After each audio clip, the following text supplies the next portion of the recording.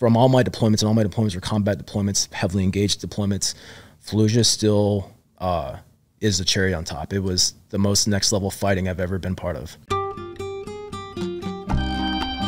March 26th is an important day to me because that's the day I got shot right in the helmet and just like really put life and that deployment into perspective. I go to reload and I come back into the window to shoot. That's when literally it was lights out for me. And I just remember this like loud, like life just left my body and had this like gnarly out of body experience where I could like see everything taking place my body, the gun shooting across the street, my the house that I was in. I remember waking up convulsing. I was getting kicked by my assistant team leader. He's like, dude, I thought you were fucking dead, but they didn't see any blood. So they're even more blown away that I just wasn't moving on the ground. It was like watching Band of Brothers. Band of Brothers was out right before this deployment, and we literally stopped making friends with these fucking dudes because they were like on the death list. Like, you're combat replacement. Like, please stay the fuck away from me. Like, you're going to fucking die.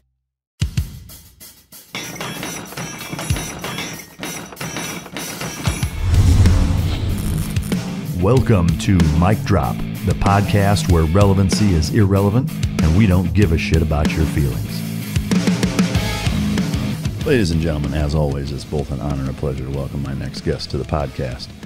He spent 15 years on active duty as a sniper slash recon slash MARSOC. Um, sounds like three bands I would listen to. Uh, received a Bronze Star, a Navy Com with V, an Army Com, a Purple Heart, uh, I, I do think you did get a good conduct medal, also, right? Definitely. Which is pretty awesome. You may be the first. He's the owner of Defy Tribe, which uh, helps unlock people's potential and helps them go all in in all aspects of life, as well as uh, We Defy the Norm, which is an apparel company that uh, I would say mirrors that same brand and, and image. He's a personal upper limit coach, which we're going to get heavy into what the fuck that means.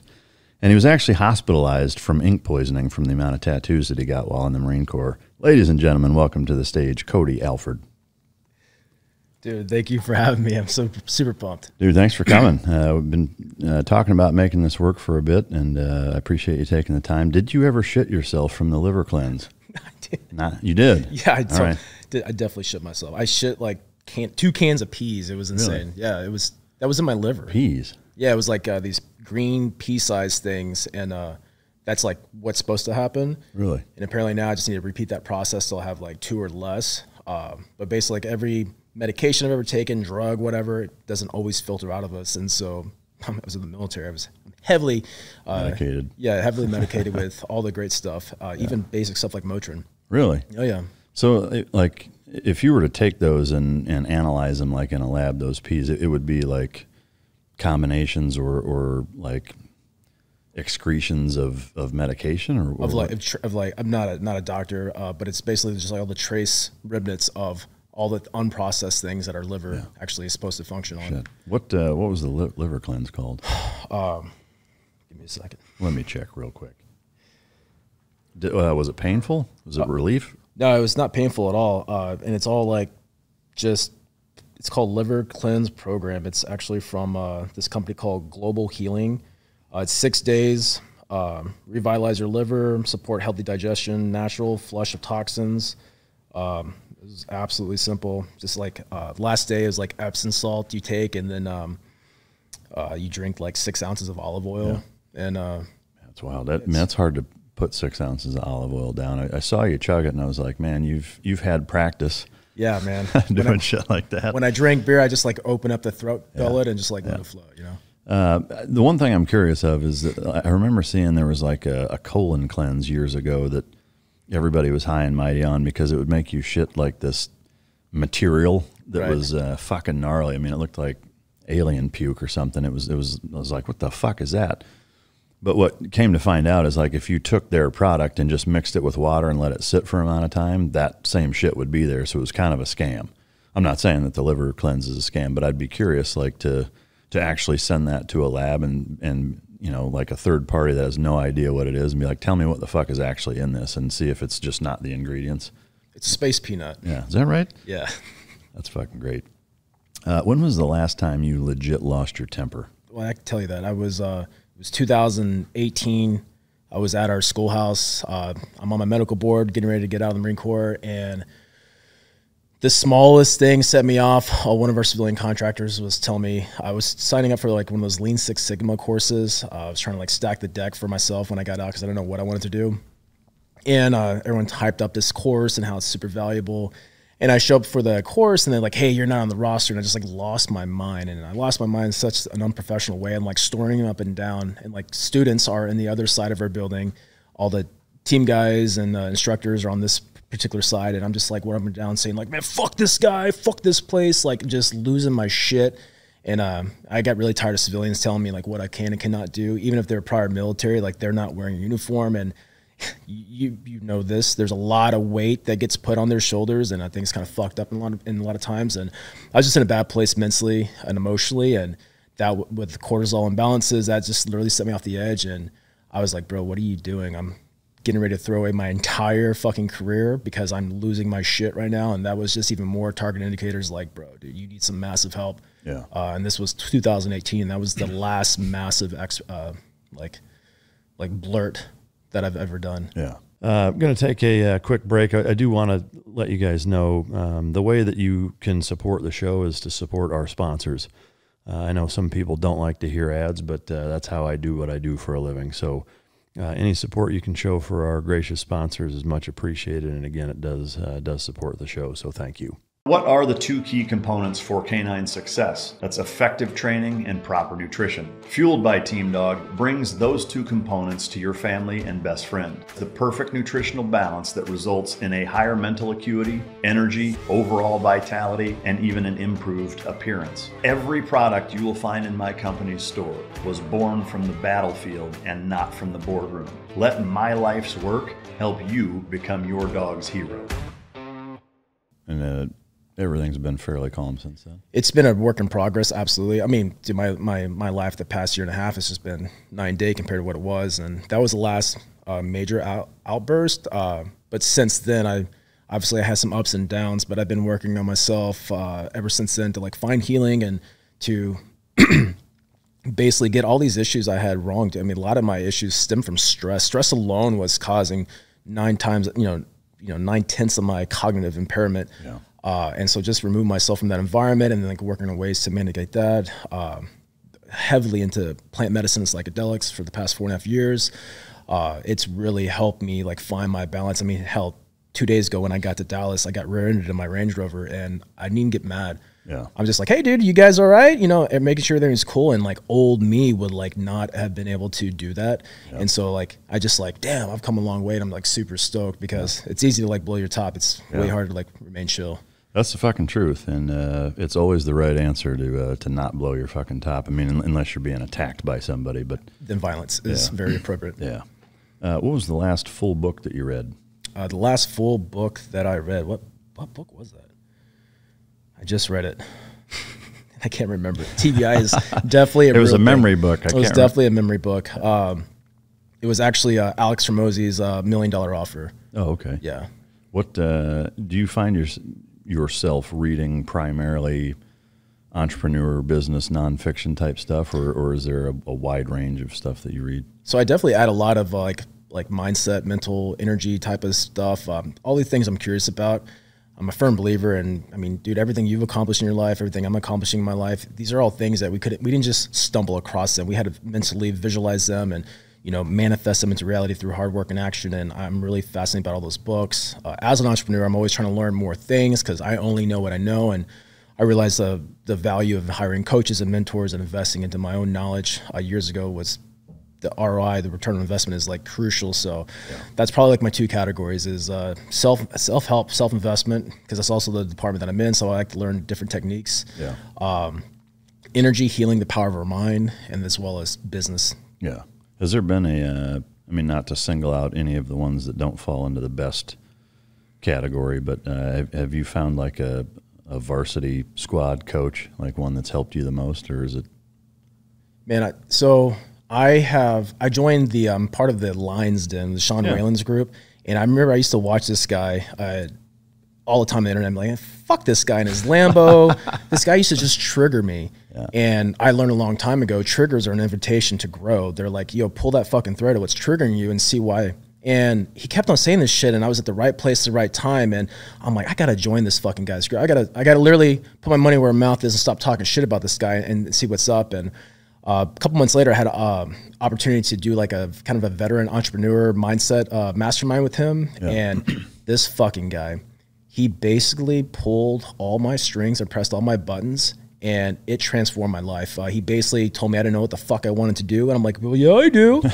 and he held me accountable, and he's really the reason why I have my coaching group up. Uh, he helped me launch my first uh, first online course that I ever did, talking about journaling, and really put me in the spot. I was not ready to do any of this stuff, and he set me on a new trajectory because he was that fucking guy that I needed to hold me accountable, trigger the shit out of me, and that's how change happens. Yeah. And uh, I love people talk shit about him still to this day. I'm like, you're gonna talk shit until you know, yeah. and that's true to anyone else. I, I, know I trigger people, and people talk shit about me all the time, and I'm like, bitch, but you don't know, and that's okay. Yeah. Uh, so the value in coaches is, I mean, you're looking for that one nugget, that one small thing that can truly change your life, and yeah.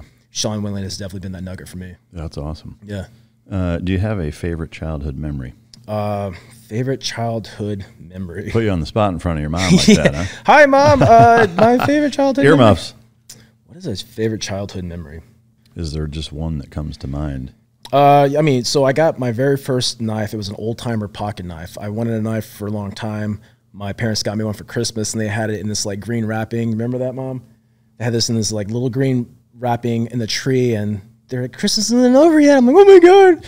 and I look and I see it, and uh, you know, my mom's inside making in the kitchen making breakfast now, and I was really into like GI Joes and like all that ninja shit. So, and I had a Red Ryder BB gun, and so I'm taking this uh, old timer pocket knife and I'm trying to split uh, a wire coat hanger apart so I can like make a grappling hook and shove it in my BB gun. Well, during that process, I slipped and I like slipped my finger, so like my finger's dangling, uh, the tip of my finger, and uh, my mom, she's like freaking out. She's taking me to the kitchen. She's like, "Oh my god, Jerry! I told you we should have got this knife."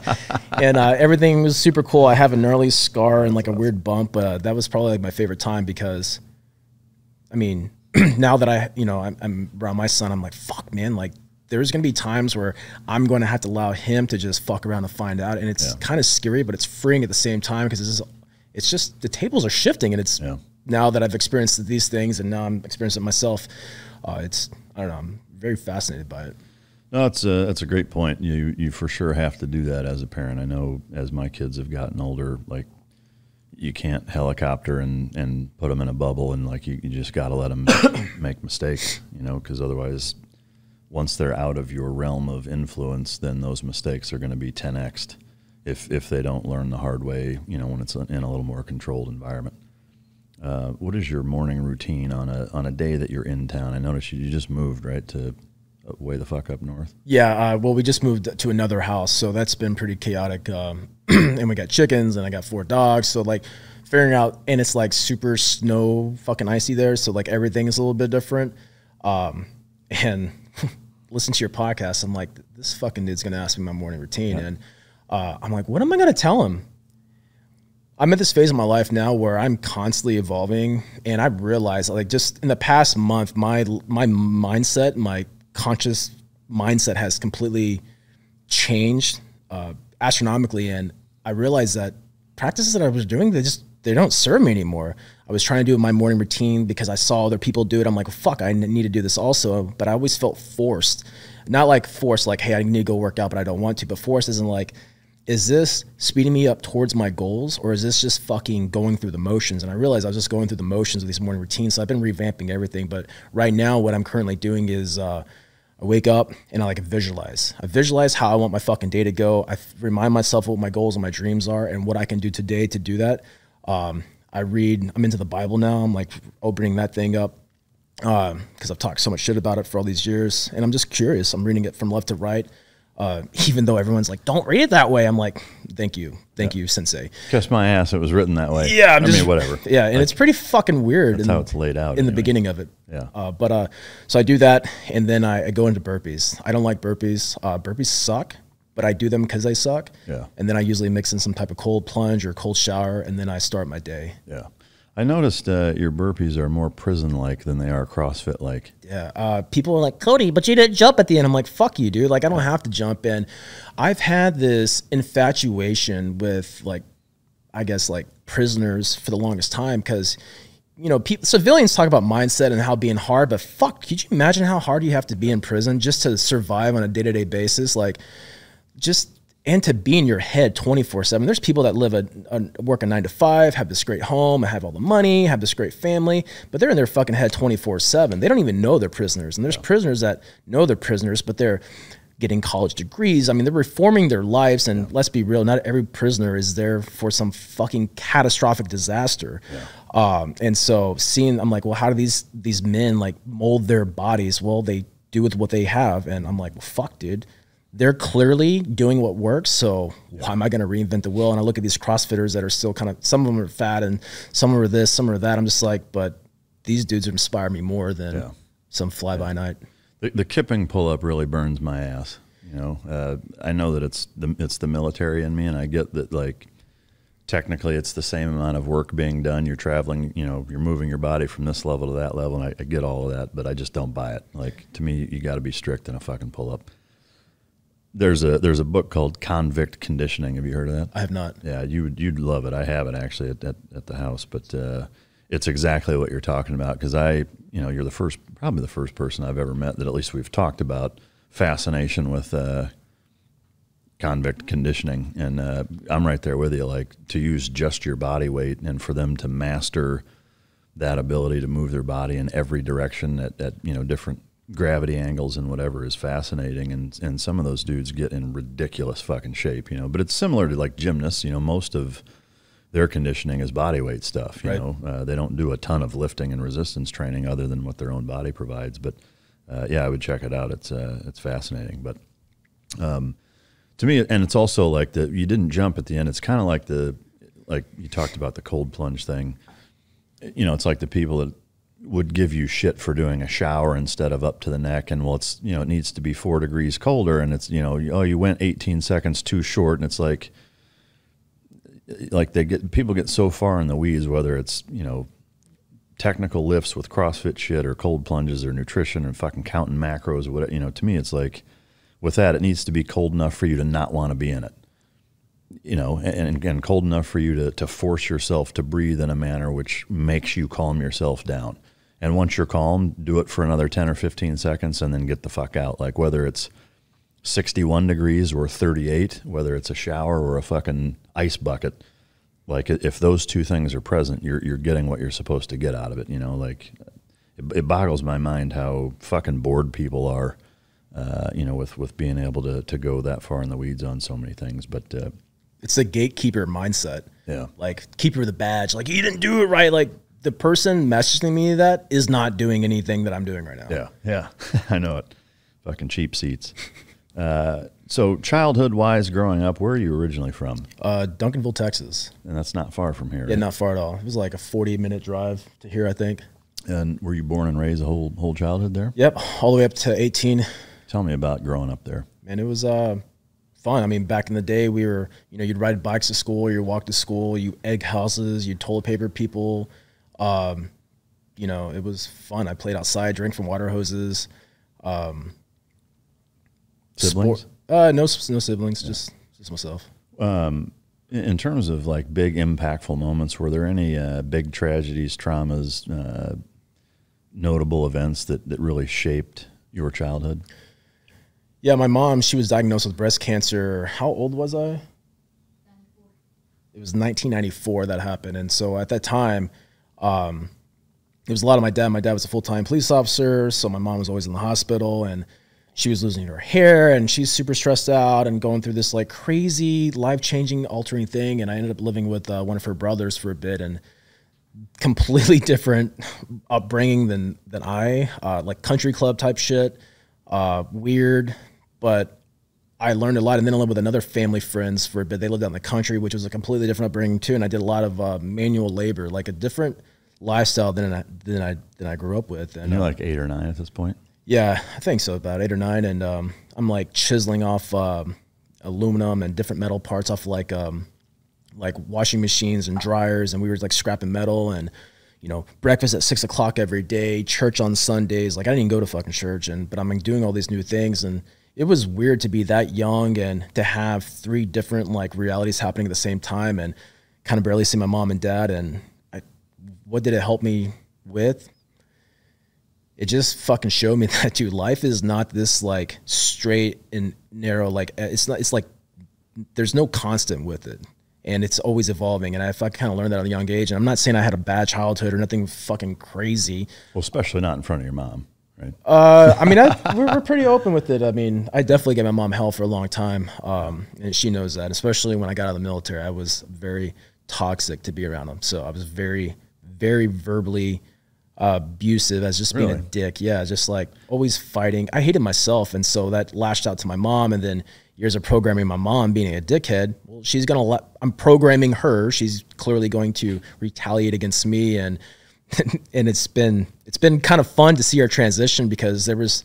Um, you know, people talk shit about COVID. COVID was the best thing that happened to me because during that time, my mom and I really rekindled our relationship, and we always had a good relationship, but like a good one where we could have conversation and like not just yell at each other and just dumb shit. And uh, so I'm super fucking grateful for all those things. And um, but yeah, the childhood up until now, uh, it was it was a good. I had a good childhood. I played sports. I sucked at it. What sport? I played football. Oh, I played soccer at a young age. Um, Which is basically like worshiping the devil in Texas. yeah, yeah, you're you're naughty for that. And then yeah. uh, I think eighth grade, seventh, eighth grade, that's when football was introduced, uh, and I played that in school and was never really good, but I was so small and we were all young back then. So I was, I was like playing center. I was like a small, like little white kid in a 5A school. So like all these like huge black dudes like, I was never a starter, right? Like I couldn't compete against like these like physical specimen dudes that like grew up with football. And I still, even my senior year, didn't even know how to play football. Like yeah. I would ask the other defensive end, like, hey, bro, who, who do I hit? Yeah. Um, so maybe I've always had traumatic, traumatic brain injuries, but I just like the sportsmanship of it. And that's yeah. really it. Did uh, did any of the, I guess, playing sports uh, Im- impact or play a role in you deciding to want to join the military, and or what was that light switch for you? Like, did 9-11 happen when you were in? Yeah, 9-11 happened when I was in Spanish class. Uh, early high school. Yeah, early high school. Um, but I, I remember being dropped off at daycare one day, and there was like a ranger poster um, at the school for whatever reason, and I saw that, and I'm like, oh fuck, I want to be a ranger. Uh, and then the shortly after, I saw this like Marine slaying the dragon commercial. I'm like, oh fuck, I am going to do this thing, and I always wanted to do it. I would watch like every like BUD/S class video on the Discovery Channel. I'd wake up at like three o'clock because Tom Berenger, you know, sniper would come on, and I'm like, oh my god! And I'd record it on VHS, like probably like recording over like family fucking videos, and yeah. um, that's why I wanted to do it. 9/11 happened, and I that didn't like simulate me even more. It was just like fucking crazy, and uh, to see something like that, right? But at uh, young age, I was that's what I wanted to go to, and yeah. my parents knew that's all I wanted to do. I signed up at 17, and uh, it was just a matter of time. I was just waiting for my time to go. Yeah. Was there any uh, talks from your dad being a police officer about joining the military and kind of any advice he gave, or you know, was he supportive? Was he not supportive? How, how was that? He wasn't one way or the other. My parents wanted me to do what I wanted to do. They both ex- they didn't ex- they didn't expect me to do anything else other than the military. They thought that's what I wanted to do the whole time. They never encouraged me towards it. Uh, my dad very he was a Marine also. He mm. very rarely talked about being in the Marines. Uh, every now and then he was with his friends. Some talks would come out, but like it was never never heard in those types of stories. Never was like, hey, son, think about this. Uh, the only thing he did tell me was like, don't bite your damn nails. You'll learn that in, the, in boot camp. And then he's like, keep on fucking around. You'll be pulling grass with your hands outside. I'm like, because that's how my yeah. dad went to boot camp, you know, with the, the M1 Garand, you know, like yeah. super old school uh, green dungarees. And uh, so that was really the only like kind of like pep talks I ever got. Yeah. Was he uh, a hard ass on you growing up? Yeah, I think he was a hard ass. Uh, did you get in a lot of trouble? I got in a lot of trouble. My dad was a cop, so I was like the fucking pastor's kid, you know, yeah. like I had the only canary yellow pickup truck that was a classic in the neighborhood that, or the town that I lived in. And my dad always get these call reports because my dad was in a neighboring police station. He's like, Hey, I heard your damn truck is zipping down the street. I'm like, Dad, that's not me. And he's like, You're the only one with a yellow truck. I'm like, Fuck, yeah. I got to come up with a better excuse, you know? Yeah. Um, but yeah, he was, he was hard and firm and fair. and he I was a lazy kid. I I was really into like drawing and computers and like computer games and shit that when those things came out and um my dad was a laborer. You know, Yeah. when he wasn't working, he was doing some shit outside or he was uh, mowing lawns on the weekends, hustling and I was always going out with him and my mom and like fuck, I just want to sit and do nothing and this was like not the sit and do nothing type of guy which sucked. Yeah. Um, But uh it was all good for me. How is your relationship with him now? Uh, my dad passed away in 2014. Uh, I'm sorry to hear that. yeah, it sucked. Um, I fucking miss that dude. Yeah. He's a good man. Yeah. Well, I didn't mean to rip that fucking scab off. No, you're uh, good. No, no, you're good. I, I learned a lot of lessons, and you know, oddly enough, I realized I had to do a lot of healing with my dad. Um, I got um, it was actually on my my mom. Sorry, mom, not sure to make up bad memories, but uh, you know, I learned a lot about myself that day. Uh, the day before was my parents uh, was my dad's birthday, so I, I wake up. It was a weekend. stationed in North Carolina. Um, and so on the weekends, I'd wake up and I call my parents early, around like seven, eight o'clock, North Carolina time. So they'd be in Texas time, they'd, be awake. And I would call them, say, how's it going? What's going on? And then I'd like go off my day. Uh, so I call my dad on his birthday. I think it's like a Saturday. Talk to him, get to FaceTime him. Had a great time. The next day is my parents' anniversary. Well, I wake up early, just like I always did. And I'm like, well, I'm going to watch a movie. And inside, I'm like, I should call my call my parents, but I'm like, I'm gonna watch this movie. And sure shit, man, halfway through this fucking movie, I get a phone call from a family friend saying my dad died, and I just, I, I felt so selfish. Yeah. And um, then I was obviously instantly uh, turned to my mother. I'm like, fuck, man, I, I'm gonna have to get out of the Marine Corps, take care of my mom. Like, I don't, what the fuck is she gonna do? And I was just like really like overwhelmed with like, you know, there's some life decisions that happen. You're like, well, fuck, that's life. Then it's like life decisions when it affects you and someone you love. You're like, well, fuck, now what do I do? And, um, but I learned a lot of those lessons. And, you know, I've been doing psychedelics for four and a half years now to heal and like just to just uh, get my neurons firing back properly and functioning right. And, you know, my dad's come up a lot in those. And uh, I realized that I was telling my mom today that, you know, I was, healing wise, I was always looking for validation. I was a fucking I, I kicked ass as a kid. I, I kicked ass in the military, and I was always looking for like my dad to be like, "Damn, dude, I'm proud of you, bro." And that never happened. You know, Really? I don't think he was never not proud of me, but he was just his generation. I mean, this fucking dude was like abused. He he was like that type of family photo where like they're in like half overalls and there's like twelve kids on like a rinkety wood porch, and he's working a fucking field. You know. Was he from here too? Uh, he was in. He was from Texas. Yeah, uh, from Texas. And oddly enough, I my dad was super into like family tree stuff, and I'm just like never into that shit. Yeah. I'm like, what can I do now to like change the Alford's trajectory? Yeah. Um, but uh, yeah, a lot of a lot of things came up with my dad, but that fucking dude was a good man, and and I realized he loved me the best way he could, and it just took me time to kind of like understand that by seeking validation and knowing that, hey man, you only know what you know, and, and that dude did what best what he could with what he had. Yeah. I mean, it's uh, it, it's I think both interesting and amazing to hear. You know, looking back on it, you know how you reflect on it now, and, and that validation thing is is so important. Uh, but also understanding like that generation and uh, and uh, just kind of more of a time where most men didn't communicate shit like that to their parents, Right. or to their parents, to their children, uh, which is strange. You know, I, I know I I talk with my. I've got two daughters. They're they're older, but um, I mean, I, I tell them stuff like that all the time. I, I mean, to me, that, that shit's so crucial, and and I know how important it is. Um, but it's it's fascinating to me the way generations change and the way they work, and, and kind of how they influence kids growing up. But um, all right, so you you've been hell bent on joining the military. Basically, as soon as you graduate, I'm assuming you you join. Yep. I like skipped school. I, I enlisted at 17 and then I just waited till I turned 18 and leave. Was it a uh, my recruiter told me X and Y is happening, or like did you have any anything signed up for? Or Mama didn't raise no bitch, you know, so I knew exactly what I wanted. I, I just wanted to be a scout sniper. The dude told me the only way to do that is to go infantry. And so I did. I enlisted as an 0311 and then um, that was it. yeah, what uh, where'd you go to boot camp? I went to boot camp in San Diego. Um, I, I mean, so it, do they break it down where this half of the country goes to San Diego, this half goes to? Uh, Yeah, I think it's like some dividing line, like in. Uh, I would think you would go to the uh, East Coast. thank God I didn't. Yeah, they tell these stories about gnats and Yeah, East Coast military is like completely different than West Coast. I, Same with the SEAL teams. yeah, I lucked you, out. as you know. I lucked out. Yeah, that's good shit. So, all right, so you go to uh, to boot camp. Was there anything that surprised you? Man, I it was weird back in the day, like on the Family Channel and all this type of shit. There was like these like Marine boot camp documentaries where it's like, or like these like sitcoms, not sitcom, like a like a like a homemade TV show, or you know. And I'm like, I would watch these things. So I'm really just like so excited to be there. Like I'm like, holy shit, dude came with a bus and yelled at us. I've seen this. Like this is epic. Or I'm standing on these fucking footprints. Epic. I'm shaving my head. This is epic. And uh, you know, nothing really surprised me. I, I do very vividly remember we got like so you're like you got your shaved head now. You're walking to this like storage room and they're like your hands are out like a peasant. They're just like putting shit into you and um they gave me these camis and I was one of the first classes to have like the digital camis. Well, they had elastic on the sides. I'm like, oh shit, these are like sleeping pants, you know? I know what the fuck they were.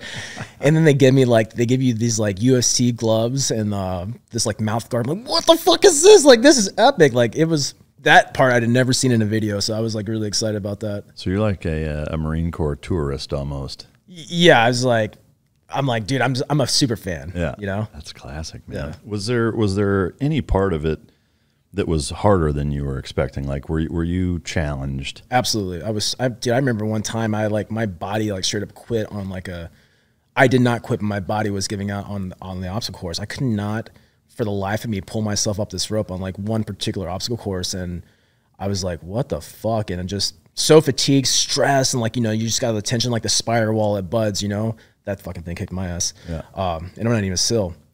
But uh I remember there was a lot of things that challenged me. I remember the uh, crucible towards the end.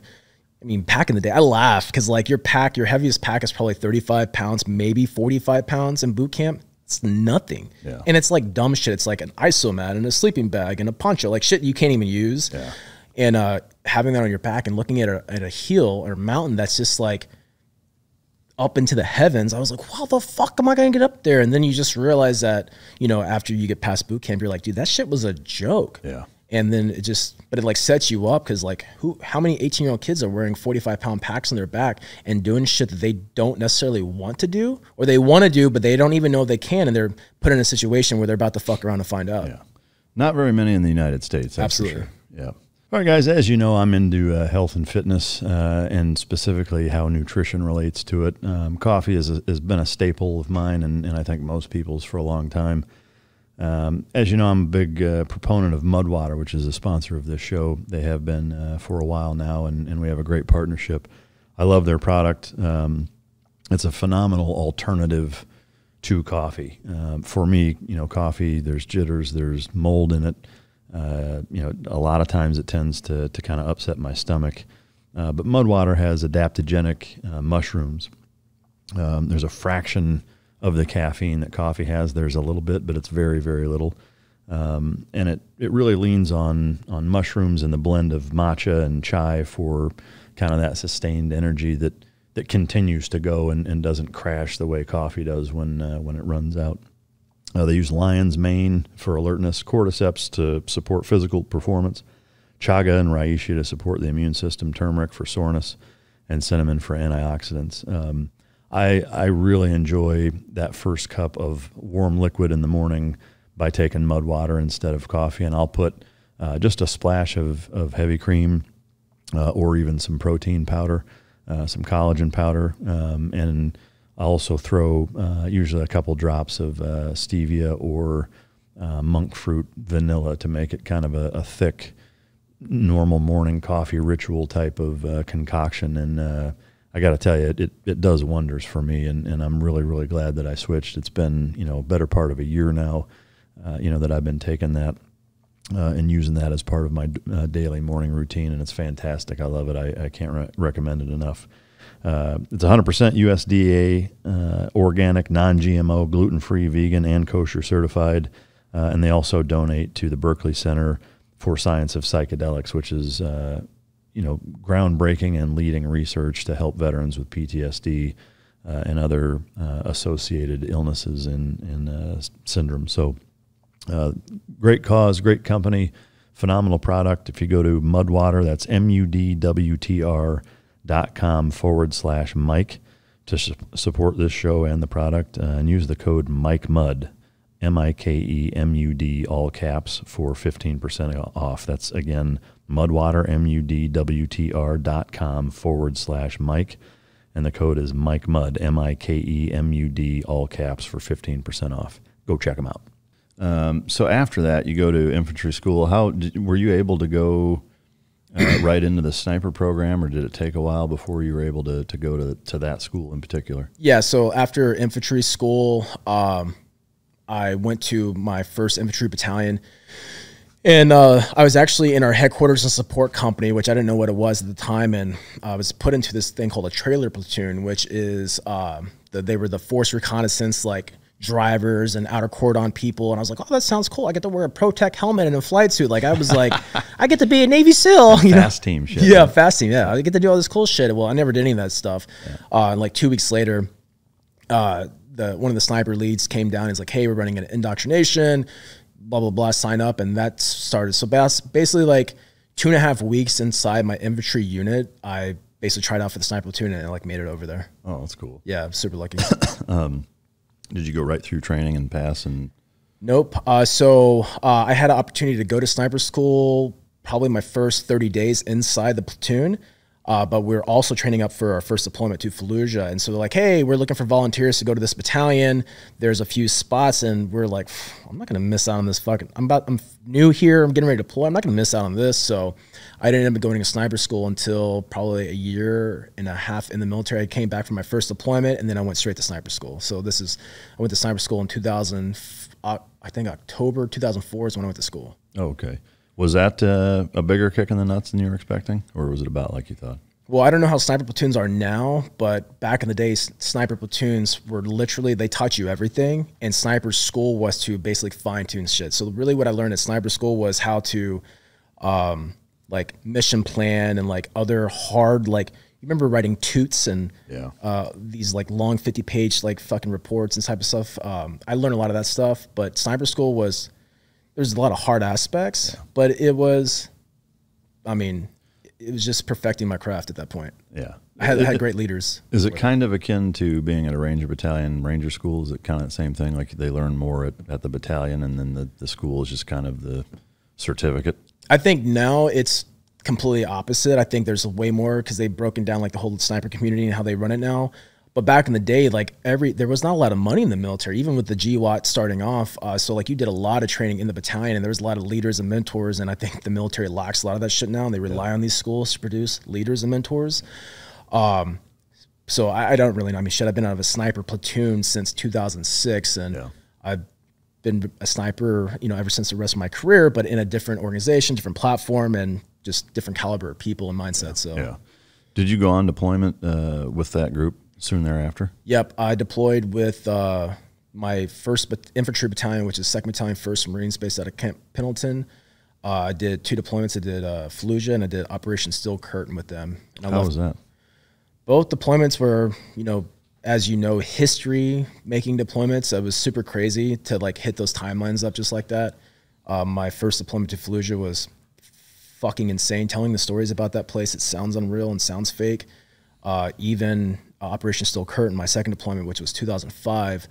Uh, I mean, we just literally did a smashing campaign through multiple villages, multiple cities, and it was it was super gnarly to uh, be stretched that thin and to just go from one campaign hopping to the next and kind of really reminded me of some stories like World War II, where you know Fallujah, I was there for my whole seven month deployment.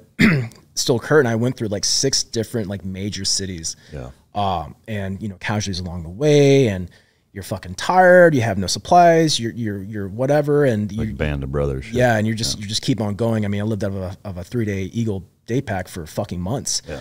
Uh, you know, supplying myself and my team with harvest bars and you know shitty ass water and every. I remember the Marine Corps birthday happened on Steel Curtain, and they uh, brought out Marine Corps does not fuck around with a birthday Oh, I know it. uh, they they brought out I think I had steak and lobsters and, a, and I got a Red Bull.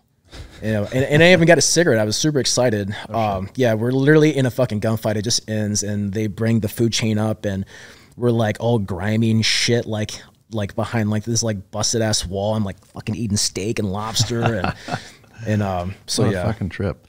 If we can take a step back to uh, that first deployment, Uh, when you first got boots on the ground there, what was that experience like for you uh, mentally? What was going through your mind? Uh, I was, I hated the Iraqis, right? I, I, was brainwashed like any other person that watched any moto video, right? The die motherfucker die videos. Um, so I was definitely there to fight. You know, I was super eager about that. Um, the army unit that was there was absolutely fucking battered. We replaced the 101st Airborne, I believe. I believe it was 101st or might have been the 82nd. Either way, in an Air Force unit, and uh, these guys were fucking beat. Um, they had way more stuff than we did, so we started to pillage their shit to like outfit our vehicles because we just had soft skin Humvees and the Mercedes IFAVs, the Jeeps, and um, I remember probably about a week in, our leadership from the sniper team or sniper platoon I was in did a left seat, right seat with the uh, scouts from the army, their sniper guys, and dude, fucking they're out there doing this like weekly uh, district center meeting for the elders and they all get like fucking shot up and grenaded and so like half my platoon comes back fucked up already and they're sitting out the rest of the deployment you know wow. with like holes in their asses and shit. And i was like damn this is real. And then um, you know not even going out the wire yet having to like write death letters and just this mindset of like, hey, we're going on this day, and you're like, fuck, you know, thank God I never had to go off of like one of those ramps on like Normandy Beach, right? Which doesn't make any sense to me. Yeah. Uh, but like I felt that type of feeling of potentially of like, you know, sitting in the back of a seven ton and it's quiet outside and you smell like JP8 diesel fuel and you're like quiet as shit and you're rolling to an objective and then we all get off and dude, next thing you know, we're like literally storing up a hornet's nest. It's like the Black Hawk Down scenario uh, I'm not going to compare the two, but using that that phrase of like you're you're going in quiet, you're going in calm. The city is dead as shit, and the next thing you know, literally all hell is breaking loose, and it was like that my entire deployment, uh, which was absolutely insane to the point where like you're just. I tell people like we we would have combat replacements all the time, and uh, it was like watching Band of Brothers. Band of Brothers was out right before this deployment and we literally stopped making friends with these fucking dudes because they were like on the death list. Like, you your combat replacement, like, please stay the fuck away from me. Like, you're going to fucking die. And uh, it sucked, but it was just how it worked. It, it, was crazy, and it was a lot of violence and a lot of, uh, lot of pain. Uh, Fallujah was to from all my deployments, and all my deployments were combat deployments, heavily engaged deployments. Fallujah still uh, is the cherry on top. It was the most next level fighting I've ever been part of. Do you remember the very first like legit gunfight you got into there? Yeah, it was actually the day one in the city. Uh, it was um, March, yeah, March 26, 2004. I remember that day because it's a very important day to me. Um, we're in the city and our whole mission was to um, back in the day we were actually the eyes and ears of the battalion. So what that means is we would patrol up and we would report back to our commanders so they could paint the battlefield picture. Um, we're using like phase lines and all this other type of shit GRGs to navigate. And we kept them pushing up further and further into the city setting up overwatch positions to report back. And i remember we set up in this one two story house and um, you know, I saw some, there was like some shooting, but I wasn't involved yet at this point. We stopped at a couple homes before this house and my guys were shooting and I was holding rear security at the, at the door that we walked up to. So I wasn't engaged. I was like, come on guys, I want to shoot, you know, and I should have just shut the fuck up. Um, and so a few houses down about mid afternoon, we roll into a two story house and I'm setting up Overwatch and I'm uh, by a window, checking it out, and my radar operators on the other side, and my two snipers, the school tearing snipers that have a nine millimeter Beretta and a bolt gun in an urban environment, which is fucking crazy, uh, especially for what we were dealing with. Uh, they're like in the back of the room, setting up like observations, and um, you know, shortly after uh, afternoon prayer happened, that's when we got this like pretty gnarly gunfight across the street, and um, March 26th is an important day to me because that's the day I got shot right in the fucking helmet and just like really put life and that deployment into perspective. And this is day one in the city for me. This is day one in the city for everybody. Um, and it definitely set the tone of like what's to come for that whole deployment. What were the circumstances where that happened? In regards to getting shot in the helmet?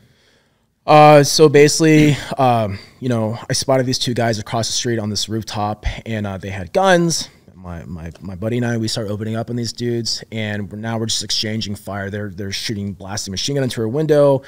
Uh, I'm shooting an M16 fucking cannon, you know, like Old school shit. Yeah, old school, like the fucking 20 inch barrel. Um, way better than a musket, so I'm I'm grateful. And uh, BFA on the end of yeah, it. BFA saying butter butter jam, butter butter jam, doing exactly what I'm told to do and instructed. And um, long story short, I, I go to reload on the left side of the window, and as I load up and I come back into the window to shoot, that's when literally it was lights out for me, and I just remember this like loud, like life just left my body, and that's exactly what happened. Uh, I had this like gnarly out of body experience where I could like see everything taking place. Um, my body, the gun shooting across the street, my the house that I was in. I saw everything, and uh, Did you go unconscious? yeah, I was definitely out. Um, I don't have like I don't have a timer for the whole evolution. Um, if I had a guess, it'd probably like maybe three to five minutes potentially, just based off uh, the time and distance from when the uh, shooting started and when we actually exfilled from this house. Um, and when I came back to my body, there was like this like light, bright light, and like just zipped me back into my body. And I remember waking up convulsing. I was getting kicked in the shoulder uh, by my assistant team leader, Brian. Uh, he's like, dude, I thought you were fucking dead, but they didn't see any blood, so they're even more blown away that I just wasn't moving on the ground. I thought And- you were playing hurt. I, I don't know what they were thinking, but I was definitely hurting. Uh, and I was close, my body lay next to the radio. They're like, dude, get on the fucking radio and call for support. And, uh, and that's what I did. I just like, you know, had like the most like fucked up communication, trying to like call for support. Obviously, nothing's working.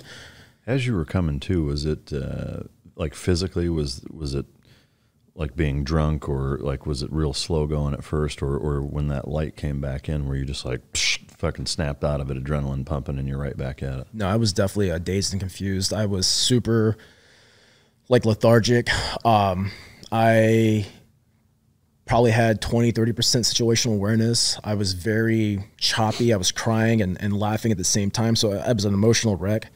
Um, so even getting on my transmission was like a, every other word I was saying break, you know. Um, and I remember when we decided to like break down from that house and like move to the bottom floor to get better communication and get, off this like place just getting pelted with the machine gun fire um i was definitely like a lot of tunnel vision uh, a lot of um in there not in there but I, I knew i needed some help but at the time i didn't know what that was Yeah. Did it change your resolve at all? Um, either heightened it or lessened it? Like, did it did it make you question what you were doing there, why you were there, if you wanted to be there? Was was there any of that kind of self doubt? Uh, I didn't have any self doubt. I just started to show my body more. Uh, I realized uh, we were in a shit ton of gunfights that deployment, and I realized if I only show my head, I'm only giving them my head to shoot at. So I decided to like show more of my body and like increase my chances of like not getting fucking dinged in the head again. Uh, I was really scared though. I had the same helmet, which would not stop another bullet at this point that I was still wearing in the city. And the only reason I got another helmet was like as Marines got injured and killed, I was able to take their gear. And uh, the that part alarmed me because I'm like, this is fucking real. And I was a point man on my sniper team, so I'm still on point. I'm still doing these like I'm the first guy missions, and it was just a reality check of like, fuck, dude, like life can come quick as shit, and I'm 18 years old. I've never done anything, you know, like. Uh, there's so much life ahead and that was really it but like being scared about the mission or like not wanting to participate that wasn't that never crossed my mind i was i was committed to the cause and the cause was just like my team not really go america or anything else or go war it was just doing my job and Yeah. i was taking care of my guys Was the operational tempo at that point uh, or that time during that deployment was it going out every day? So we actually, uh, after this particular incident on March 26, uh, we actually came back for about a week and a half, two weeks to regroup, and because there was really no plan established, and the whole beginning of Fallujah was just kind of like strong arming the whole operation by pushing in and like doing this like uh, uh, like blitzkrieg type of push, and that turned to be not very uh, effective. And so our next phase line, our next our next game plan was actually go in and take strongholds. And at this point in time, my battalion two one became the anvil. So we were the we were the strong point that we weren't moving. We occupied homes um, and buildings inside the city of Fallujah, and all the other adjacent battalions and units were pushing uh, the insurgents towards us. So we really became the magnet for like everything happening in the city. I mean, granted, there was like a lot of chaos going on everywhere else, but everything was being funneled towards us. So the rest of that deployment, till towards the very end, we were stationary in the building, and what that looked like every day was just rotating your, your duties on you're on fire watch or you're sleeping or you're filling sandbags uh, or doing some type of shit like that. I think every other week or every week you would get a chance to go back home and like take a shit in a porta john or something like that, and you'd come back out like the next day. So it was kind of like just like you're in like a fire base, Yeah. and you're just fighting every fucking day and dealing with that type of stuff. How long was that deployment? Uh, seven months. Seven months. Um, the the group that you were there with, uh, that you deployed with, about how many guys was that? Uh, this is where I get screwed. up. I don't really remember a lot of numbers. Um, Ballpark. I'd be lying. Maybe 300 people. Did you guys lose a number of guys? Uh, we definitely did lose a number of guys. The exact numbers, uh, not sure. Like I said, with memory loss, I numbers always fuck me up. Yeah. Uh, but we lost enough to. We lost enough to to remember that like this is this is it, man. This is the real fucking deal. And and and guys back then were just built different. Uh, these dudes were, I mean, f- real leadership and mentorship things that the military lacks today, in my personal opinion Oh, I'm right there with you. uh, they these were guys that were like E4s after for four years and they weren't turds. You know, if you're an E4 for four years now, you you could be a fucking turd. But back then things were just different and these dudes had they were just true real leaders are teaching you how to use everything. They weren't that do as I say, not as I do. And you know, when we started losing a lot of those guys, and especially when we lost, a fuck, we lost a squad one day from a VBIED. Uh, it hit a seven ton and just fucking killed everybody.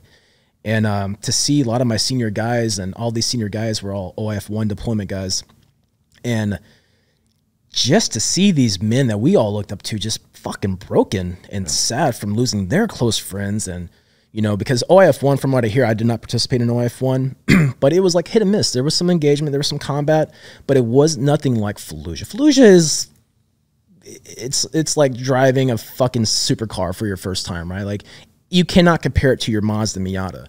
Uh, it's it's it's night and day and um it was it was it was really intense but those characters of, of men back then was just they they do not make them like Yeah. that anymore. Yeah. No, I agree. I mean, it's uh, it's been a depressing observation uh, to kind of be past that point in my age and, and on the sidelines watching what's hap happening and taking place in the military. It's it's fucking depressing and, and devastating.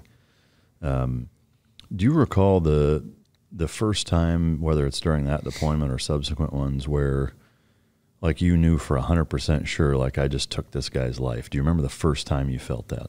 yeah Can you, can you uh, walk us through that, both in uh, from like a timeline standpoint, um, story wise, but also from an emotional standpoint? Yeah, the uh well, all right. So a lot of fucked up things back then. There was a lot of uh, human shields, and um, there was a lot of uh, people being used to call um, to spot us. And at times, those were the only people that were fucking shown that you had access to. And I remember my actually my first uh, engagement was with the fucking bomb. I, I lays this bomb on this building, and uh, we were, we're getting just fucking murked from this place uh, all day across this river, across this bridge, actually. Excuse me. And uh, when this fucking bomb dropped, and I knew there was people in there. I mean, we saw them. We're shooting at them. They're shooting at us. I'm seeing fucking you know civilian casualties used or civilian people used as fucking human shields here and, and this and this bomb dropped and I was like fuck that's real. And I realized that like dude this is fucking disgusting. This is absolutely disgusting because even my fight my first fight when I got shot in the helmet like I don't know if I kill these dudes or not like we're we're literally trying to like squeeze in some 556 in between a fucking machine gun right? Like I'm I'm literally just trying to put down suppressive fire so my guys can get out of this room and uh but my first up close and personal it was um beside this bomb it was this fucking dude.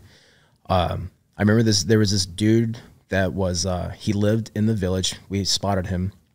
And he was with his family. And he was by the mosque. And the mosque was off limit back in the day. And this dude wearing the same fucking clothes and the same pattern of life. And we were just observing him the whole time. And Um, I remember him passing off his son to his wife, and then uh, as soon as I walked away, I, I you know dropped him, and I was like, I was fucking empty inside, and uh, it was almost like, did I have to do that? And then I'm like, wait a second. We're just being shot out all fucking day. This is like the dumbest game ever. But I realized that that's what war is. It's fucking stupid. And uh, but at the time, my, my job was to fight terrorists. You know, fight these these bad people.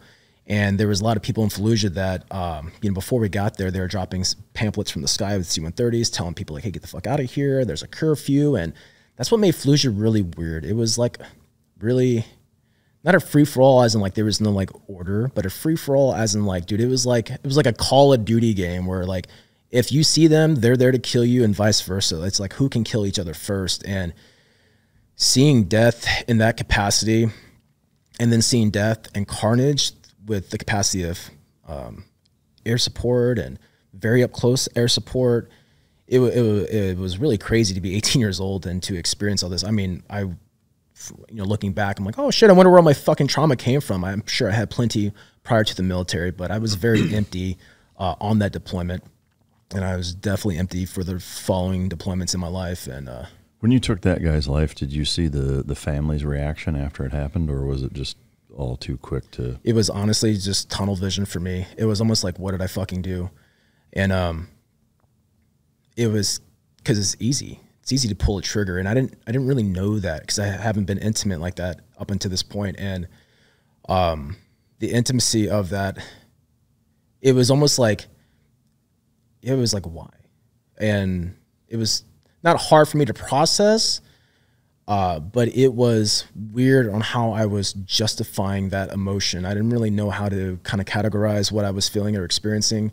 I definitely wasn't scared to fight. I definitely, I mean, I've shot my gun multiple times up to this point, but this is like, this is, I'm, I'm scouting this guy. I'm following him. I'm, I'm seeing him and he's not seeing me. This isn't like I'm walking through a fucking door and I like pop a guy that's trying to kill me. This is a dude that's fucking living his life, getting ready to go do his good bad guy work for the rest of the day, and he has no idea that I have a fucking crosshair on him.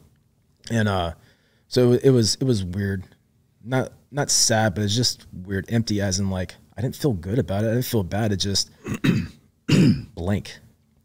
Because that was the first time that you experienced that particular emotion as it relates to uh, taking somebody's life.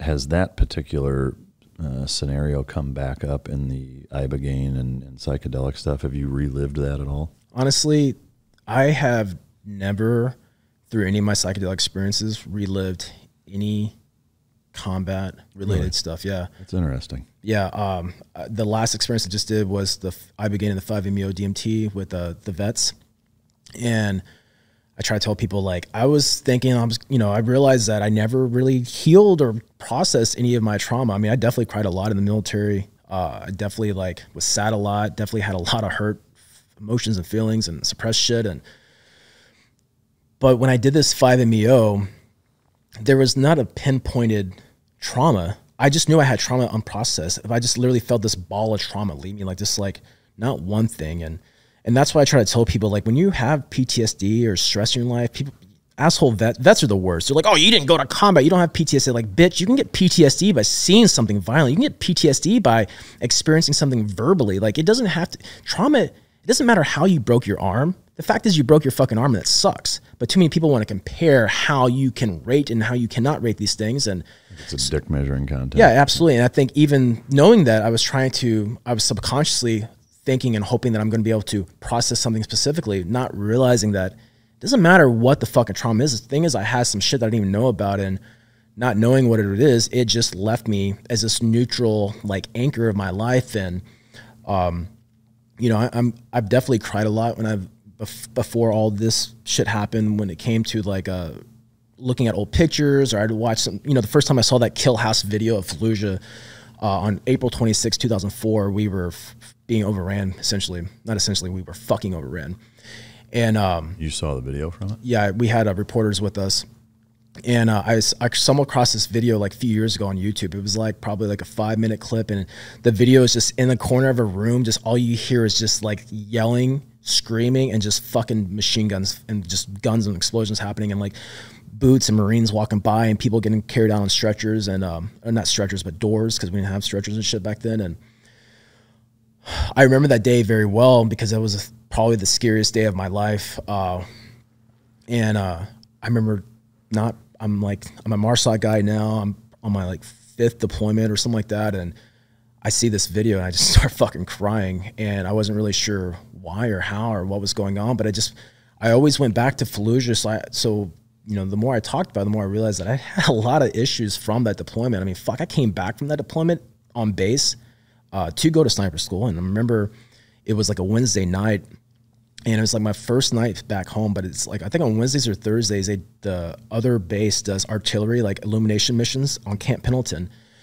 and my buddies that were in my sniper platoon on deployment that weren't school trained snipers, we all came back to go to sniper school and they start shooting illumination missions. And dude, we are all underneath their fucking beds, like, fuck, you know, like, not this like, we were because we were we were fucking scared. I mean, we lived with that for seven fucking months. You know, where buildings are shaking, bodies are fucking coming up from the the graves from like Jesus era time frames. You know, like it was insane. Dogs eating people, um, bloated bodies everywhere, um, dismembered bodies everywhere, a bunch of civilian casualties from the insurgent side, you know, sabotaging them and fucking bombing them. It was just, it's a lot of,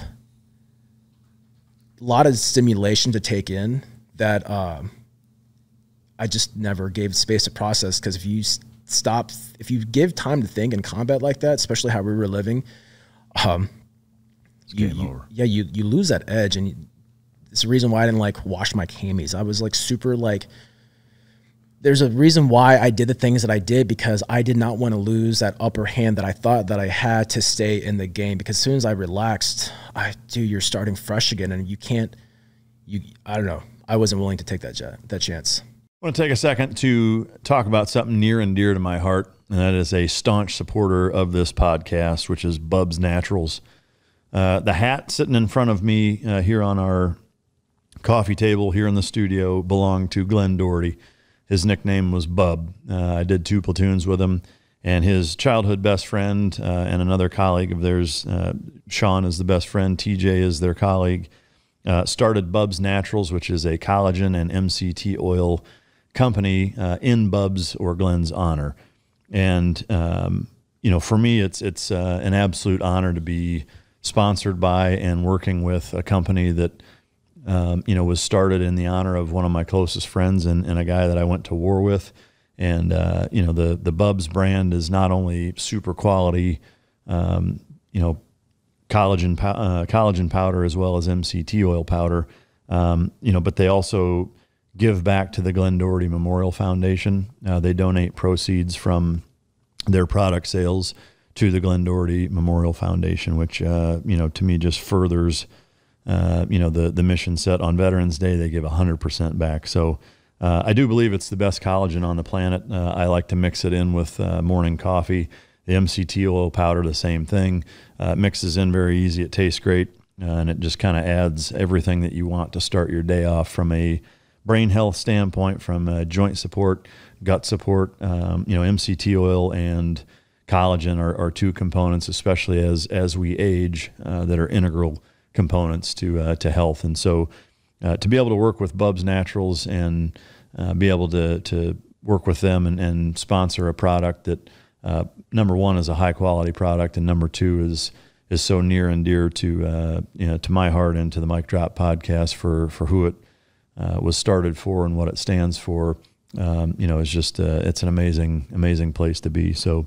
Um, it is Whole 30 approved. Um, it's uh, sports certified, so you're not uh, going to run into any problems with that.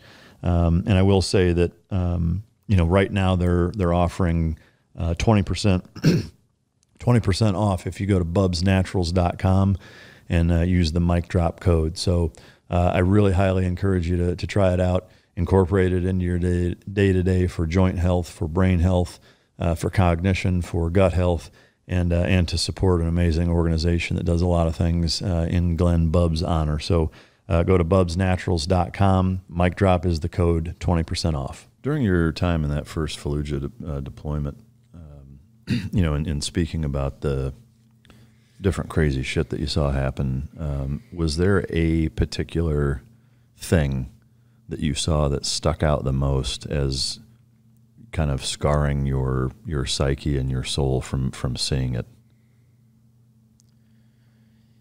Yeah, uh, we had a short round go off uh, for a mortar for a fire mission at, uh, at an adjacent house, and to hear that uh, a couple of the guys that I knew died from from our own fucking artillery round, uh, not artillery, but a, a, mortar round, that was that was pretty shocking. You know, we're supposed to kill the enemy. You know, our weapons have bullets that go out towards them, and to have something tragedy like that happen, I was like, "The fuck are we doing?" And it just it just really put more even more things in perspective. Like, yeah, there was a lot of gnarly things that I saw and experienced there, but to see something that you controlled that went completely south, uh, that was uh, that was a uh, shocker. Yeah, uh, there was a lot of lessons from that completely. Yeah, any that uh, that you learned from that deployment that on subsequent deployments saved your life.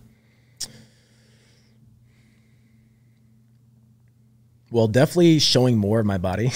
I remember my second deployment. I, I fought uh, for Steel Curtain. I fought from a trench for for quite a bit of time, and I got to the point where I'm tired of like eating fucking rocks shooting at my face, like hitting me from the ground from the rounds hitting. And so I just started to literally show my upper torso. I'm like, I'm gonna give these bitches more to shoot at because this is getting way too close to my head. And I had this fear of my head. And, you know, even when I made it to special operations, you know, the thing is, you're a special operator, you wear a ball cap, and like motherfuckers are wearing ball caps and like, dog, you haven't been shot. I'm wearing my helmet all the time. Like y'all are dumb.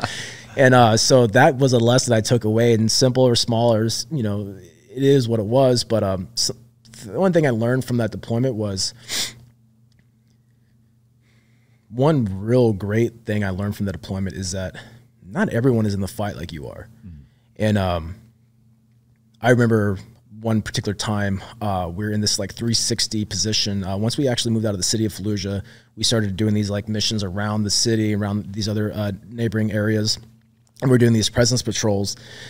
And uh, we're basically trying to like relocate and retarget surgeon fighter cells. And I remember I'm in this 360. It's the middle of fucking nowhere. It's dark as shit. I got seven Bravos, right? The the some of the shittiest night vision out there at the time, but at least we had it. And I'm with my buddy and he's a machine gunner. I'm looking at him and we look around and everyone's fucking sleeping. Our own patrol is sleeping in this fucking 360. And we're like, are you fucking kidding me, dude? So like, we're just heightened alert. And I realized, like, dude, these motherfuckers aren't about this life. They're they're not worried. They haven't hit that aha moment where they realize they might have seen death, they might have shot some guns, but they have it hasn't clicked for them yet the importance of like showing up and like, dude, you're if you're putting on armor, dude, you're here to fight. There is no in between. There is no sightseeing, and I realize that not everyone is the fucking same, and combat clearly does not define who you are and your performance. Um, which there's a big facade in the military. A lot of people think, oh, this person's a fucking epic fighter. Like, dude, that guy's a piece of shit. He's a horrible leader. He doesn't even take care of you when you're back at home. He's a piece of shit. Oh, but he was a great gunfighter because you saw him fucking shoot a machine gun belt. But bitch, did you see him sleeping over here? Like, what kind of professional is that? And I and I just realized that we're not all the same. And uh, literally, you have to fucking rely on yourself in a wartime situation. You cannot expect everyone to have the same uh, mentality you have to to fight and to survive. Did you see a disparity between that unit and once you were in full blown MARSOC of there being less of of that inconsistency? Yeah, when I left the infantry, uh, man, it was night and day. I left because I did not like the way it was going. My sniper platoon was getting really watered down. A lot of a lot of segregation where there was like no incentive to want to become a school trained scout sniper. It was like, hey, you're in the sniper platoon, kumbaya. I'm like, I don't believe in hazing, but I believe in accountability and I believe in discipline and I believe in uh, there's a fucking standard. And if you have no incentive to to take my job one day, why are you going to show up when a you don't have to and b you don't want to? And I'm like, this is just not for fucking for me. And when I left in 2006, beginning of 2006, I got to uh, Force Reconnaissance was the first place I went to, and I was like, dude, these motherfuckers all want to be here. They're all super senior guys. They all have various level of deployment experience or just life experience, and they're hungry. These are older fucking dudes. I was I was like one of the youngest guys there. These are guys in like their at the time mid 30s, and I'm in my young 20s. Uh, I think I just turned 21 at the time actually and they have families. They're they have investment portfolios. They got rental. They got rental properties. They they're just a different breed of people. Yeah. They're not a bunch of punk ass 18 year old kids, you know, cleaning guns at Armory all day. They have a different perspective. And that was like, I'm at the right place. Yeah. Uh, before we get into your time and, and deployments there, I, I am curious. The once you came back from that uh, Fallujah deployment, the period between then and when you went on the Steel Curtain deployment, how how was your time back home? Was were there was it tough for you to be back there, and or was it a super quick turnaround and you were just laser focused on getting back?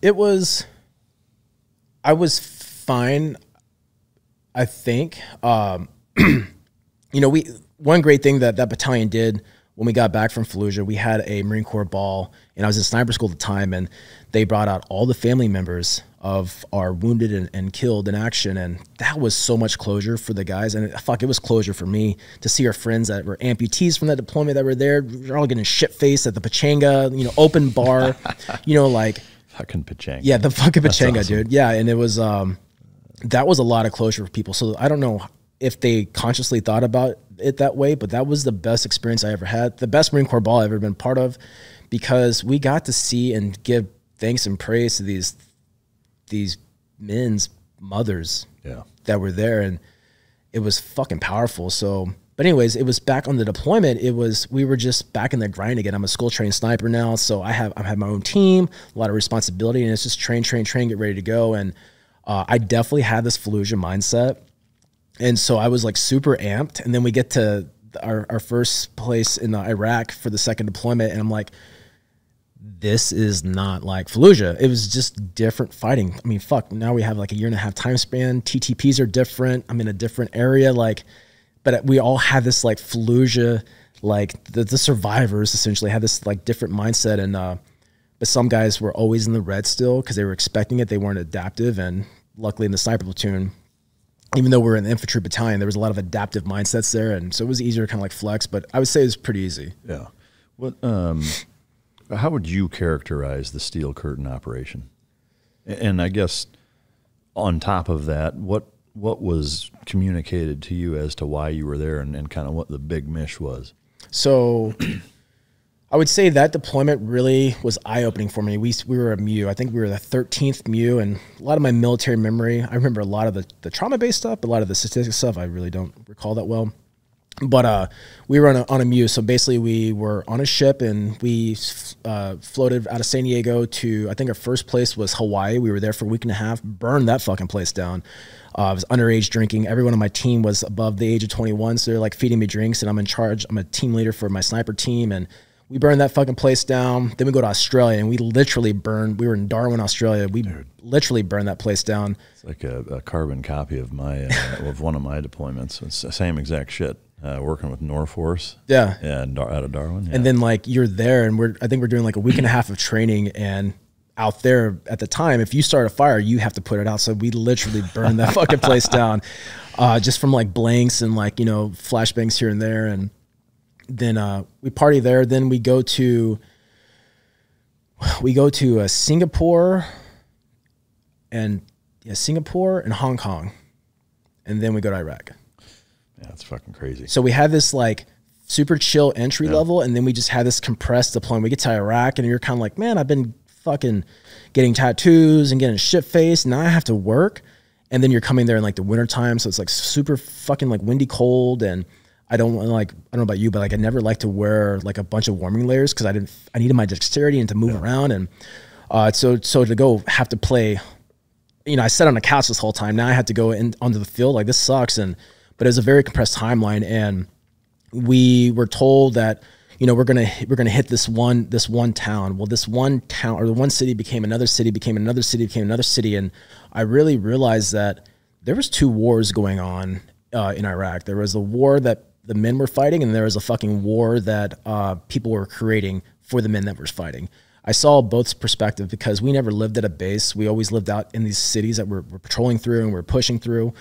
Uh, but when we come back to these big um, civilization bases to to refit, rearm, I got introduced to the non-combat side of people who their whole purpose in life is to tell you to clean your fucking uniform before you come into the chow hall or you can't bring that in here. Just a bunch of dumb shit. I'm like, bitch, you have no idea what we've been doing. Like they just they were living in a different la la land. Their whole deployment was making sure that there was fucking ice cream ready to go in. And I I am not the type of guy. I'm not a badge holder that says if you were they call them pogues, right?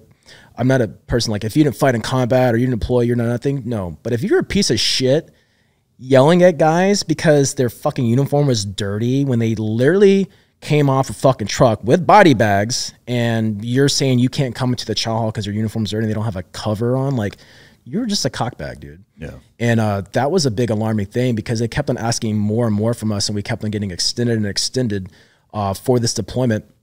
And uh, it was so it wasn't like Fallujah, where Fallujah was this like kind of like singular place drawn out. This was a very compressed timeline. You know, we're looking about one to two days through each city. I mean, fuck, we cleared probably like six cities and violence, you know, a lot of violence.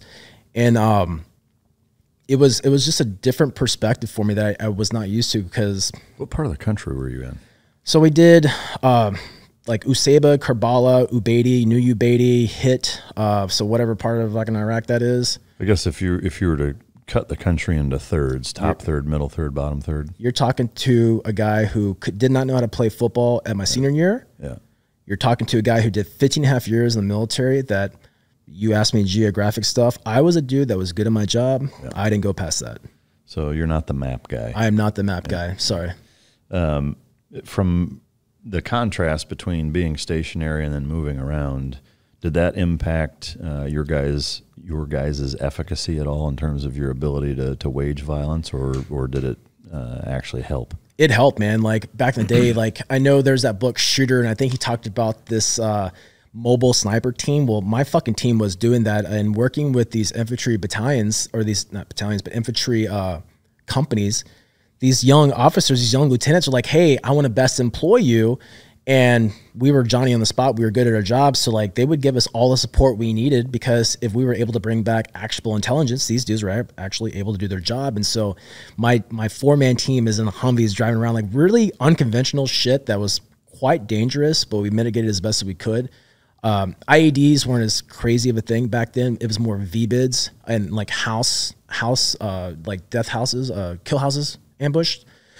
Um, but we had a lot of freedom of maneuver to do that. We were still able to employ ourselves as a sniper element. Uh, so I mean, shit, we were going out as four man teams, linking up the reconnaissance guys who were just by ourselves. You know, a bunch of like senior guys, like an E six maybe and uh, we're out there for days at a time just literally reporting back information. And we had so much autonomy to to influence the battle space and to report back to like you know big caller people that are planning missions and planning routes. And it was honestly one of the, it was a greater deployment because we had so much freedom of movement and that gave us so much more ability to be deadly because instead of just you know staying in one place we're actually able to influence by hey here's a route here's this don't do this, do this, and that information to be relayed back to see it executed was like pretty powerful. Like these four dudes that were just burning down fucking Hawaii, yeah. you know, underage drinking, getting kicked out of Dukes, getting yeah, getting getting kicked out of all this shit. Now we're like briefing some yeah. some fucking officer, and they're they're planning these like next level missions. That's badass. Was there an operation that stood out as being the most wildly successful on that deployment?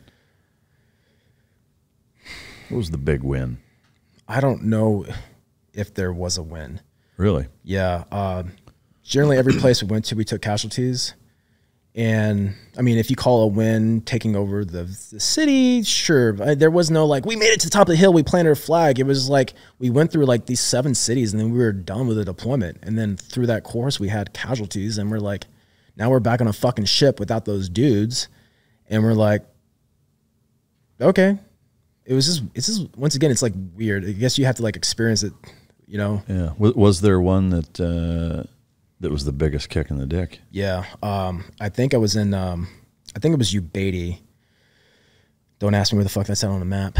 Um, but one of my one of my guys, uh, he was actually my assistant team leader in my sniper team. He got kicked out of my platoon prior to this deployment because he wasn't going to take off his hog's tooth, his uh, sniper necklace that you get when you graduate. It's a 762 round. It's a round that's meant for you. So as long as you wear it, you're uh, supposed to be protected from the enemy sniper because that's the only person worthy to take your life. And at the time, I had a really toxic platoon sergeant who was super like equal rights to everybody and no more sniper school t-shirts, only platoon shirts, and very this like unanimous across the board type of shit. And um, it was very, very volatile in that platoon. It was very toxic, and it was a lot of good old boy stuff, and there was no unity. And that's when I started to get the bad taste in my mouth, like I cannot stay here.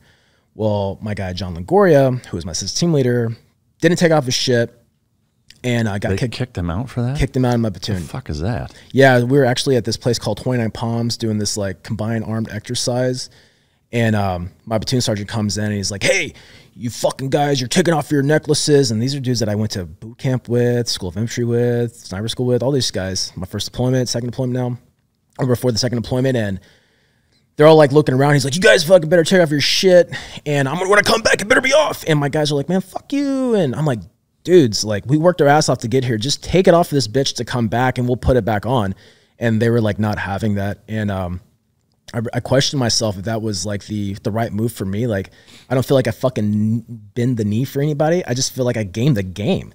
The military is a big ass game. Life is a big ass game, and so you can like bend the knee and like be a fucking beta, or you can just like game the system and do what it takes to accomplish the mission. And that's what I feel the decision I made. These other guys died on their cross and they got kicked out for that shit. And we're on this. Um, I remember we're clearing through this uh, this village, uh, uh, Ubaidi, I think that's what it was. And I'm on the rooftop, and I just I just coming up there to set up Overwatch position. The grunts are up there just like murking shit, and um, I get up there, I get engaged in the fight, dies down. Evening time comes, and my this platoon sergeant comes up to me. He's like, "Hey, uh, uh, Longoria is dead," and I just looked up and said, "Fuck you." I was so pissed and I was so hurt.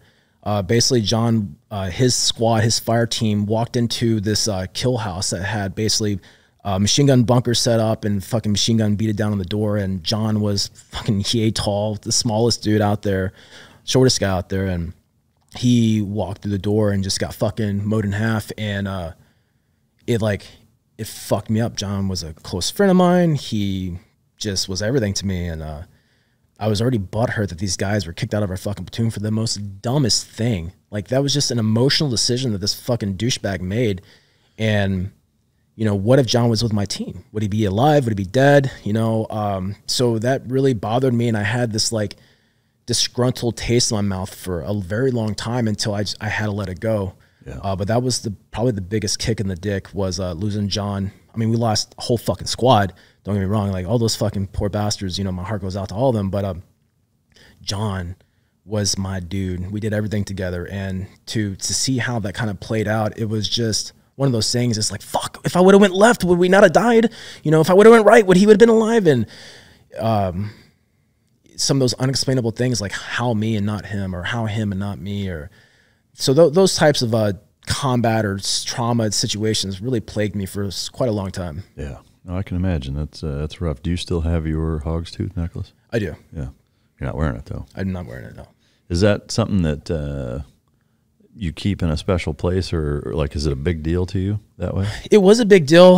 Uh, I was definitely had a lot of ego in the military. I think you have to, to a certain degree, to survive and to not be fucking stepped over. Because the great thing about the military is you can just do what you're told, and you will receive whatever outcome that someone else has destined for you. But if you speak up and stand your ground and fucking use literally the uniform code of military justice to fucking help you out, Ask the commandant for a promotion. ask the comment for a promotion. And I love dude, that so many, by the way. dude, you should look at the comments on that post. People were like, "Well, you're the fucking problem," or you just talking shit. I'm like, whatever, That's- man. well, so to me, that highlights what you said earlier: is they don't make them like they used to. they don't make them like they used to, The Military is just not what it used to be. it's not.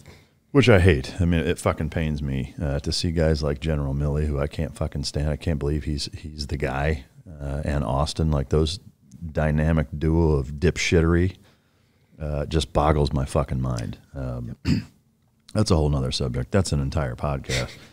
Um, all right, so you wrap that deployment up. It's first half vacation, second half is turning and burning.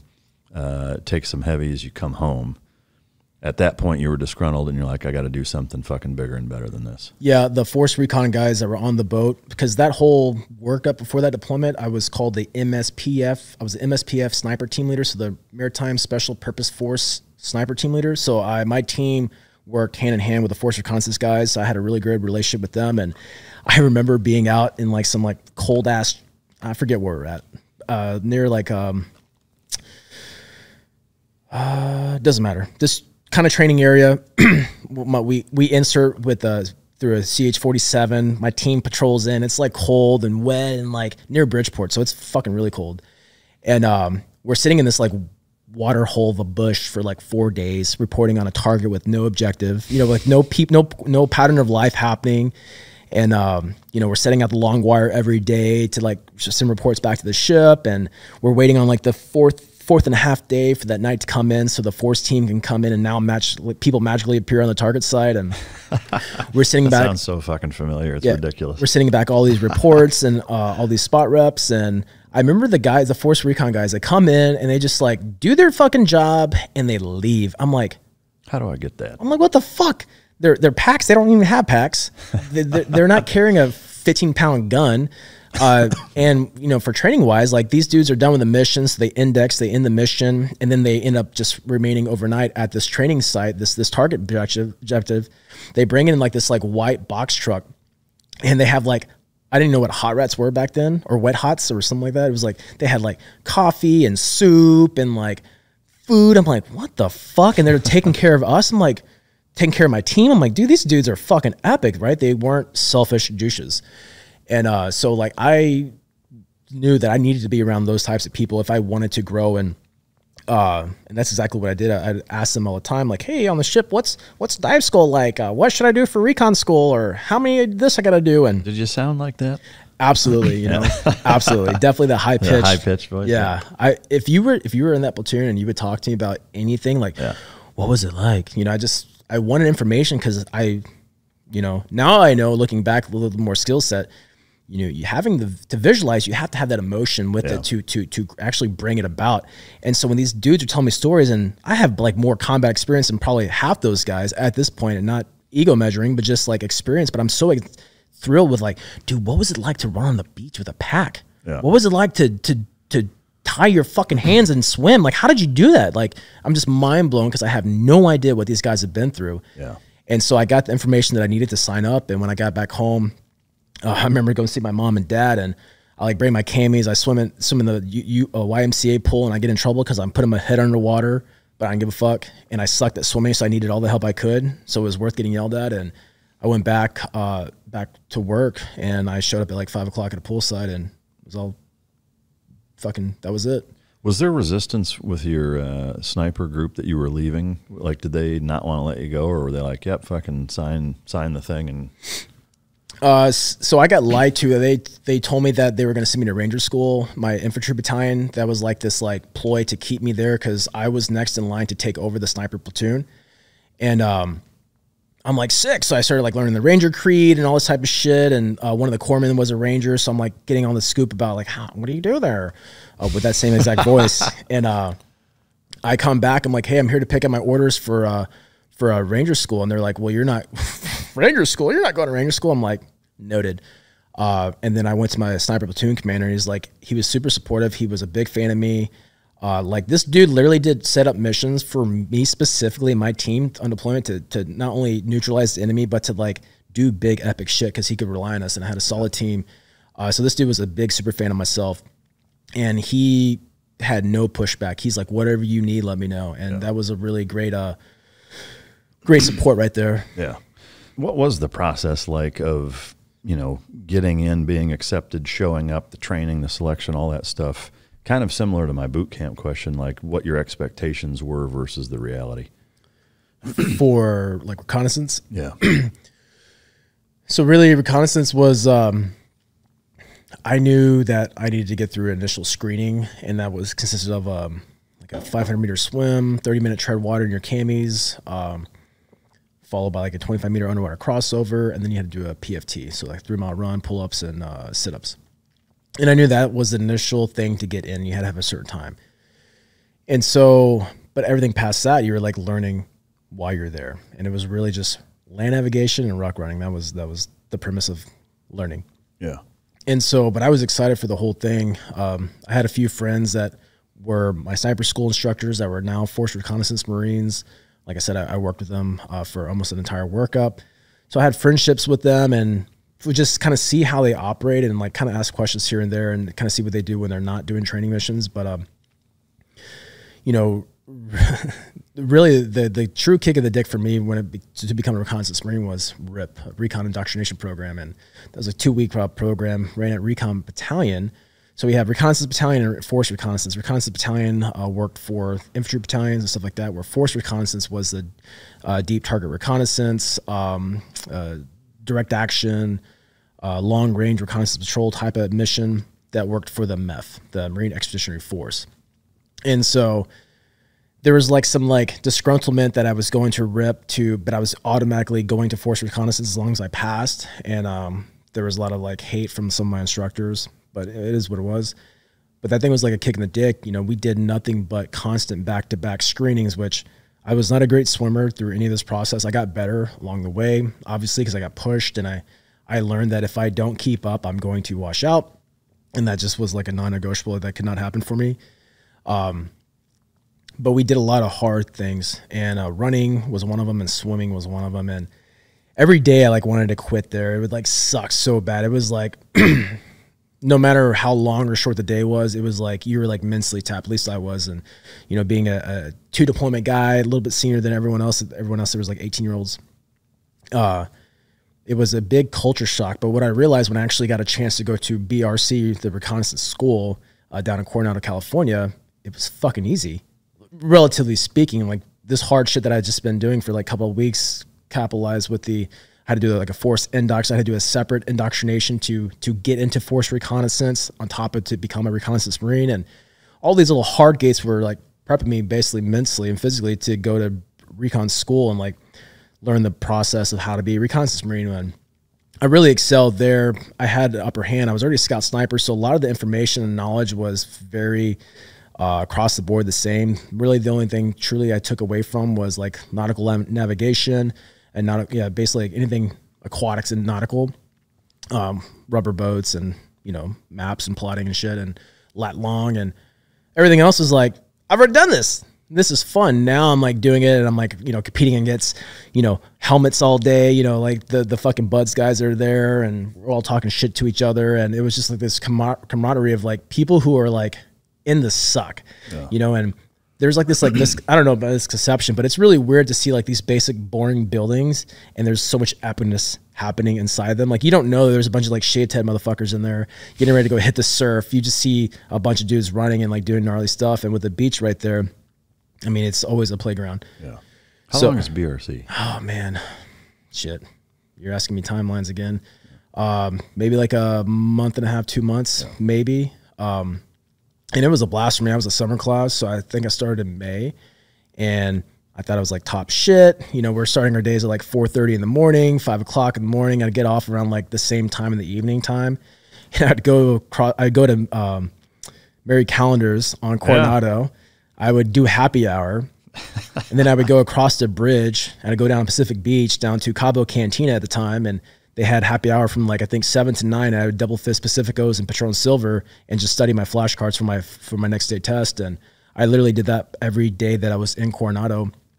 Uh, that we weren't working or running up and down the beach all night, and it was a blast. I had a really good time, and uh, I was always pissed off that the the Bud students were always getting jacked like more jacked. You guys got all the food in the chow hall. They're like, you the Marines are like, you already had your one chicken breast. I'm like, bitch, I haven't eaten all day. Yeah. You know, I'm like, I get one chicken breast or I'm eating my MRE in the surf while you guys, I mean, you, you definitely earned your meal in BUD/S, but, uh, you know, as we run down the beach, the same guys I see start with the class, they're just, their pecs are bigger, their backs are bigger. They're just doing pull ups in UDT shorts. I'm like, we're malnutrition, just looking like just washed out like swabbies and like it was it was a fun thing. It was really enjoyable because I saw this thing on Discovery Channel my entire time, not BRC Recon School, but I saw BUD/S, and so to be on the same beach and to do the same obstacle course and to see that GI Jane vibe kind of happen, yeah. it was like surreal, and that's probably what made my military career so epic for so, me. So not the Charlie Sheen vibe,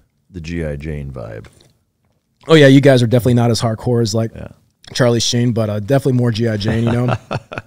All right, guys. I know, uh, as you can see, I have a beard. Uh, our good friends at Manscaped now offer the Beard Hedger Pro Kit.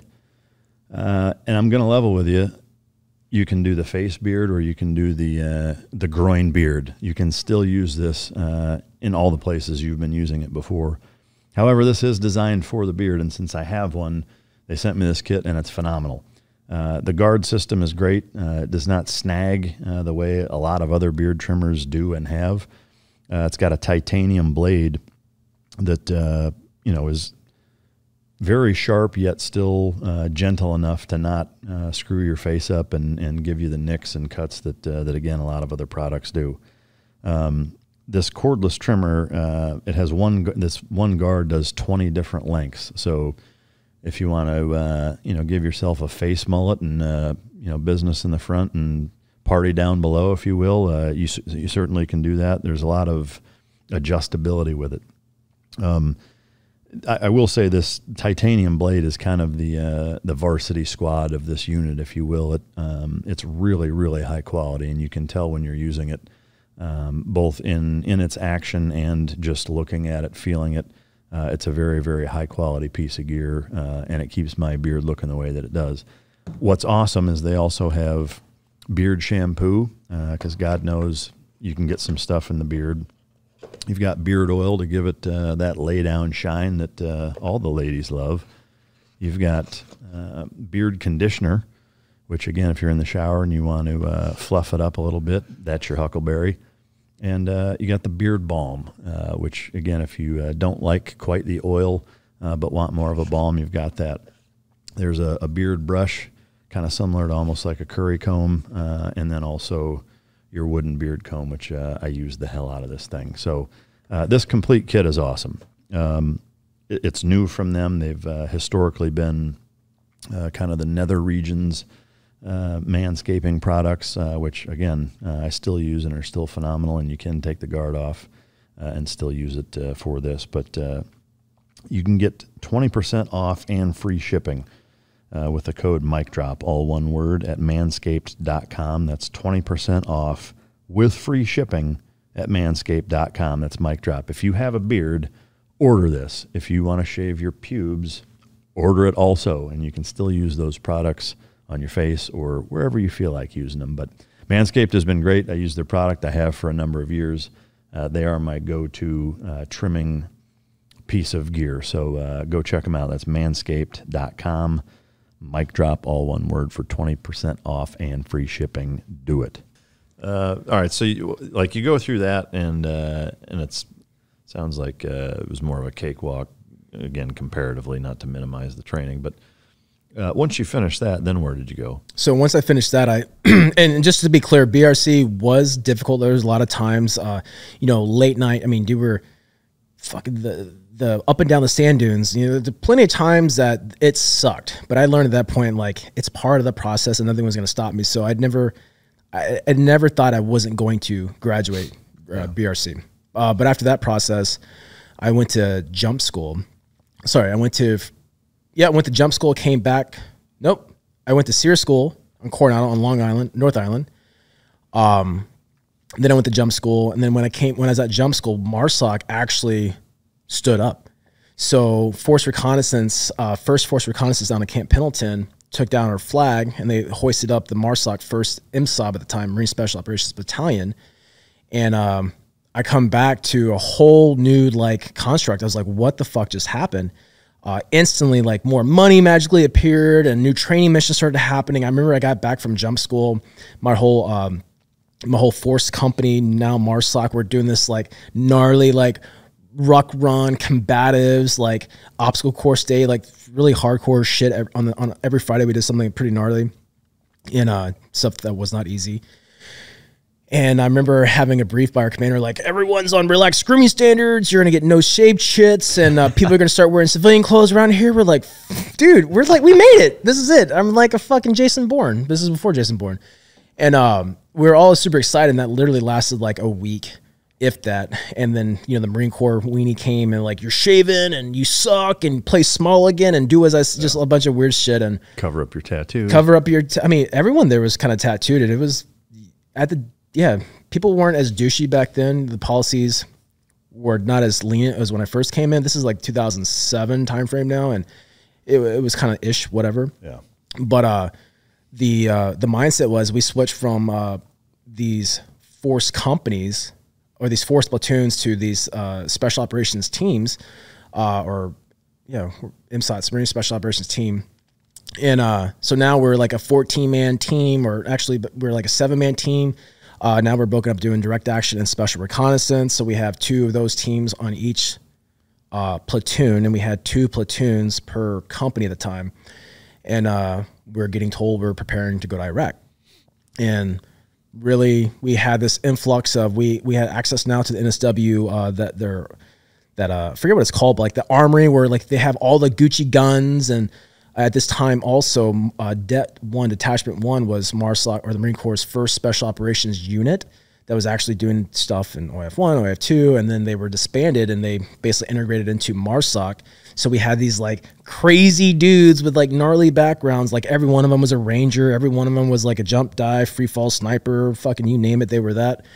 Uh, a lot of ex, uh, experience with like various applications working with uh, NSW, working with uh, Army Army Special Missions units, and uh, coming into seeing these Titans. I'm like, oh my god, this is crazy because I'm just a young kid. I'm I literally think I made it. I'm a fucking show off and completely immature. And these dudes are like, we're here to fucking do work, and I'm like, me too. I'm also just gonna like wear flip flops all day and a tank top and like be a fucking kid.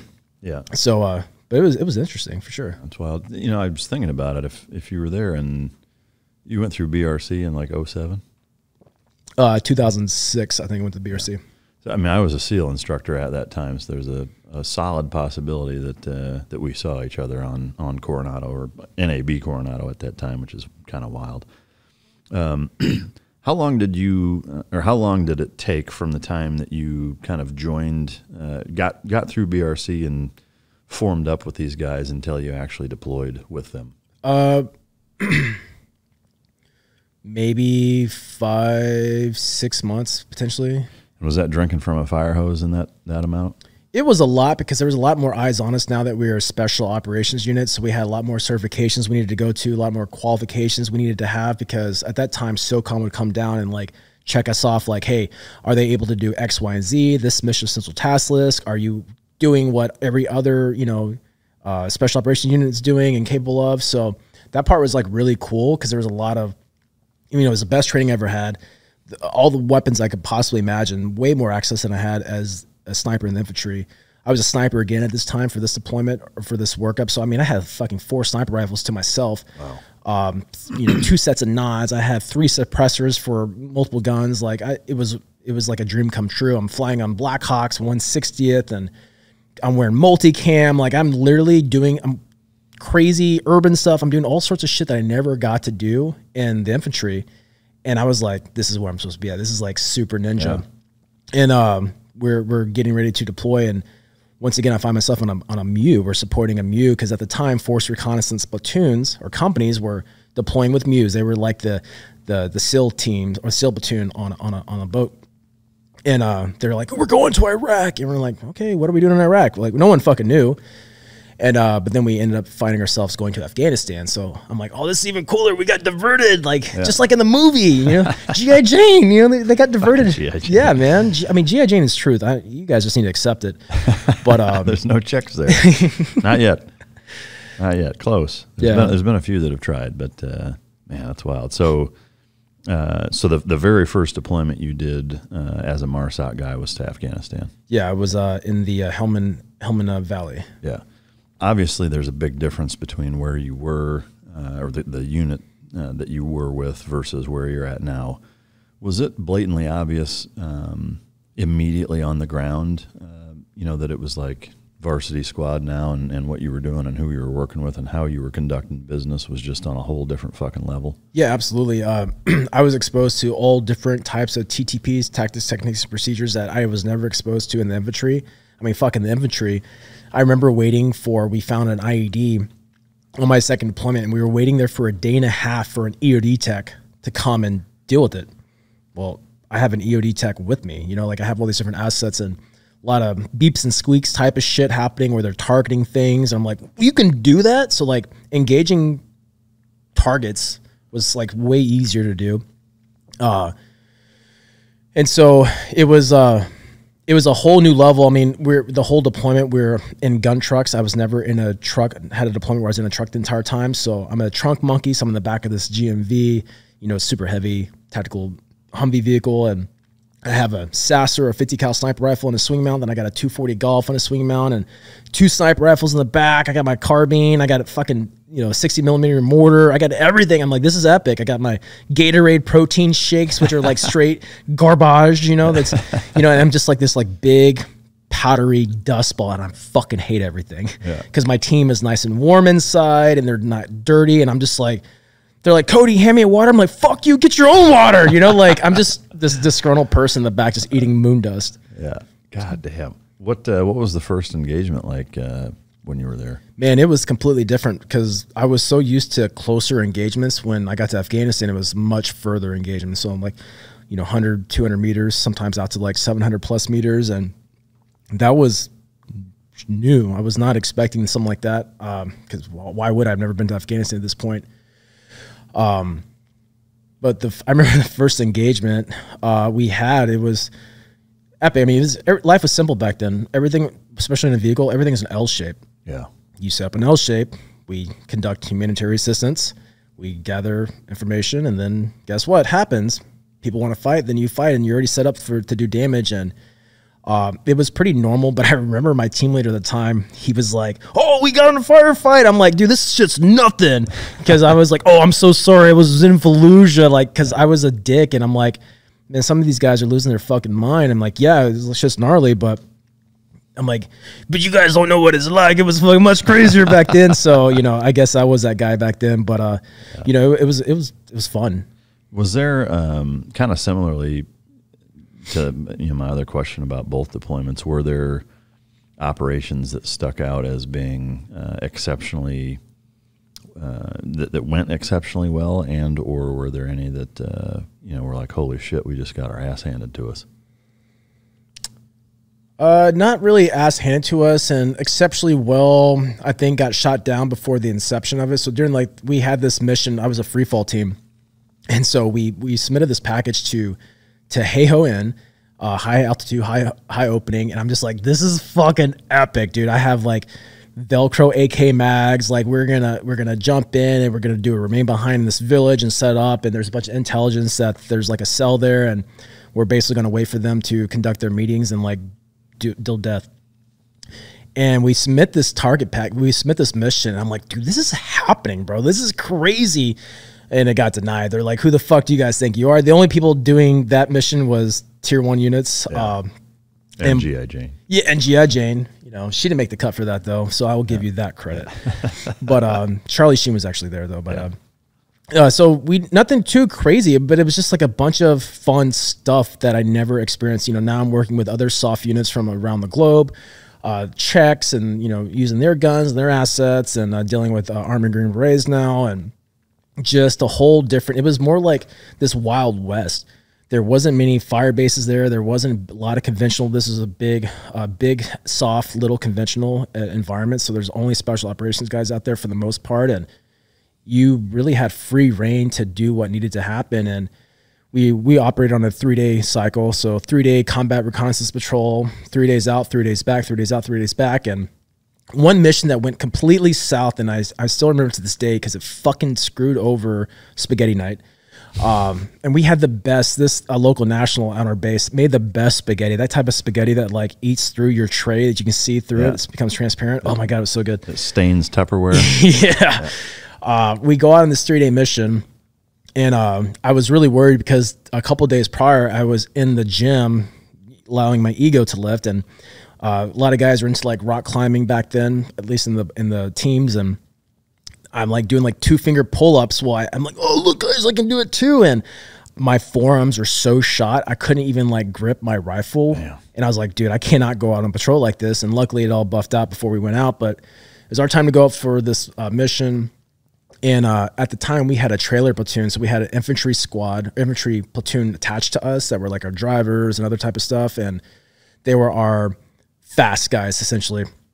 A lot of them were good, some of them sucked, but the leadership was kind of like horrible. And I remember this this captain who was super eager, super motivated, who was not one of our people. Uh, we get in this L shape. We uh, my sniper team's on the outside. We're doing cordon. We're hitting up squirters, dealing with a lot of type of stuff. And he pursues these uh these basically evading Taliban fighters, and he's like drive drive through the wall. And he tells his driver to like drive this GMV through this like ancient mud wall. And you know these mud walls, the type that take like shit ton of charges to blow a hole in it. He drives his Humvee through it, rips out the whole front end, and long story short, we win the what we win the fight victory, but there's this like busted truck. Well, at this time, we've already destroyed so many uh, GMVs. We were calling in airstrikes on them because we hit an old Russian mine, get a, a tire buster or some like you know something fucked up on it, and they're like, "You guys have destroyed enough government property, so you guys are waiting for the Brits to come haul you out." Jesus. And I'm like, and I'm so pissed because I'm gonna be back tonight and I'm gonna smash the spaghetti and this dude's kind of like a moron. And at this time, our uh, Afghan National Army they they got so high they ate all their MREs, and they're like, "Give me fucking more food." And we're like, "Bitch, you ain't got no more food. You got what you got." And they're like, it got really volatile for a second, and so they do what they did best. They go into the town, they pillage that shit, they come back and they get their food and their chai and, and more fucking weed, and they're doing the thing and I find myself uh, on watch, and it's like later that night time, and villagers start coming back, and they're burying their dead, and uh, like you know the fighters and shit like that. And there was this ridge line in the background that uh, we were taking like shots from, and uh, signal intelligence was saying like, "Hey, there's some cells up there. They're regrouping to come down and fight."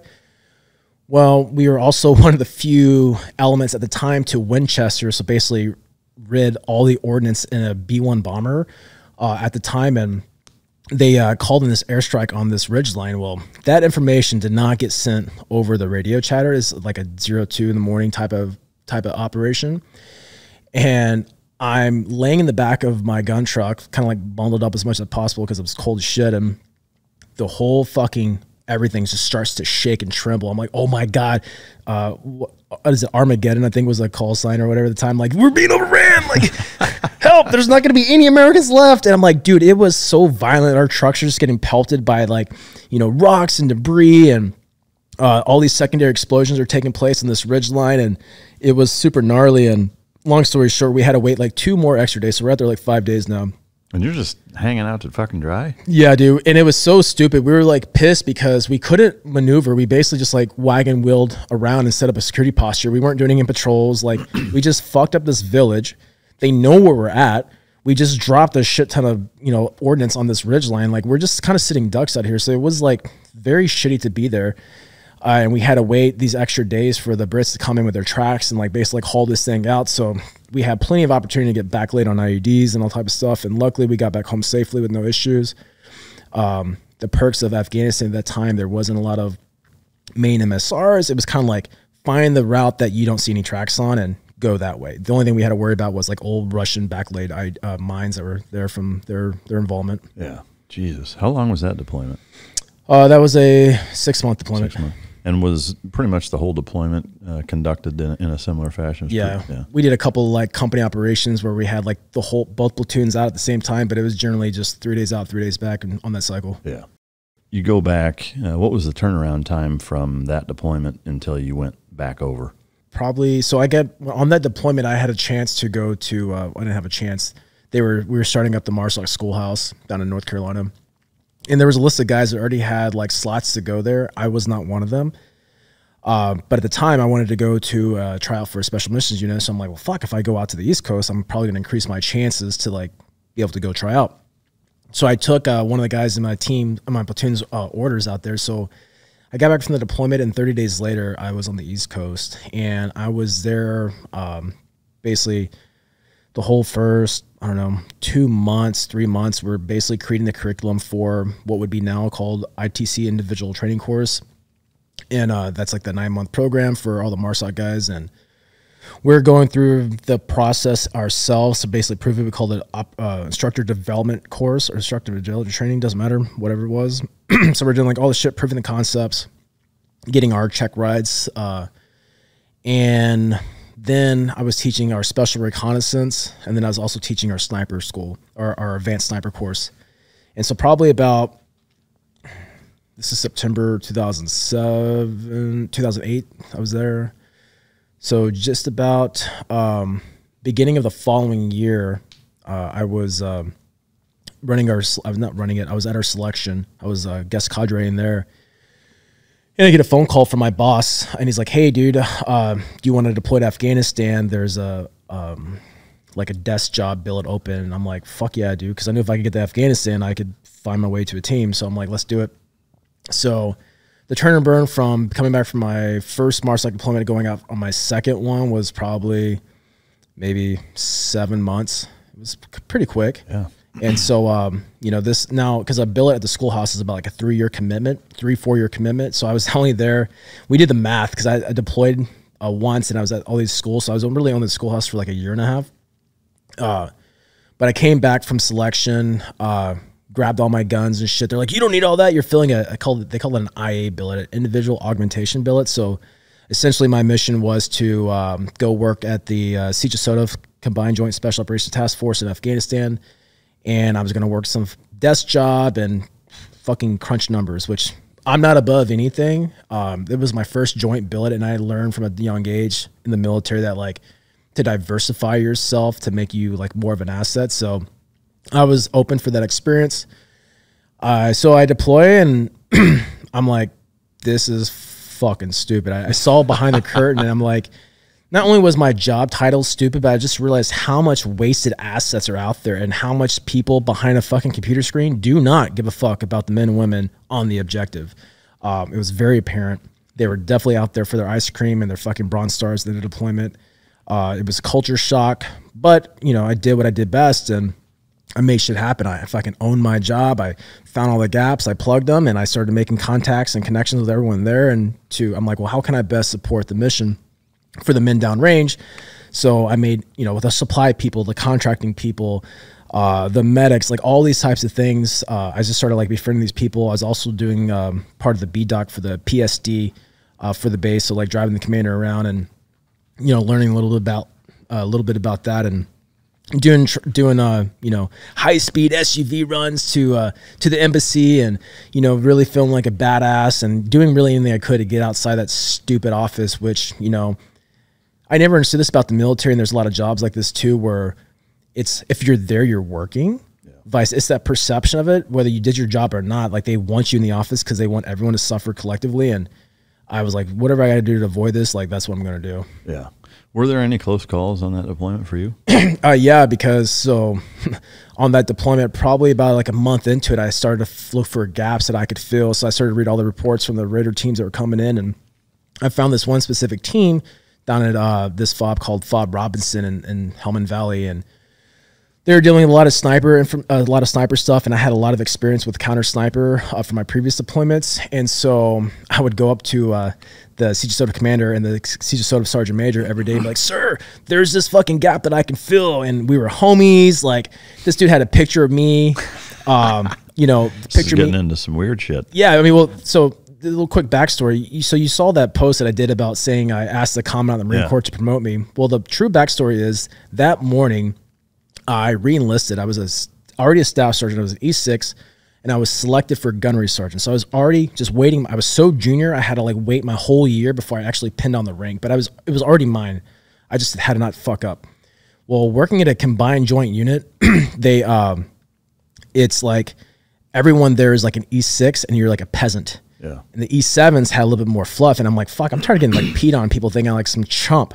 So I asked the CJSOTF commander to promote me, to, to re-enlist me that day. So he did. And he's a little short guy. Uh, Douglas Bulldog was his name. You ever heard that name? Oh yeah. Yeah. So good old, good old, uh, good old Doug Bulldog. Uh, he uh, reenlists me and I give him this big ass hug and PAO is there, the combat camera guys. They took a picture of it. I'm like, yo, give me that shit. And that's the day, as soon as I got reenlisted, I went to this big brief where the Combat Marine Corps was at. And that's when I asked, like, hey, sir, I'm selected for gunnery sergeant. Can you promote me? And the fucking crowd goes wild. And that's the backstory of that story. Well, I got, so now I'm briefing the, the commander every fucking Friday for like the battle update brief or whatever they called it, some other thing, right? Another PowerPoint to do. Yeah. And towards the end, the combat camera does this like thing where like, sir, here's the picture of the week, and it's like some fucking dog attacking somebody or like some some victory story, right? Something epic on the battlefield. And then he's like, sir, I got one more picture for you. And I took into Photoshop this picture of a bulldog and myself. I hugged him and like I'm towering over him. And I put a big ass heart around it and I said, Siege of Alpha BFFs. Dude, he pressed that slide. And I'm in, there's like 75 very senior leaders and officers enlisted in this room. He presses a button on his remote, and dude, big as shit, I pop up on all these monitors, and it says the heart with the BFFs, and people were like, "What the fuck?" losing their mind. And Doug just laughs, dude. He's like, "Yes," printed that shit out, put it on his refrigerator, yeah, in awesome. his awesome in his in his office, and you know, every day, man, I'm just like, dude, I'm a force multiplier, right? That's our job. Find a capability gap and find ways to fucking facilitate and plug it. So every day I'm asking, hey, sir, I found this this gap in this team. Uh, the sniper of the team, he's not gonna, he's not coming back. They're man short. I can fill this gap. I know what to do. He's like, we need you here. You know that that story, and he wasn't wrong. Well, one day I'm uh, flying out to another base uh, just to like get some reporting from the guys and to meet some of these faces that I've been talking to on the phone. And on the way back of this C-130, they call it a trash flight. It was like the last night red eye flight.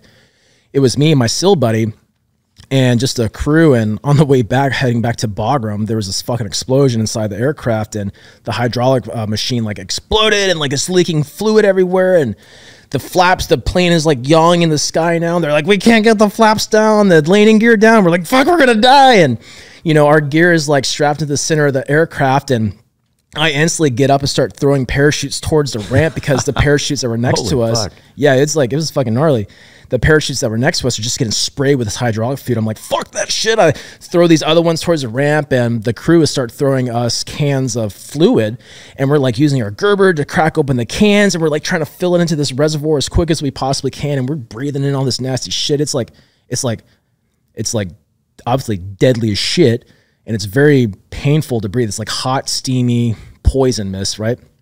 And it's just going everywhere and they finally get enough pressure to like lower the ramps or to lower the landing gear and to adjust the flaps when we touch down and I'm like, oh, just another day in paradise. Well, we get down there and there's a whole like crew ready to like take us to the to the hospital because like we're drenched in hydraulic fluid from head to toe. And uh get to the hospital and I feel like the biggest bitch. There's like dudes fucking dying. There's dudes missing limbs. There's bullet hole fucking people. I'm just like, fuck, I just had hydraulic fluid in. And I was a douche, super douche at the time. Like, there's all these like hot Air Force nurses. Like, is your chest okay? And I'm like, the guy, like, did you put, did you put something in this IV? Because I think I'm in love. Like, I'm just like, I'm like, this is a new experience for me, and I'm just like running with it, right? And uh, long story short, everything you know at the time seems to buff out, and the next day, uh, Bulldog comes down. He gives this my SEAL buddy and I uh, these uh, army uh, army commendation medals and he's like, "Oh, these these guys did a great job, blah blah blah." And he's like, "We're gonna send Alford to FOB Robinson, and you know, basically, he's like, go out there and after 30 days, if you're not impacting the battlefield, I'm bringing you back." I'm like, "Yes, sir." Well, I spent the rest of my deployment out there with this uh, MSOT, this Marine Raider team, and I get to the team and my mind is blown because we were still like a force reconnaissance special operations unit for my previous deployment, but in that gap of time now with their MSOT, they're they're they're a 14 plus man team. They have their own engineers. They have basically every asset. And what made MARSOC great and still does is that we're self-enabled special operations unit. So we don't take augments from other people. We have everything internal to us. We just have those attachments from the big Marine Corps. Uh, and we we have them specialized into our team, so we deploy with everybody. So it's almost like the same uh, formula as the tier one guys, kind of. Yeah, basically. So we're just fully enabled. So like you can literally drop. We we can deploy ourselves, redeploy ourselves, and we have every asset that we need to conduct any type of special operations mission. Yeah.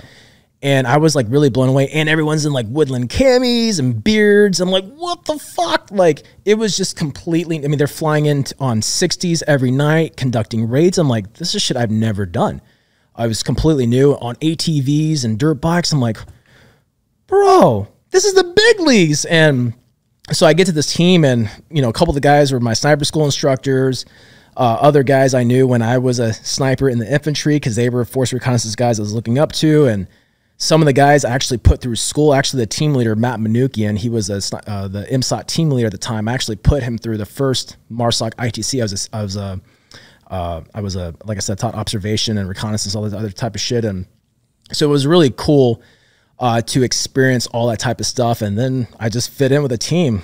Did you guys get some? Fuck yeah, like all the time. It was like it was so gnarly, and we were making such big headlines uh, that word got back to the states that Cody Alford, who was to fill an individual augmentation billet, being fucking desk jockey, was on battle rosters conducting missions where we're taking casualties, where we're fucking calling airstrikes, where we're calling in resupplies and all this other type of shit. And it it really started to alarm people in the back. They're like, if we lose a guy that's supposed to fill a desk job, like this could be bad for us. Like it was it was weird. Like I I don't know, my whole Marine Corps career, like I had never stayed off anyone's radar. I was always on someone's radar. Uh, it wasn't always for bad things. I don't think it was never ever really for bad things, but except for a few. But But now you're doing naked cartwheels on the. now I'm doing naked radio. cartwheels on on uh, ATVs, and uh, it was it was a great it was a great time. I learned so much in that deployment, and these guys took me in and like basically spun me up on like how things are done now. Because even though I was at the schoolhouse and I had all this experience, they're they're doing it. They're they're they're new. So it was I was all open ears. I mean, we're working with the UAE soft and uh I have now I have a whole Afghan National Army unit that I'm working with. Versus a couple of guys. Um, Did you guys have any dogs? we did have dogs. We had a Perda, per, Purdy, Perda was her name, and he was a we had he was an army dog handler. I forget his name specifically, but Perda was his dog, and uh, this like fucking massive German Shepherd, which did not like explosions, and we always had to like throw him throw him over walls and shit like that. And he just was like, "You're like, please don't eat me." Uh, he was all about his job, and his handler was super epic. I mean, the army really fucking gave us like a, a, a fucking top tier dude. Uh, this this is way back before we had our own internal dogs, and um, that was the only thing we did not have organic to us at that time. But uh, yeah, that that whole deployment was that was pretty gnarly. It was a bunch of like everything that I wanted to do in the Marine Corps all wrapped into like one deployment. As you guys know, uh, health and fitness is a big part of my daily routine and my lifestyle. I have a number of guests that come on that uh, you know that we talk about all all sorts of things, health and fitness related, uh, diet, nutrition, etc. Uh, I started taking athletic greens uh, a few months ago here uh, for that reason. Is that it's a uh, all all encompassing vitamin and mineral supplement, seventy five vitamins and minerals. It's lifestyle friendly, whether you do keto, paleo, vegan. It's dairy free, gluten free, less than one gram of sugar. There's no uh, GMOs or nasty chemicals. There's no artificial anything in it, uh, and it's just very nutrient dense and uh, and gives you that that supplementation that you need to combat cold and flu season coming up to bolster your immune system uh, and just help with a with a healthy lifestyle.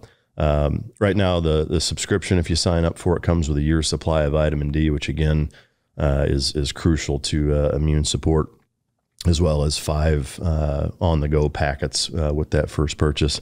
Um, whether you want to invest in in your health or just supplement an, an already existing protocol that you have, uh, Athletic Greens has been a a phenomenal staple uh, that I've added into my regimen, and I couldn't be happier to be working with them. Uh, if you want in on that deal, go to athleticgreens.com forward slash Mike Drop. Um, and they, they do a phenomenal job at uh, all the things that health and fitness um, wise need to be done on a daily basis. So check them out. Go to athleticgreens.com forward slash Mike Drop, and they will hook you up with that uh, special deal. Was there a, a mission that stood out as being uh, epic, the most epic? Yeah. Uh, it was uh, basically our whole job was to provide disruption operations. We were um, conducting missions. So at the time, village stability operations was kicking off. And for people that don't know what that means, basically like embedding a special operations unit inside of a village so they can build that local rapport and build some fucking schools and bridges and wells and basically like start a militia and make these people self sufficient, right? and so and defend themselves from like the fucking horribleness over there. So we we plan this mission. We fly in, uh, super epic, dude. You know, just I love it, dude. I love the silence that comes from like the violent sound of a helicopter when all you see is the green eyes and everyone's just like fucking in the zone. You're like, oh yes, this is it. Well, we were having 160th insert us the whole time. Well, then they kinked it. They were trying to bring in the Marine Air Wing to give them some love. And I love you, Marine Air Wing, but they're just they're not trained like the 160th, unfortunately. And it's not like they're not capable; they just don't get the training. Uh, and so now they're telling us we're going to insert with Ospreys, and we're like, fuck that shit, because Ospreys at this time were fairly new aircraft, and they were browning out on inserts. Their props are hitting terrain, they're flipping over, they're crashing. Like, I was like, dude, this is it's a big school bus with like, is it a helicopter? Is it an airplane? What is it? And uh, so they're telling us we're inserting with this uh, Marine Air Wing unit. We're like, fuck, this sucks. Like the chances are already high. So we we insert, we do this like long like 4K patrol to this uh, back guy, you know, backyard of the uh, you know shitheads territory, and so we didn't have to worry about like IEDs or stuff like that. So it was really cool.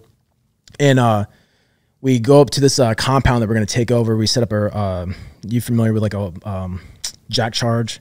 Hmm. Basically, it was like um, your data sheet, three blocks of C4, 100 foot of a det cord, 50 foot of det cord and I mean, we had two of these placed, and basically it blew like a man-sized hole in these like big three-foot, you know, ancient walls.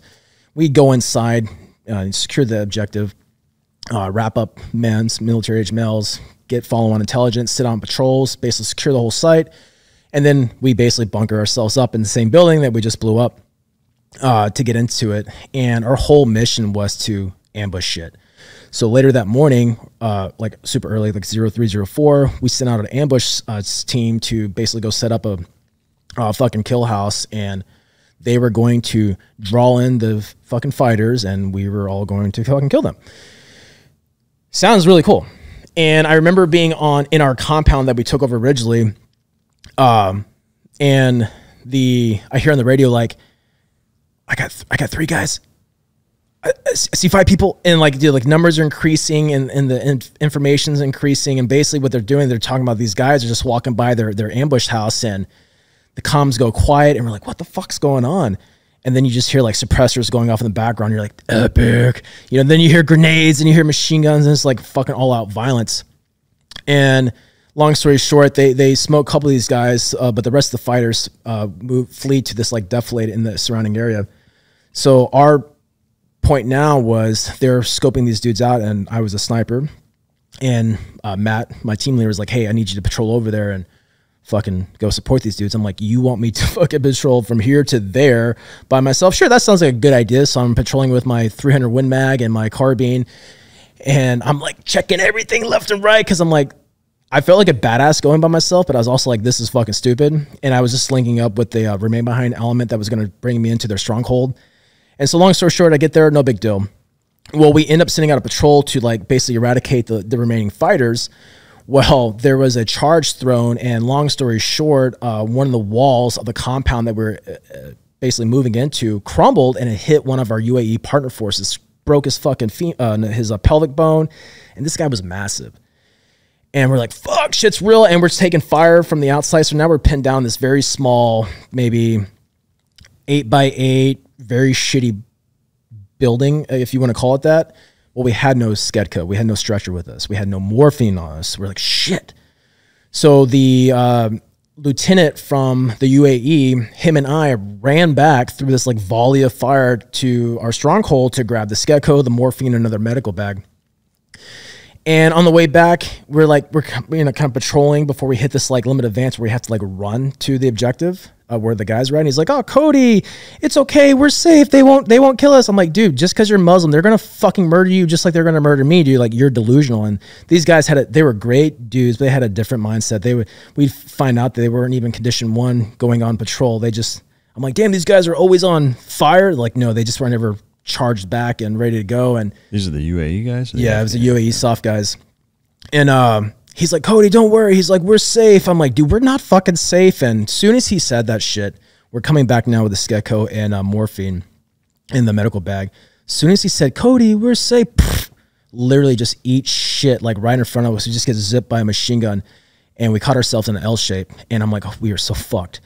And the only terrain around us is like this little micro terrain, probably smaller than not even a mountain big as this, and we're both. And I was a pretty big guy back then with all my kid, and so was he. And we're hiding behind this like micro terrain, just like eating fucking incoming rounds all around us. And I'm like, fuck me. And I can see I can see in the distance, probably about 60, 70 yards, was our little this eight by eight building that the rest of the team was in that we are bringing back where the casualty was at. And I'm on the radio. I'm like, fuck. And I'm like, you're not trying to move because literally they are, it was extremely danger close, something I was used to, but it was just like, God damn, how many more times is this going to happen? You, you're going to run out of lucky cards every now and then. And so I'm like, all right, pop smoke. They're like, all right, we're gonna pop smoke, and as soon as we go, as soon as we pop it, you run. I'm like, fuck you. As soon as it billows and you lay down multiple machine gun fire, we're gonna get the fuck up and run. And it was one of those things where you can't, you can't stop and like, is it the perfect conditions? It was like, okay, as soon as you get up, you have to go. There is no second guessing yourself, so you have to commit and it was a rush. It was fun. I, th- I, think I smiled and laughed the whole time running there, but the, probably just because I was scared that I was going to get like murked, you know, in the middle of this like field, and that was going to be the end of my life. Do you have any idea how many opposing forces there were? We had uh, about five individuals that we were fucking seeking out at this point. Yeah. Uh, luckily, uh, later on, once we got this casualty back, uh, we called in, you know, Marine Aviation, the the Cobra pilots. Those dudes are savage, dude. Those are those guys are like epic and uh, they just came in and we we luckily when you call in a medevac you usually have a gun support with them and uh, how at the time gun support worked is if you call in a medevac you could use that gun support to, to do what you needed to do because their, their mission is to provide coverage for the bird for the medevac and they just came there and like mowed shit down did what they do best uh, 60 drops down pj's load up our dude and he takes off and we got out of this like gnarly uh, L shape but that was that was definitely like the closest closest time on that deployment, I'm like, dude, this is it. This is, this is fucking it. I'm yeah. exposed and I'm going to get mowed. Yeah. Man. Um, how many deployments uh, from like after that? How many more deployments did you do? So this was my fourth deployment. So I had three more deployments after that. And were they both or Afghanistan, Iraq? Uh, the, yep. After that, I went to uh, Africa, and then uh, after Africa, I went to Afghanistan again. Then I went to Iraq for my final deployment. Okay. Um, coming back from that Afghanistan deployment where you were, you basically uh, C3PO backpacked your way into into combat. I definitely did. Um, did was there? How did that wrap up? Like, because you were supposed to be at a a desk job. At what point did you transition back to that and ultimately come home? How did that whole thing work? Yeah, it, I mean, it ended on a bad note. One of the uh, military officers, the Marine officers that was in charge of the desk quadrant that I was supposed to be operating in, honestly, at the time, he was super jealous that I was going to do shit. He was new to the organization. He wasn't getting some, and he was butthurt that he was fucking doing this job. And my last 30, about 30, 40 days, he called me back. I'm like, dude, why didn't you just let me finish my time out there? Like those dudes, yes, I want to be out there, but it's not like I'm just having fucking fun. Like yeah. these dudes need me. Um, whether I'm loading ammo for them, building charges, or, or supporting on a mission, like they need me in some capacity because they're literally down a guy. That's why I'm there for the whole reason. And uh, he brought me back and he's like, You're gonna do this job, you're gonna redeploy with me. And I was just really butthurt. And I had this like chip on my shoulder uh, because I'm like, dude, are we out here to fight and win? Or are we just out here to play like insecurities and like make everyone miserable together? Um, so that deployment ended. I come back to the schoolhouse, and at that point, um, I went to become a CQB instructor for schoolhouse, and I finished my time out uh, as a CQB instructor before I um, essentially picked up the next rank, that gunny, the, the rank that I asked to get promoted on. Yeah. So now and you're in E7. Now I'm in E7, and I get a phone call from um, from an officer, a team leader over at our third battalion. He's like, "Hey, dude, you want to come be my team leader?" And I put this guy through, I think, the second class of ITC, and I'm like, "Fuck yeah!" I'm like, someone called me and asked me if I want to be a team a team chief. I'm sorry, a team chief. Uh, I'm like the senior enlisted guy of a team. Like, I felt like a badass. I'm like, what a dream come true. Like what an honor. You know, there's only 16 of those guys per company, and we have three battalions and three companies per battalion. And I'm like, dude, this is badass. This is big leagues for me. And so I check into uh, our third battalion, and as soon as I walk in, they're like, hey, you're deploying in like four months. You're going to Africa. I'm like, what? and back in the day, I was since I was a prior recon guy, I, I was a threat uh, for this particular battalion because we weren't fucking stupid. We weren't pushovers, and we we're, ver- we're very verbal. We're like, this is dumb. Why are we doing train like this? Our third battalion back in the day was our, our bastard battalion. A lot of good guys, but a lot of guys that didn't belong there at the same time. And there was leadership uh, that went along with that as well. And so because our main our main moving parts were our first battalion, which was prior first force reconnaissance guys, and then our second battalion, which was prior second force reconnaissance guys from the East Coast, so East Coast and West Coast. Then we had our third battalion, which managed all of our other special operations engagements that Soft does, right? South America, various different comms out there, and um, so they they kicked me out the door very quickly. So I'm on this quick turnaround. I've never been to Africa. I have no idea what we're doing, and my guys have plenty of experience in like Kenya and Senegal, and there I'm like, wait, wait a second, we who's the like how do we get out there? Like, oh, we just buy our flights and we coordinate for the C-130. I'm like, or the the C-17. I'm like, we do all this shit. I'm like, are you serious? Like it was a whole new system. And I was like, fuck, and we're going to Africa. I'm like, dude, I'm probably going to come back home and my team guys are going to come back home. This is epic. You know, it was like a new experience for me. I'm, you know, I'm civilian entire 90% of the time. I'm working at the embassy here and there and I'm driving a dope ass like Land Cruiser. And, you know, just, it was a whole new version of this like evolution of my military career that I was like super stoked on. And, uh, cause I never had that opportunity to do that. And that deployment was basically like three months. It was just shy like of like I was like short for my team like seven days or something stupid to rate a deployment out of it. Uh, because at this time there was this concept of they were going to create a fourth team. At the time there was no fourth team in any of the companies, and since Afghanistan was just like the main the main thing at the time, they are looking at our third battalion to augment a first battalion company well, they were looking at all the roster numbers, who had all the experience, who had all the leadership, and my team was one of the courses of action that MARSOC as a whole chose to become that fourth augmentation team. So they're like they redeploy us. So we leave Africa, we come back home, and I find myself heading to uh, California to go coordinate with First Raider Battalion.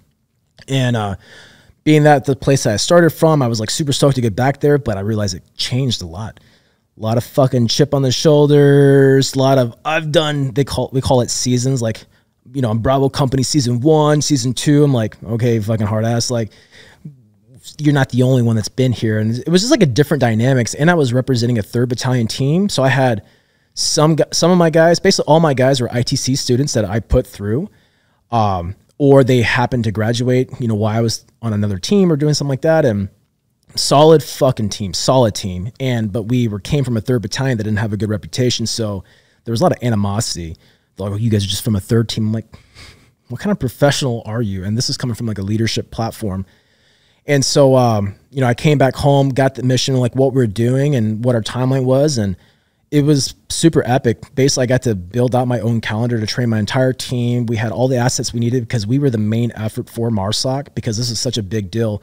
Uh, because the battlefield in Afghanistan was changing and they needed to adapt and overcome. And so to be to be part of that was super rad. And you know, my team crushed everything we did in training. They there was definitely no we were the underdog, but I think it just fueled the guys more. And a lot of these guys got to do maybe Iraq with the infantry battalion, and they were really hungry to go to war, um, which helped. But what really helped me, I had like great, great uh, element leaders. I had great leadership, uh, supporting leadership that would just set the say set the precedents for like what's to be expected and train these guys up and gave them everything they needed.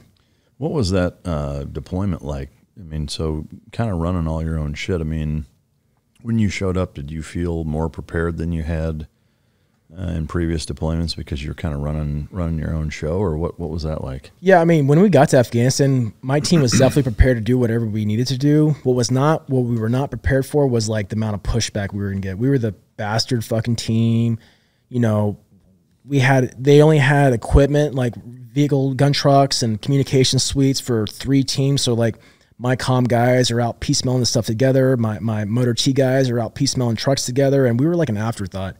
But I mean, we were we were used to it, so yeah. we adapted and overcome. And they kick us out to like the most like shittiest like northern like fucking out there location, and uh, we we're like, okay, this is it. But I mean, we were absolutely prepared for what we did, and my guys were so hungry to just be successful at their job and being able to employ themselves. Uh, you know, they maximized the entire battlefield and they maximized their whole time there. Was there a specified mission when you got on the ground, or? Yeah, our main thing was the village stability operation. So there was a lot of the teams that were actually in a village Uh, my particular team, we were attached, we weren't attached, but we stayed on a facility that the Marines occupied and the Afghan National Army. Well, at this time, I had my own Afghan Special Forces team with me, and the Marine Corps at the time, I don't know if it's changed, but they did not like Afghans of any type with weapons on their base. So we had to like partition off the Marine base.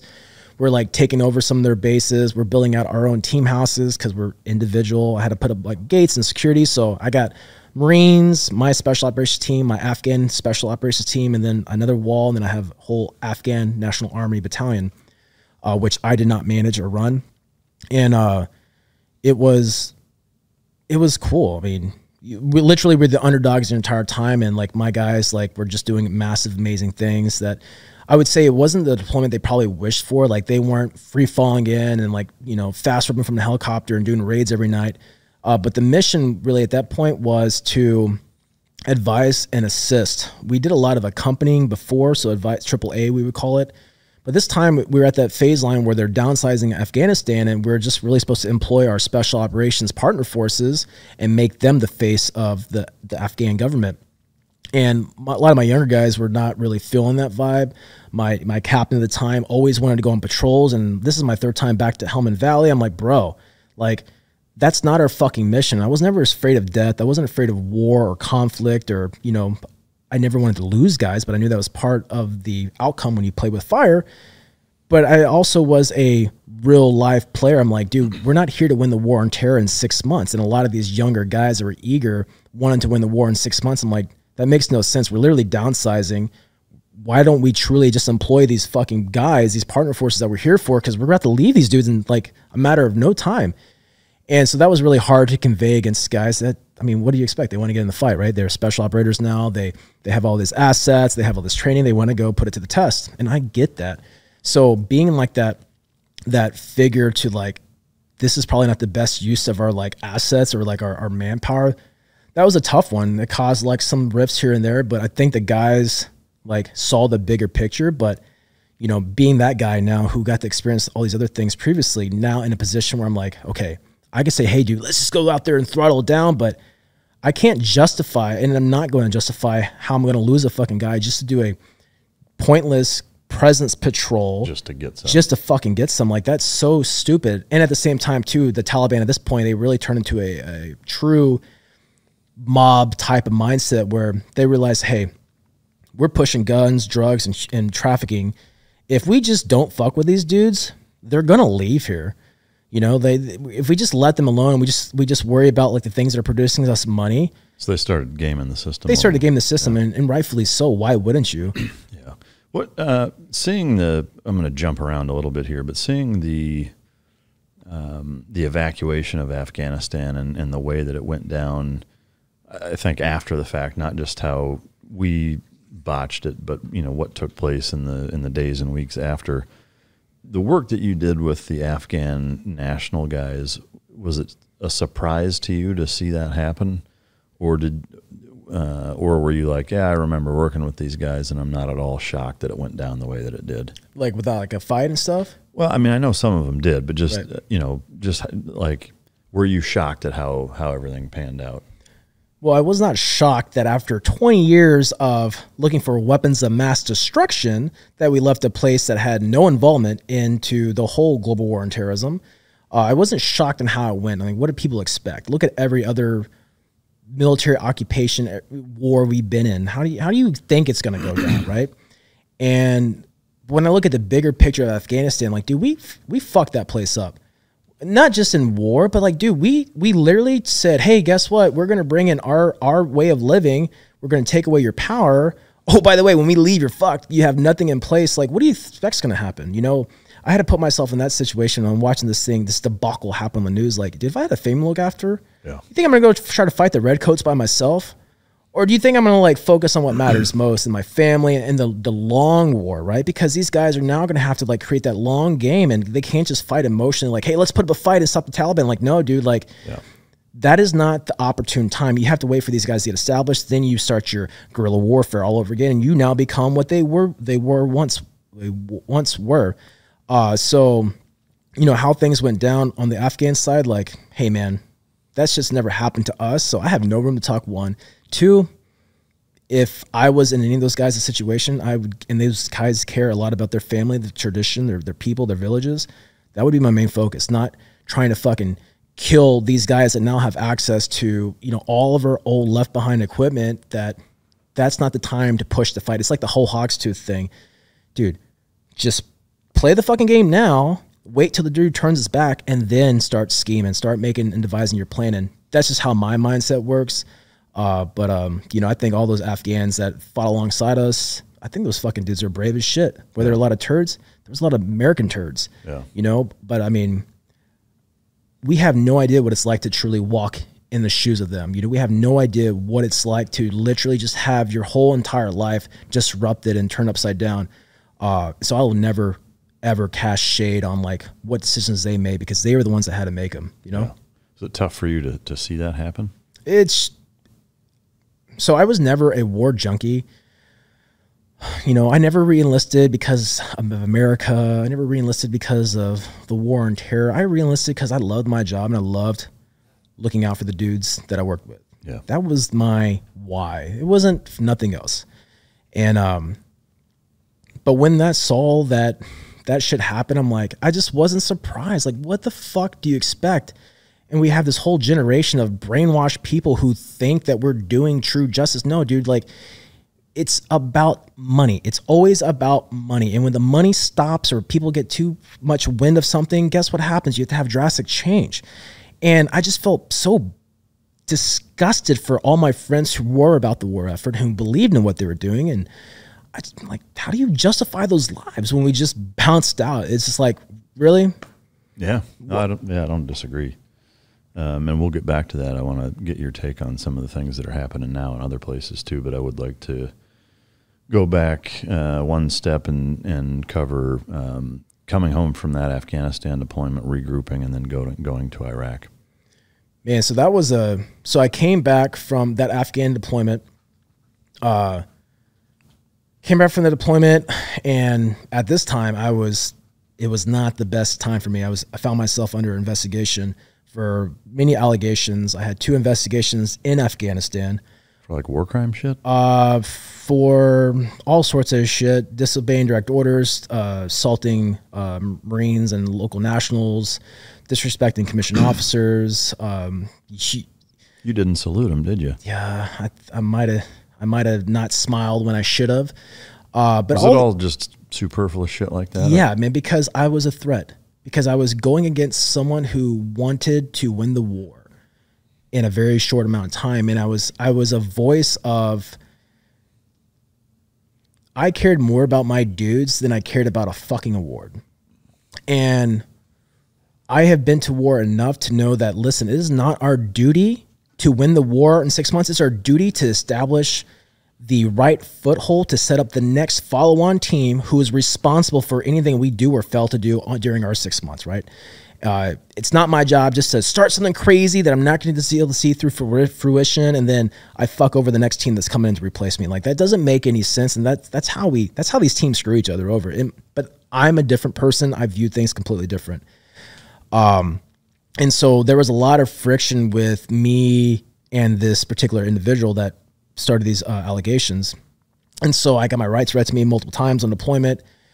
And I was just so toxic. I was so hurt that I was being betrayed by my own unit. People were turning their back against me. And all I cared about was my team. And I'll say this, right? And I won't go into much anymore into all that uh, because it is completely off my chest. Like everything's good to go. Like I have no hate anymore. I had I did for like six years and it crushed me and it showed. Um, but my team had my back the entire time and that's really hard to do, especially in special special operations team.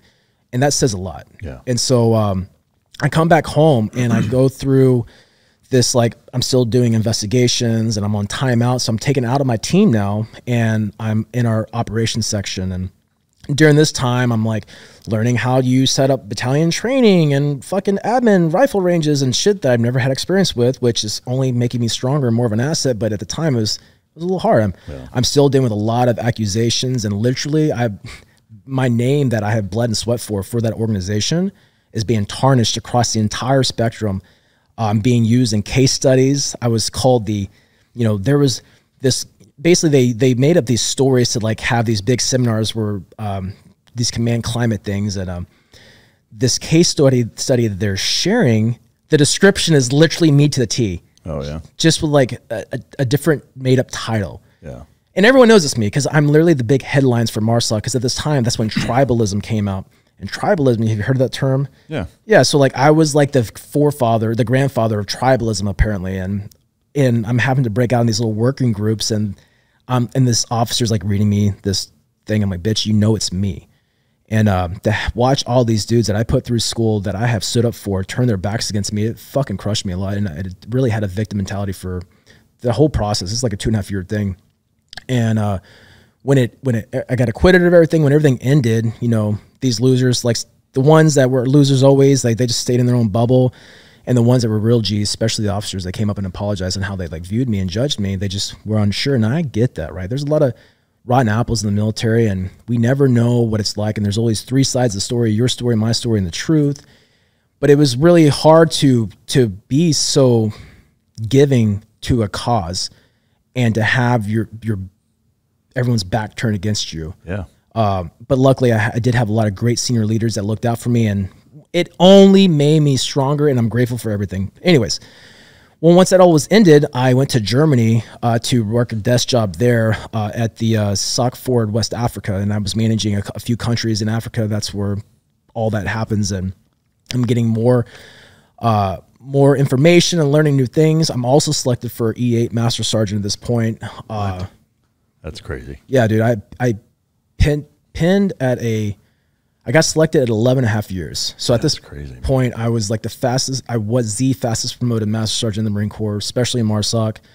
Uh, I do my time in Germany. I come back home, and when I come back home, I come back to my original team, and I get an email. and says, "Hey, do you want to be the operations chief uh, for Fox Company at Second Battalion?" I'm like, yes and that was a huge honor. And i was always asking like hey why isn't my name on the roster to to be part of this? And what the enlisted guys were telling me that the, the officers that were making these decisions didn't think that i had a good uh didn't think i had a good temperament and that i didn't work with officers very well which i just didn't put up with shit no matter who you were. And i spoke my truth and i was always known for that in the military. And that does obviously not sit well with a lot of rule followers. This is the way, like, bitch, we're only alive nine times out of 10 because we didn't do it the way. We made it happen. Um, so I was actually an alternate for this thing. The, the guy who was selected above me, he was retiring. He dropped his appendix J. So I was the alternate. And so now I became the primary. And that was everything to me. I talked to my team like, hey guys, I'm fucking taking over an entire company now. This is my national progression. I'm just so stoked because my whole vision for MARSOC, I wanted to be in charge of MARSOC, dude. I knew that no one was going to love those dudes and look out for them and stand up for them as much as I would. Now, instead of 14 guys, I'm getting to look out for like 105 guys and to include my enablers and all that type of stuff. And so I check into this unit and second battalion is like epic, dude. Like I remember being on like my first MARSOC deployment with my with my headphones on, listening to the radio, dude, just hearing like these stories of like it's like little orphan Annie. We're all gathered around the radio, the SATCOM radio, and they're talking about like being overran and gray space and like fucking these dudes up. And it was just like, holy shit, like they are in it, you know? And this was like our, our sister, our sister uh, battalion. Now I'm there and I, I see like there's just so much just badass men and, and the mentality there was honestly, I think even better than our first battalion. I love my first battalion, but this second battalion guys were legacy, legacy. It was fucking discipline. It was execute, and that was it. It was standard, task condition standard, and and to be around that level, of just like it just amped me up, and I had just nothing but savages I was working with, uh, great leaders, great everybody, great subordinates. Anyways, I check in. They're like, "Hey, uh." You know, I'm an ops chief now. I'm a master sergeant. So this is all new, dude. Like I, I'm like a dude that says fuck a lot, and now I'm in charge of like a shit ton of people. You got the T-shirt. I got the t-shirt. I, it says freedom on the back, you know, so it it does work, you know. And uh, they're like, hey, yeah, we're gonna go do. Uh, we're we're we're we're going after ISIL. I'm like, what the fuck is ISIL? You know, ISIL. I'm like, Did they make you guys or encourage or make you guys use ISIL and not ISIS? dude, we use like, f- That shit drives me nuts. dude, it was like, you know the deal, bro. You know it's douchey. The next, there's some lieutenant out there that's like, ISIL, ISIS.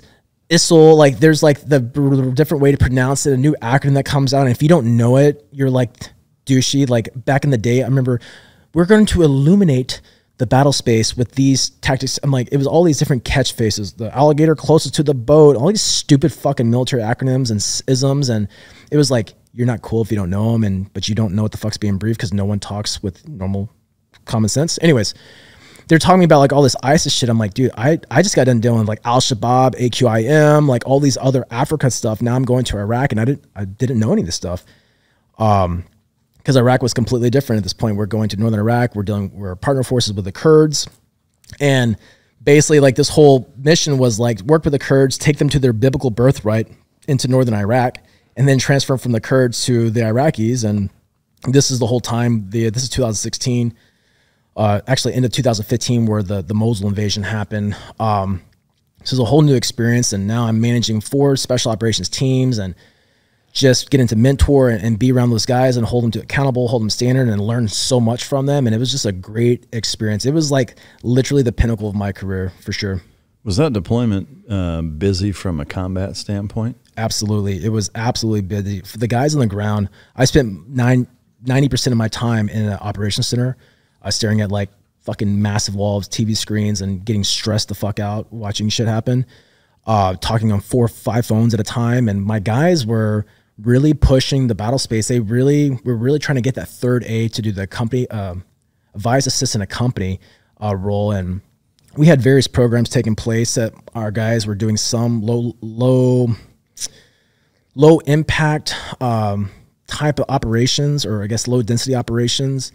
But we realized that we these guys need guidance. Our partner forces need guidance. We we're never getting proper coordination from them. So uh, our dudes did so well in the targeting aspect and the professionalism. We were able to get that final advise, assist, and accompany. So now our guys are able to go out forward of the FLOT, the forward line of troops, and conduct uh, battlefield operations. And that was extremely kinetic. And uh, our guys and I had shit. I went through I think three, not went through, but I had the opportunity to work through like three SEAL platoons or three SEAL teams. You know, I've had Green Berets I was managing. I was in charge of the basically I was a, the Northern Iraq Special Operations uh, uh, operations chief. So every operation for special operations going through, like it's coming through my desk. I'm coordinating with these guys and just seeing how people are operating. And it's just, it was really dynamic. And instead of just focusing on one team, I have like literally seven teams, plus I'm managing teams in two other countries that are from my own unit uh, that are part of the same operation. And uh, so it was very intense, uh, but it was very kinetic. And um, the great thing about it, though, my team, or not my team, my company had this really great uh, signal intelligence staff and uh, all the nerd shit that you're like behind the closed doors. Like, what are those guys doing? Well, these guys are doing next level targeting. And it really made us so dynamic on the battlefield. Tier one units were coming to us for target packages because we were the only ones targeting people, and we were doing, uh, we were doing things that have never been done before. So it was truly groundbreaking, and that just gave us more visibility, which gave us more support. Uh, but at the same time, the biggest restriction we had on this deployment was the cap. Right, we can only have so many troops into northern Iraq, special operations troops. We can only have so many uh, air assets, uh, and the air assets we did have were managing back and forth between operations in Syria and northern Iraq. So it made it very difficult to to do this. And no American has died at this point, right? There hasn't been any like you know American face on a battlefield, and they were really they probably didn't want American casualties to happen. And who the fuck wants that? But you have us out here playing with fire. Do you not want us to do our job? So it was an extremely dynamic deployment for the for the men out there, and uh, they they just they just made shit happen. It was powerful to watch. Was it all up in the northern uh, area by Mosul, or did you guys push west towards Syria at all ever? Uh, we had a couple guys go towards Syria and special later deployments. They were doing more operations towards that. But for our particular involvement, we basically took the Kurds from uh, their stronghold to, like I said, I'm probably saying it wrong, but like their biblical birthright, where they said like, "Hey, this is our, you know, by by God terrain here. This is our line of our limit of advance," and they stopped operating. and that's when we switched over from working with the Kurds to Iraq Iraqis, which is already a volatile environment. And half these Iraqis we were working with were fucking dudes we were fighting against, and they let us know. You know, it was very weird uh, because ISIS came in and like fucked up everything. You know, An insurgency makes sense to me you would start an insurgency if someone came in and fucked your shit up. For sure. But ISIS was completely different. I mean, this is like they had no loyalty to any of these fucking people. They were like, "Fuck you, you're not part of this. Uh, we're just gonna murder you." And the amount of propaganda that existed back then, the videos that I watched, uh, not because I got off on them, but I was really curious of how the mind of these fucking people work and the psychology and the ideology they have. Because you can, the reason why I will never win a war against terrorists because you cannot kill an ideology. Uh, you just simply can't. You literally have to eradicate it to the root. And most Americans, especially the government, is not prepared to do that because there's no money in that, right? There's no follow on objectives for that. Um, and it's going to require a lot of fucking, a lot of go, go, go. And I just don't think people are ready for that type of commitment. Well, I think the, uh, like from a, a PR aesthetic standpoint, you know, most of the country wouldn't be behind what it would take to do that. Which is a good thing. I'm glad we don't have people like murder everybody because I always tell people, to, you know, I get young guys all the time and just kind of like a cyber, like, oh, I want to join. I've seen what you do. I'm like, dude, I, I don't, I don't boast or brag about the combat aspect. I, I, brag about the fucking men I got to work with, the lessons I learned, the wisdoms obtained. So you can apply it and apply common sense. But you know, war is absolutely stupid. there's so many people that feel like you have to go to war to feel any form of merit for themselves and to be justified. And my career is wasted because I didn't get to go to war. I'm like, you just lack fucking gratitude in your life, dude. Like, why does why do we put war on a fucking pedestal? You know, out of and this is going to break a lot of people's feelings. Out of all the people that you know, I know, and the civilians know that they put on a pedestal, half those guys never did anything. If you want to call it that, if we want to say did something, did not do something, they were just on deployment. Mm-hmm. And out of everyone in Afghanistan, everyone in Iraq, not everyone is shooting somebody. Not everyone's dropping a fucking grenade pin and you know doing all these types of things. But yet we we put it on such a high regards, and it costs so much, so many lives. Fucking dudes feel inadequate. Yeah. And they, they're you know it's just it's a never ending process, and it's pretty sad. But you know, um, yeah, the ideology behind it all is crazy, and the fucking ISIS did a really great job, dude. Even their propaganda was top shelf production and it makes you wonder like what limits do they have because yeah. they're prepared where we necessarily aren't and uh did you see some gnarly shit on that deployment yeah um uh, like i said i spent 90% of it uh, inside the operations center. We worked on a, on a three letter agency base and um, so i never barely saw sunlight. And this is not a woe is me story. It was just a completely new dynamics and i was prepared to do whatever i had to do to support my men. Um, but watching and I'm looking in like multiple ISR feeds, you know, the the prone the drone feeds and you know, seeing fucking these ISIS fighters weld in their brothers, right? There are other fighters inside these Mad Max, you know, vehicle borne IEDs, welding them in so they could not escape. So their only option was to blow themselves up. I'm like, holy fuck, dude. That's just gnarly. And these people are just doing it left and right seeing a bunch of gnarly shit. Uh, I mean, we were using various open source platforms to target people and to see what fucking dumbasses put into the internet world that we were able to find them and find, fix, and finish. I'm just like, holy shit. And I just think about like what's happening here. I'm like, oh man, we're all fucked. Is there an example you can share from over there? Um, selfies.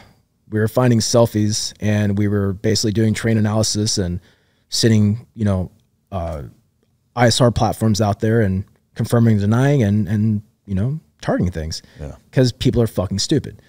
Um, so I just saw, and what really irks me, especially about the ISIS situation and just war in general, is like the complete lack of life. There's no respect for life, and it, it was just so crazy. It was just like, damn, these people don't even care. And I'm watching some of their propaganda videos, and there was this one particular one. It was like a three story house, and they had these young kids.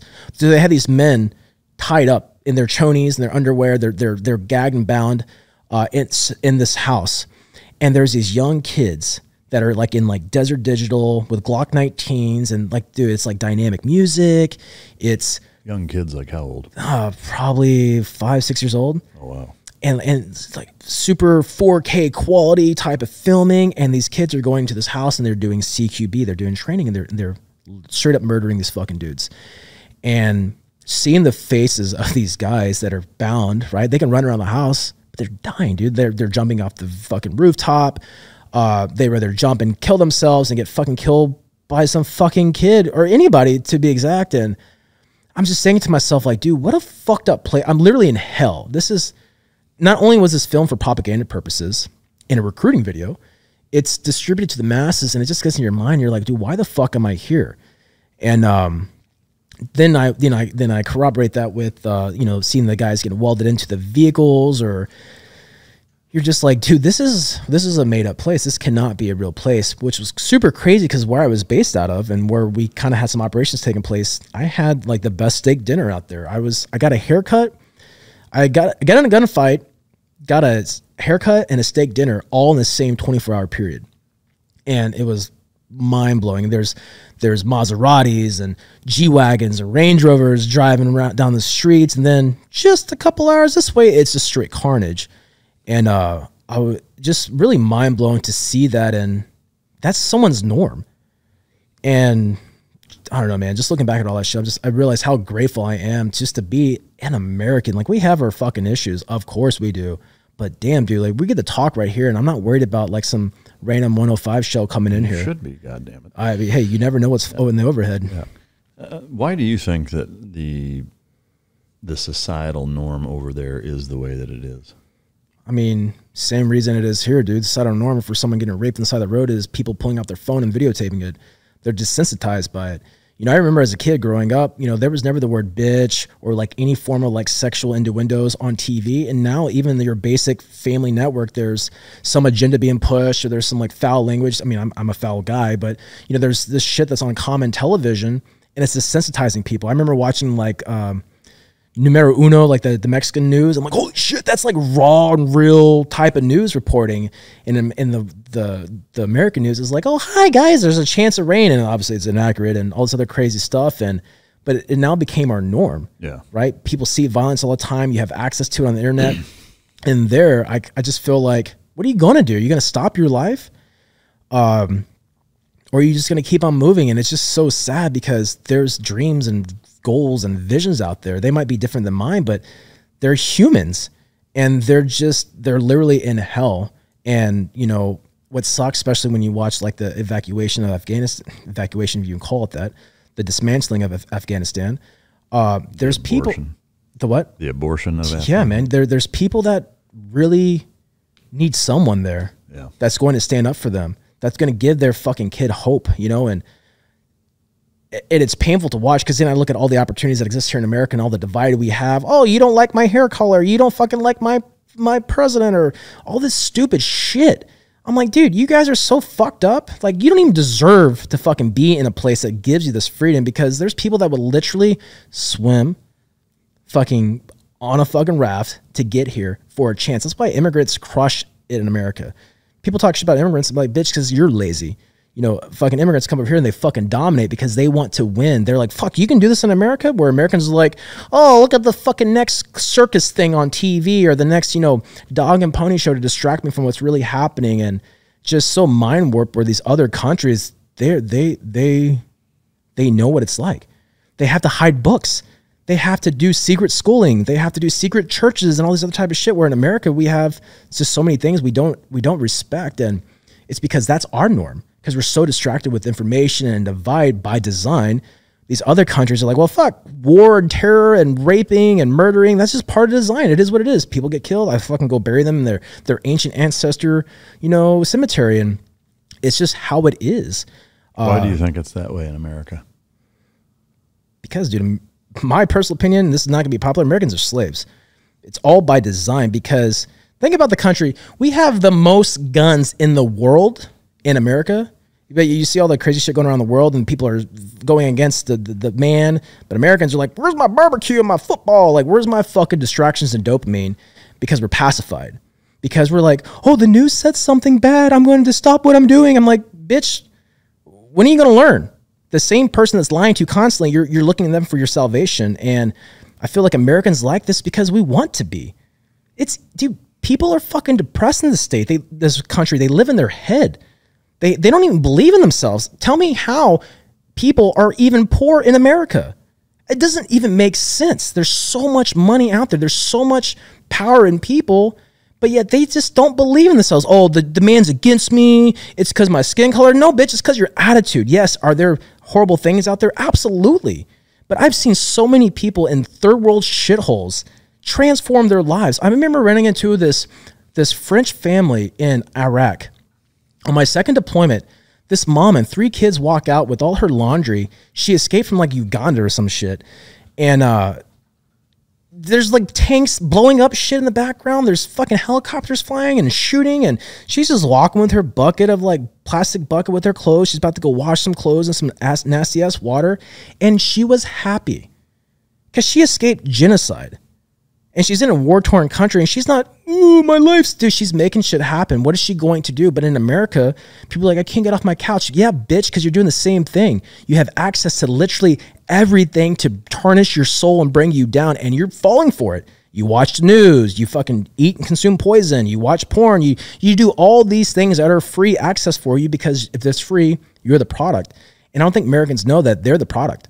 You know, we are a byproduct of what happens because we are emotionally controlled, where other countries are more rationally fucking Driven. driven in what they live in and what they do. And I'm not hating America and before the idiots out there, well, you should leave. Like, no, bitch, we have to make a, we have to stand up and start using our, our common sense and start voicing our opinions, or you will always be a peasant.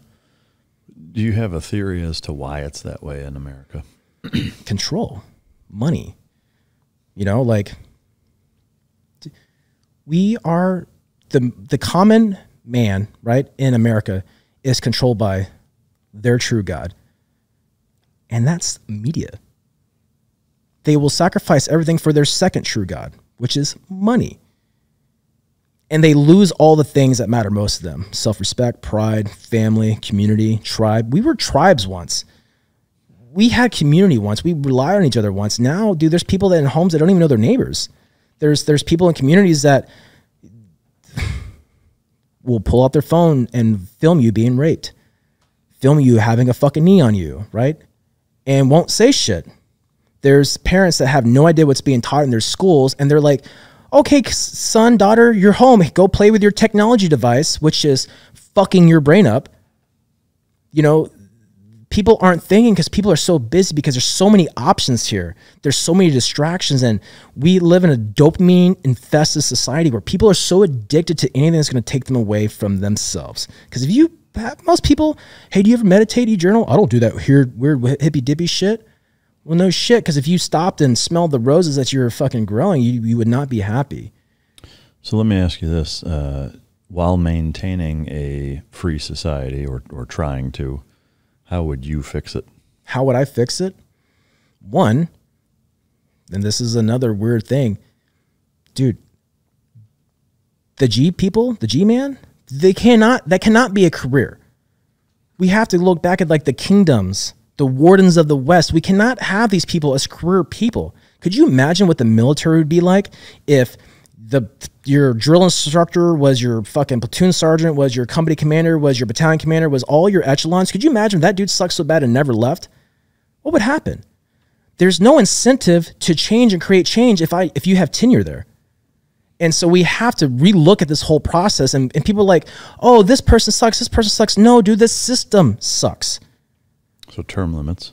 Term limits would probably be a big difference, but at the same time, political endeavor in itself is is comical to me. I could have sworn I, I, heard something once that said a house divided will not stand, and all I see is a house fucking divided, and it's cheered upon. I'm blue, I'm red, I'm this, I'm that. Well, when did we forget? We started as a republic, now we're a democracy. We were founded as a republic, now we're a democracy. How well is that working? How well is that truly taking us to the next level. All we do is talk shit and divide. If people knew that every one of their nemesis was the same one and it wasn't each other, shit would change. But people are too distracted because they're they're they're emotional robots. Because this meme comes out, oh, that's offensive. Why do you think pronouns and all this other shit happens. It's not to give you rights, it's to cause more fucking divide. It's to cause more friction in the house and family, to separate you further from the truth and keep you submissive to whatever agenda is out there. I'm not saying, you know, people are like, oh, you're just a conspiracist. No, bitch, I'm a realist. How are things getting better?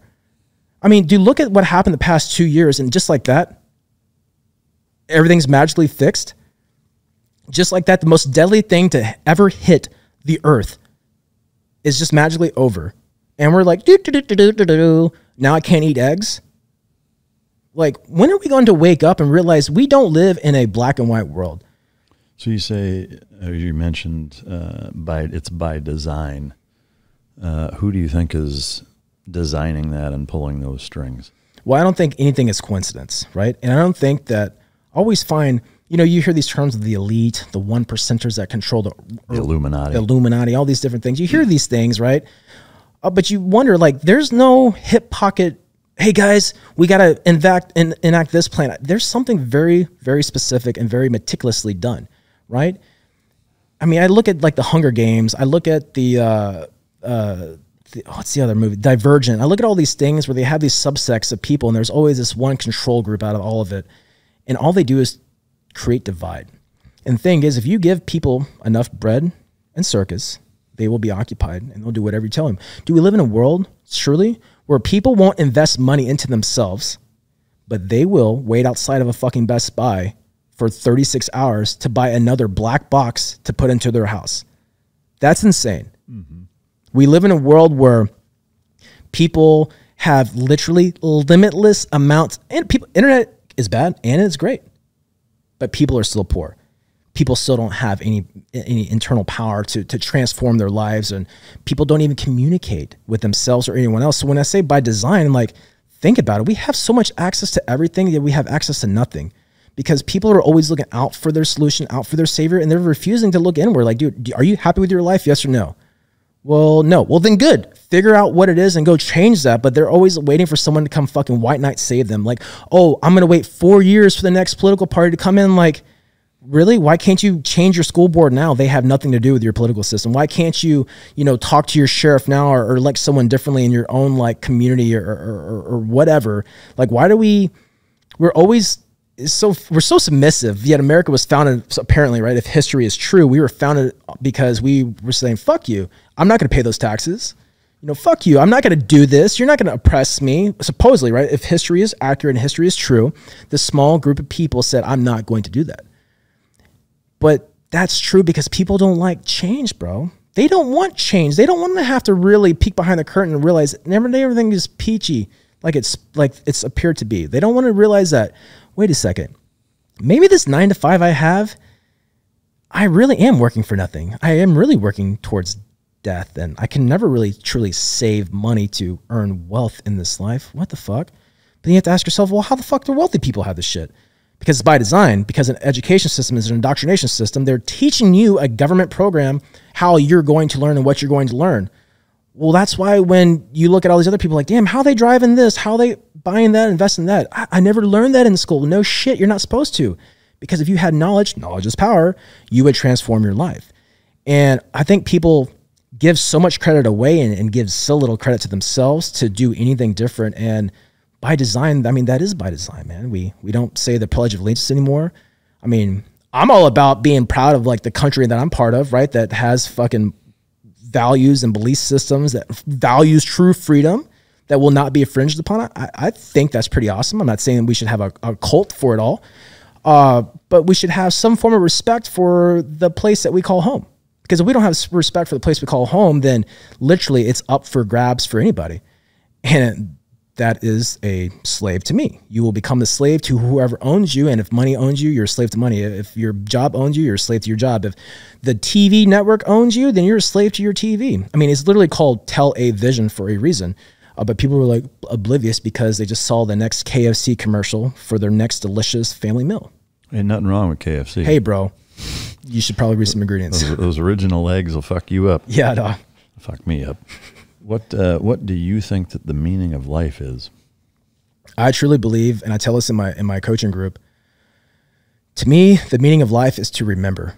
I think everything that we need to solve our own problems, we have access to, but we have to do the work to remember our power. We have to remember, like for instance, I tell people like, Cody, I want to start a new job. I'm like, well, fuck, I started. Like, I don't know if I can. Like, bitch, do you remember when you took off the training wheels? You remember how you were scared to do that? They're like, yeah. I'm like, and then what happened? Well, I got on my bike and I, and I rode it. I'm like, were you still scared? You're like, yeah.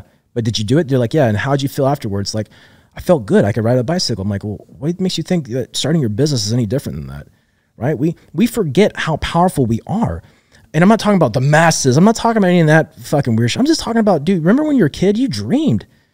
My mom gave me a cardboard box once and a sharpie and said, "Have fun, dude." I drew a spaceship in there. I had a, like a race car. Like I would sit in a box and make forts underneath my dinner table. I vision and dream so much. I was limitless. We were all limitless in some capacity. And then some point in your life, you forget. And then you fucking fall into the trap. I have to do this. I have to go to work. No, bitch, you get to do this. You get to go to work. But we forget that along our journey. And when we forget, we lose our power. We forget our imagination. We forget what it's like to that courage it took us to ask that first boy or first girl out on a date. Everyone's been through that point in their life, but at some point, as a teenager, middle aged adult, into an adult, you forget that things are just scary. Un- uh, uncomfortableness, being discomfort, uh, having seeking discomfort is the true path to growth and success. So, and success to me is evolution of self. If you're not sober, super stoked on your belief system, where you're at today, what you're doing, your level of impact, just how you think and feel, then why wouldn't you want to change that? And you can absolutely change that by remembering your power. So to me, I feel like the purpose of life is to evolve. I don't want the white picket fence and the nine to five or the 401k and then I fucking have a great kid, great life. I have grandkids and I fucking die at my wife. I don't want that life. That's boring as shit. Everybody lives that life. Whoever created me or whatever created me or however I'm here did not probably make me all the same. If my DNA is not the same, if my fingerprints are the same, why am I acting the same? And we live in a world where people want you to conform to everyone else because it's easier to control you. That's why they tell you in the military, hey, be the gray man. I get so much hate from uh, especially MARSOC dudes, believe it or not, uh, and military people because I'm not this gray guy that just shuts up in color. I have an opinion, dude. God gave me a voice, bro. I'm not going to not use it. That is slavery. If I'm slavery to my fear, guess what? I'm a peasant to it. And if we just started to em- em- empower our own selves, like, Mike, what do you want to do today? Well, I don't know. I want to kind of, I wish I had more more happiness in my life. Well, good, dude. Form, let's form a plan. Let's go get that. Uh, and so, and we can achieve these things by remembering our power, remembering that we have gone through something hard already in our life. It doesn't have to be my heart. Does, remember, it doesn't matter how you broke your leg. The fact is, you broke your leg, and that's what unites us, mm. right? This trauma, this, this, these anchors in our life.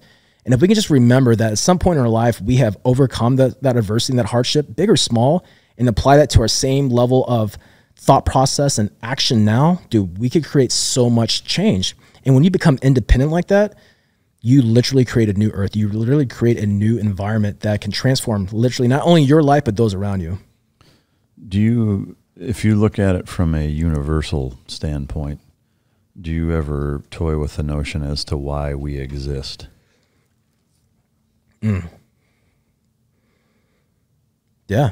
And what do you think? Why do we exist? sometimes I ask myself that question. I'm like, man, what? Why? Why do we exist? What's the purpose of being human? I don't know, but I can only look at my perspective. Man, what an opportunity to be able to feel these things, to to go through the lives that we've gone through, right? These multiple lives that we've lived, to to choose to evolve if we want to, or to, to stay in hell in our mind, and to to to play small, or to just go all in and win big. What a gift, you know! What a gift to not be a a immortal person where there's people that know they're going to die and don't have respect for themselves. And the fact that our, the greatest gift we have is death. The greatest gift we have is this opportunity that we're not going to live forever. And if we're not happy, it doesn't matter if you live 20 years of happiness or just one day before you expire of happiness. It's the fact that you have that choice, that free will to go create the life that you want to. And to me, that's that's why we're here. I mean, I don't know. I don't think a moon dust like created me. I'm a mega CPU. My brain is fucking gnarly, bro. Like my body literally is a is a is a complete vessel. It's a temple, right? This women give birth. That's insane, right? Um, we have all this power, but yet we take it so much away from us because we give it away.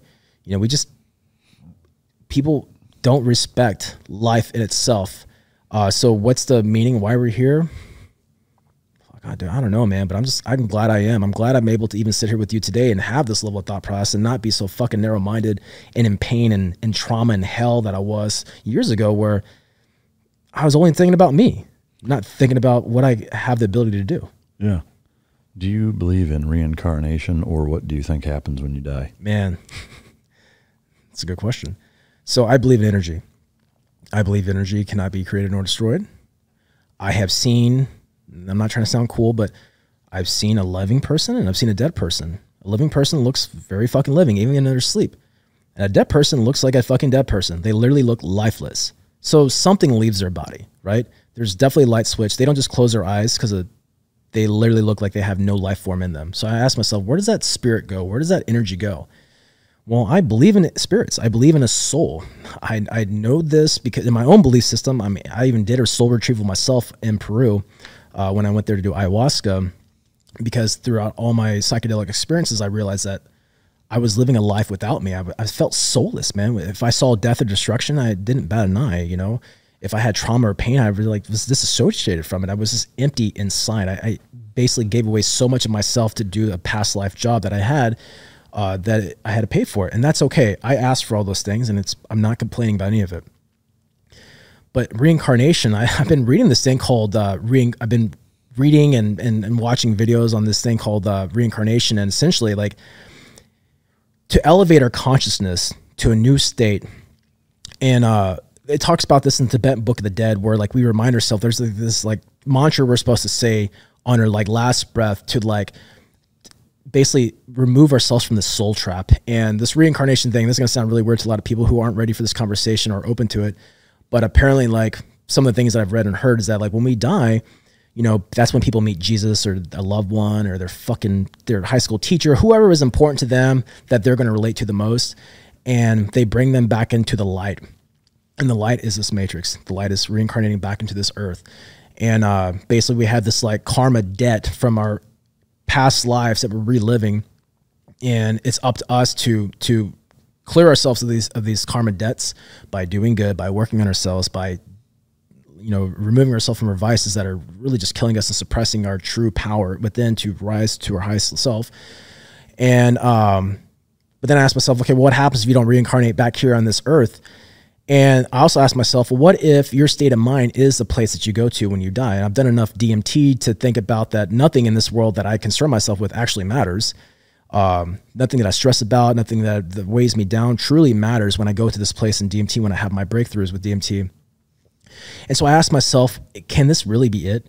You know, in the Bible, I'm not, please, people don't beat me up, but in the few chapters or few pages of the Bible that I've read so far, there's some of these dudes have re- lived to like 900 years. So let's just say we lived to 900 years or 90 years, whatever. 100, I'm gonna live to 105 personally, but uh, let's just say that's that that's the standard. If there's an eternity, fuck, what if it was 105 years to an eternity? And so I kind of concern myself not with that because no matter what happens to me after this life, what matters is what I can control and influence now. So I, I have to like, I touch those topic topic points with myself just because I'm, I'm very curious. I'm constantly looking and uh, I'm, I'm not without, but I'm just constantly looking because I'm curious to, to grow and evolve. But then I focus on what about now? What if hell is, you know, seeing what I could have been when I die and not even measuring up to that fucking person? And that's my biggest fear now. So I don't really concern myself with too much what happens after life. I ask myself, like, what am I doing today to fucking better myself? Because my consciousness, my my connection with God, uh, that conversations that I have, I know what I need to do, and I know what I'm choosing to pick and do, and I know what I'm avoiding to do. And we all know this, no matter what you believe in. And I can easily help people fucking comprehend this. But um, that to me is what matters most because your state of mind is going to create that place i feel like because if you're not armed here mentally as a flesh human being that you can feel all these emotions and experiences and just different situations and how can you ever be prepared to what could potentially be on the afterlife? But i don't think that i die and that's it. I think my energy is still here. Uh, I think that maybe I just go to a different realm. I don't even know, but honestly, I don't care because whatever is awaiting for me in the afterlife, if there is one, it's only going to be warranted by my actions here while I'm living. So I'm on this path to be my best self, to bring as many people along with me to help them become their best selves and to, you know, pay off as much karmic debt, to, to let go of all my vices and to literally go all fucking in because that's what matters most to me. And, you know, instead of worrying about what's going to happen for eternity, I'm worrying about what's going to happen for the next, you know, years until I reach 105 years old, you know? Yeah. So you believe in God. I do believe in God. Do you believe that there is a devil? I, I mean, I definitely believe there's some type of evil out there. I mean, there's there's too much truths out there. There's something that's worshiped clearly that evil people do. I mean, we hear it all the time, as above, so below. Uh, I'm a firm believer that everything we have in this earth, this common earth, right, this realm, is inverted. I think what we think is good is actually bad. That's why everyone has access to it. And that's why everyone is in a low state of vibration. I mean, dude, look at the people. If you took a vote like a command climate, like a mil spec monkey survey of the average American person, they're probably heavily fucking depressed. They're probably, I mean, look at veterans. Veterans are a small percentage, but they're they're a representation of the larger entity being the average bear. Well, if you look at the suicide rate for the average people, non-veterans, it's still extremely fucking high. So it makes me think that like there's something out there. And then when I think about the devil, the devil is when I go against my consciousness. The devil is when I'm not going to drink coffee anymore. I'm not going to, for me, I'm not going to smoke weed anymore. Okay, perfect. Uh, then I'm like, oh, it comes to me, and I'm like, ah, I'll just do it again. I'm not going to do it again. It's, it's, this temptation to to give in to myself because my consciousness, my gut feeling, my intuition knows what I need to do for myself. And not all the times do we have the clarity to to tap into that connection. At least I never did until I started doing uh, psychedelics. And I've had those intuitions on deployments, like, hey, dude, don't go down the fucking alleyway you know, or turn left or duck down. And these things happen. And for whatever reason, I survived and I lived through them, you know, and I refuse to take those opportunities and those gifts for granted because they can't be explained to me. It's, and so, and I don't need to prove them. All I need to do is respect them the best I can. And that means sometimes doing the work. And for me personally, it's taken me a decade and a half to do a lot of work to even be appreciative of where I'm at today. Um, so if there is a good, there's a bad. If there's a black, there's a white. So absolutely, I think there's a devil. But is it a, this thing with a horn? I don't fucking know, dude. The devil's a TV, bro. If people turned off, if two and a half years ago no one had a TV, no one would have known there was this deadly thing plaguing the earth. No one would have known. But you had a TV, and the same place that lies to you all the time, people go to it for fucking salvation. What's the weather going to be like? Dude, my in laws watch the Weather Channel, and that's the only reason why I even know this. But like watching the Weather Channel, I'm like, dude, there's a lot of toxic shit on the Weather Channel. Everything there's a house destroyed there's a tornado and then there's like just carnage and death and destruction. I'm like god i'm just trying to get the weather bro. Is there any sun anymore? Like does that exist? Uh, we're not too far fetched from like the matrix world where like it's just like dark and gloomy all the time and ran by machines. I mean dude people are fucking straight up robots these days do you even have a pulse do you have a thought process oh no you're just going to go with the program Of course you do. That's why you pulled out your phone to video record a violence taking place. So answer your question, yes, I totally believe there's some there's a devil, there's an evil, because there is a good, there has to be. If there's a light, there's a dark. And we all know that we can tap in for me, I can tap into my darkness much easier than I can my light. I can definitely create a lot of hell for my life if I want to, very easily. If I wanted to go fucking do some gnarly drugs and like steal a car, I could go manifest that and make that happen. And that's pretty easy. I just got to go execute. But if I want to go change my life and really do good, that's a much harder process to do because I'm going to have to become someone completely different to go do that. I'm going to have to become someone to do something evil too. But generally speaking, I'm lowering my vibration to go perform an act like that or to do something positive in the light. I have to raise my vibration, which means I have to change so much more. But it's the same level of effort. We just don't see it that way because we're programmed in a low state of vibration where it's easier for us to to to burn shit down than it is to fucking bring things up. In my personal opinion. Have you read the book uh, "Breaking the Habit of Being Yourself"? Uh, Dr. Joe Dispenza. Yeah, I read some of it. It was kind of hard to read, and I kind of like went in and out of it. We're just talking about the vibration. I was curious if that, that was partly where that came from. But so, in, in your belief, then um, there is a an intentional force for good energetically and there's a diametrically opposing force for bad. I mean, I think it's any place man will be, darkness will be. But it's it's intentional. It's not. You can't have one without the other. Okay. Uh, here's a here's a morality slash technology combination question. Okay.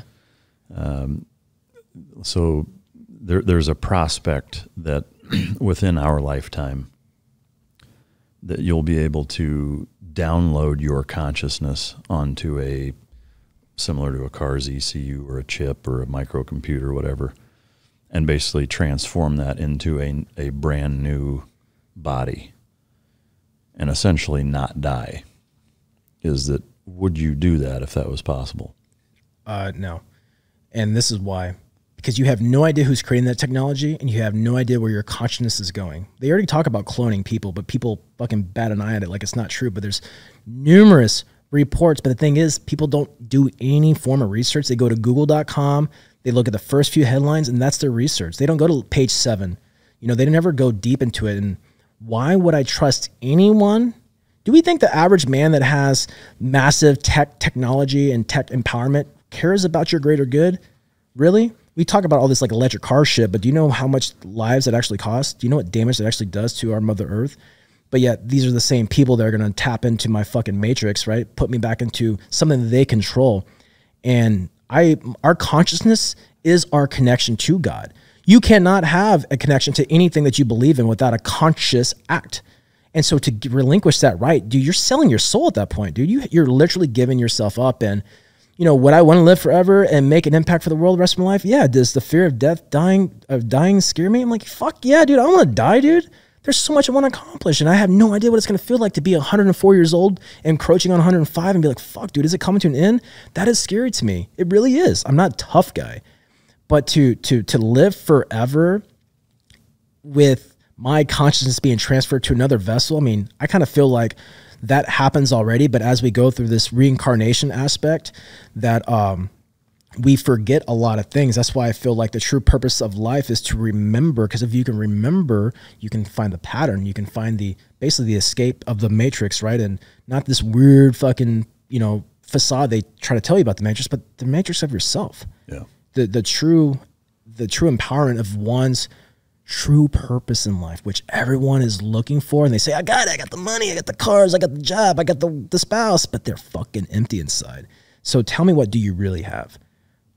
I mean, I, yeah, I don't, I wouldn't do it either. A um, and B, I think, from my perspective, uh, people that feel empty, it's because they lack purpose. I think uh, to to make a reduction of everything that I've thought of and, and you know trying to simplify it to kind of a, a singular element of um, you know what what the reason for being here is, is is its purpose, whatever that is.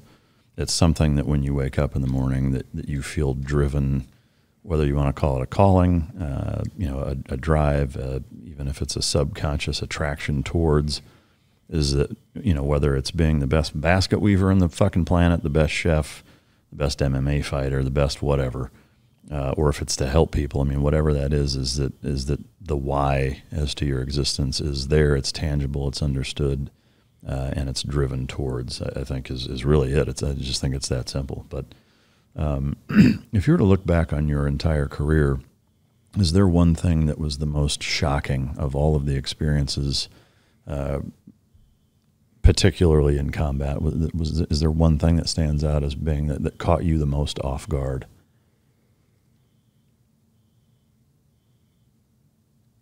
Like I said, I think it goes back to like there's two wars out there. There's a war that the the men and women that are fighting firsthand. There's a war that's being waged by other people. And I peeked behind the curtain very early on in my military career because I was picking up rank fairly fast, and I saw how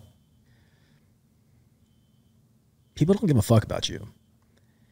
And then I look at the indoctrination of the American military, where there's these young men and women that, like me, they could not wait to join for whatever reason, right? A poster, a family member, a TV show. And these people give and sacrifice so much willingly for truly an organization that just does not fucking care about you. You're literally a number. And when I realized that I was a number, and I realized that multiple times in my career, but when I was a I was a three year master sergeant, right? So I'm fucking super senior. I've only been in at this time maybe 13 and a half years and uh, 14 and a half years. And when I was started to go downhill for all my medical reasons, I'm like pleading and crying, begging for help. And I realized like how much pushback I got. And I realized like how many times they just try like Cody, it's not that bad. Everyone's got problems. I'm like, what the fuck? Like, you think I'm a badass. I'm clearly I have proven that time and time again in a multitude of ways in leadership and my performance and all these other things, but I'm begging, begging for help and you think I'm fucking joking. That's that's what little credibility I have in your small-minded space. And then I, I remember going to this one seminar. It was uh, talking about traumatic brain injury, and luckily it was my neurosurgeon there, and I had super gnarly anxiety at the time. Still a master sergeant. It's in MARSOC headquarters building, and the neurosurgeon's up there, and he's like, uh, he called me Cody. He's like, Cody, he's like, uh, what do you think? And we're, we're talking he basically asked myself about like you know traumatic brain injuries and PTSD and all this other type of shit and uh, different ways to get help. And I talked about like I feel so bad for these young men and women that are joining special operations at least, whether they're a support enabler or, or team person that is not getting the help they need. I was a I'm a master sergeant getting pushback to get help. I couldn't imagine what it's like to be an E3 administrative person who something shitty happened and maybe a previous unit they got no care for and respect and they maybe cut a small win that they have an opportunity to get help and healed, you know, in this unit that has all these assets and all this money. And they're telling them to shut the fuck up. You haven't deployed. You don't have anything. I'm like, what? And then, but then we do these suicide prevention classes and we do these, they called it, they call it red flags now thinking about it, that just sounds even more fucked up. But they called it like you get put on this list if you were like a um, like during my investigation, I was put on this this list of like, watch out, make sure he's not suicidal, you know, because I was going through all this fucking pressure in my life. I'm like, but how many guys are still killing themselves? You don't fucking really care. You're just a big check in the box, and the dudes care for one another. I truly believe, believe that, but the system itself is not designed to care for you because we're trying to turn, and that's okay. What did you expect? We're turning a machine into a, a human, and that can't ever happen. And that's what's funny with all the AI and all this shit happening. Like the military system or any system is a fucking machine. It's a robot. And when you try to humanize a robot, you're you're always going to be fucking let down. And even though there might be humans that manage and run the machine, they are not it. Yeah. They are part of it. They are a mechanism in it. the same reason why so and so kills himself or so and so gets killed in combat or so and so retires. You're instantly replaced the same fucking day. No one's calling you about the TPS report. No one's calling you like, hey, let's get your locker room number. Bitch, has already changed. Your shit's already thrown out if you haven't grabbed it already. What did you expect? And but to, to see that and to realize that there's way more humans in this crazy mobilization called a machine that are completely dehumanized uh, and don't have a voice, don't have power. It, it, it, was super sad to not only experience it myself personally after sacrificing so much willingly, by the way, I, I asked to do all that shit, but to see these young men and women that didn't have the level of strength that I had, that didn't have a voice that I had or power that I had, that felt so fucking hopeless. Um, that's what I felt bad for because, you know, I, military people, no matter what their job is, if they have the right mindset, they can truly change the world. They can, they're a force multiplier. I mean, fuck, dude, out of boot camp, boot camp is business. Literally, if you can manage military, you can do anything. If you can go through that structure, dude, you can dominate anything in life. But yet, why do these men and women get out and they're fucking poor mentally? They're poor spiritually. They're poor emotionally. They're poor powerfully. Like they have nothing. They're they're they're just broken victims. Why is that? And when I saw, at least in my own perception, but how I see the system work and how they you're conveyor belted in, then you're fucking shit canned out. Well, I'm, like, well, what the fuck did you expect? And for a long time, I wanted to be humanized, and I realized that that just never is going to happen in a machine world. If that makes any sense. No, it does. I mean, it's it's heartbreaking, and uh, you know, to see so many young men and women getting just fucking chewed up and spit out is uh, it's a travesty. You know, uh, I, I hate to see it. it's uh, it's depressing. Um, is there a best canine story that you can share? Best. I got a funny canine story. Uh, well, I got one best canine story, and, and this this dog, uh, he was just he recently passed away. His name was Wilbur, um, and him and his handler Chris were uh, Marine. Uh, he was a military police, and my third my third Afghan deployment, I had uh, I didn't have my own dog guy.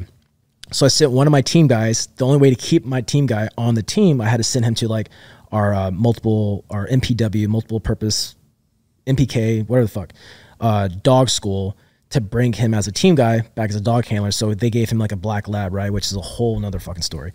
Uh, and this dog was nothing but a fob dog, right? We're having to like drag this bitch on patrol. He was like, just like, let's throw a ball for him. He was awesome, but he was not as, he was, not an asset. He was not an asset. He was an asset for morale for yeah. sure, and it was great. Uh, and he recently passed away. Also, uh, one of my good friends, uh, he bought, he has him as a, he had him as a, a, uh, personal dog after he was retired. But anyway, this guy Wilbur, this dog Wilbur, um, you know, I Chris is a savage dude. He's this young guy. He just picked up Sergeant. His dog is just like this Belgian Mal, just gnarly dog. This dude already, ha- the dog handler and the dog already had a gnarly reputation in the military for just being fucking badasses and epic uh, on deployment, on the objectives, doing crazy shit. He comes to my special operations team. I'm super stoked to have him. First time I meet him, he's got this like New York fucking hat on, it's turned sideways, and his dog is wearing silkies, you know, and it was just like funny as shit. And um, I remember we finally got an army chef to come to this base that I was at because we were eating just shitty ass. Well, they're not really shitty, but at the time now they're shitty. But at the time, I enjoy them. Just we are eating the uh, the winter uh, MREs, the the white bag mm-hmm. ones, the kind they're all dehydrated. And that's all we we're eating for like four months. I finally get an army cook to come down and uh, starts cooking for us, and we're having like steak. We got all this airdrop in. We got this like big reefer, you know, 18 footer refrigerator come in. So we got steak and lobster. I'm like, dude, SOF lives good. And the good thing about SOF is we were able to always share with the Marines uh, and the sporting units around us. Anyways, so I grab my meal and I come into my office uh, where my team leader and I worked at, and I set my food down. I walk out to go grab a fucking drink. I come back into my office, and this is like 20 seconds, dude. I come back into my office. I see my leather chair spinning around. My fucking plate is completely empty, and I see I stop my chair and I see these like dusty ass paw prints on there.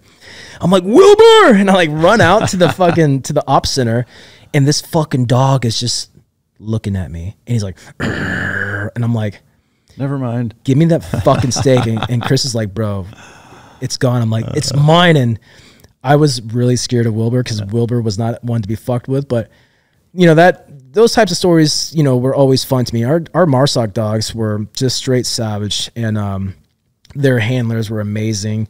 Uh, they have a great program. Um, I loved our dogs, and anytime that we had an asset like that that was able to force multiply our dudes on the ground, like why wouldn't you want that? Were there instances where any of the Marsoc dogs saved your life, or any of your guys' lives?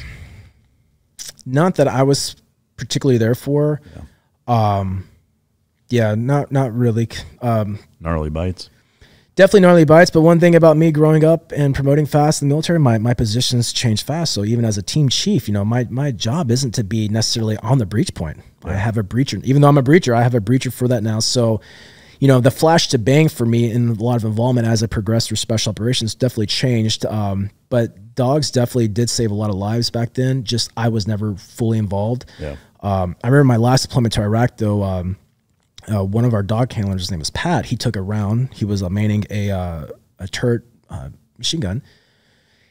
He took a round to the helmet, and his dog was in the truck. And um, when they brought him back to the base, and uh, we're, we're working on Pat you know, giving him blood, all this other shit, and managing his dog too. Because you, I've never had an experience firsthand, but I hear the stories like, "Fuck, dude, the handler goes down, dude. You might have to put the dog down if the dog goes fucking crazy." And uh, his dog was uh, super chill and really liked me a lot for whatever reason, and I felt super honored to have that level of experience, and uh, you know, just to be able to see that bond between dog and handler, right? It's the team member and teammate uh, it was just it's powerful to see, and it's definitely an underutilized asset. And I wish the bigger military had more access to that specialized training um, for the grand purposes of everything. Yeah. But I, I you know, having our, our multi working our multi purpose canines in MARSOC was dudes felt more confident. Like I remember clearing out literally forty fucking pressure plate IEDs one day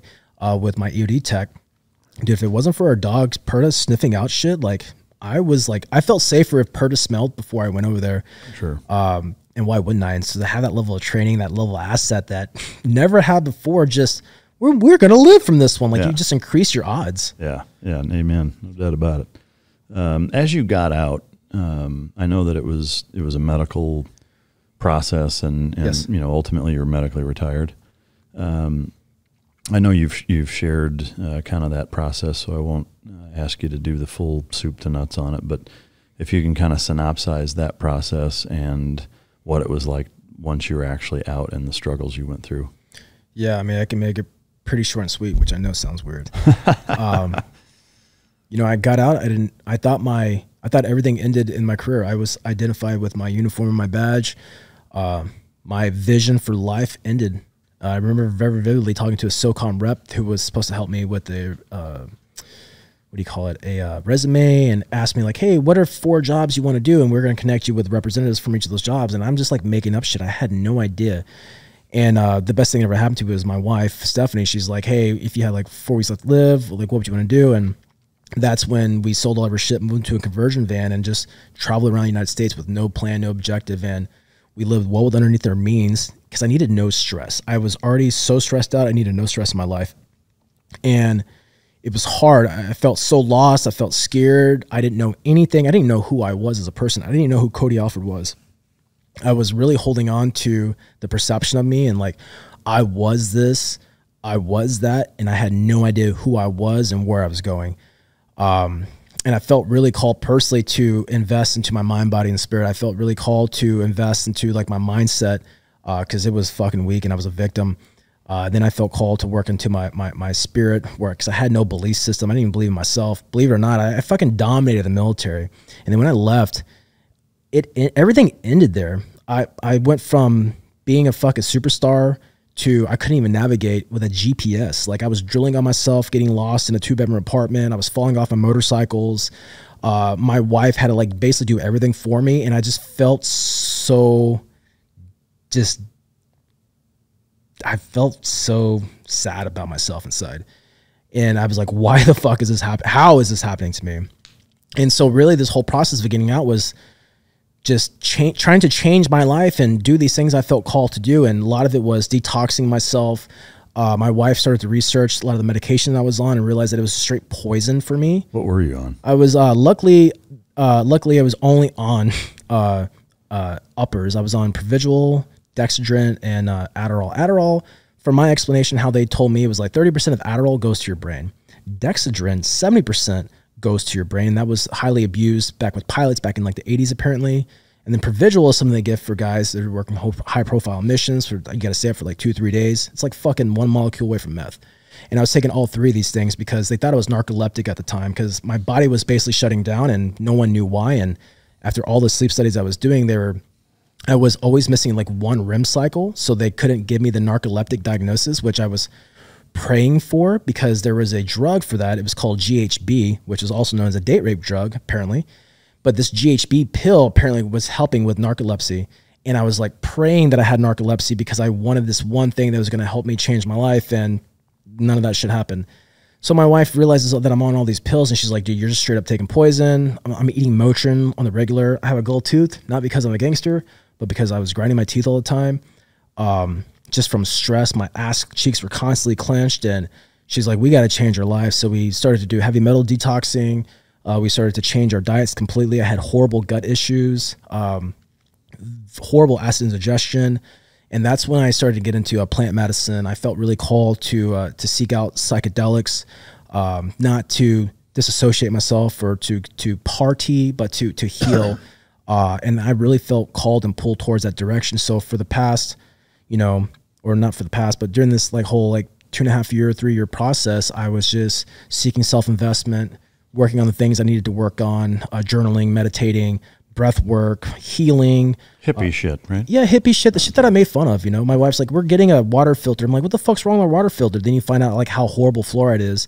But every time I went to base, for the dentist, they're like, "Oh, look, did you grow up in where did you grow up?" I'm like, "Texas." And they're like, "Oh, fluoride. That fluoride, you can tell that's good for your teeth." And I always felt so good about myself. Then you realize how fluoride is horrible for your ass, and you're just like calcifying things, calcifying things inside your body. But when everyone's saying it's good, you're like, "Oh, this is a badge of honor. Awesome." And so we really shifted our whole paradigm on how we viewed everything. I'm like, organic, like only fucking hippies buy organic.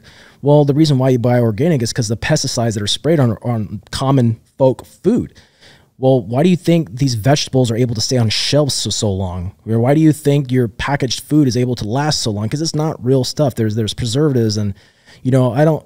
I'm not this righteous, just person, right? I'm not.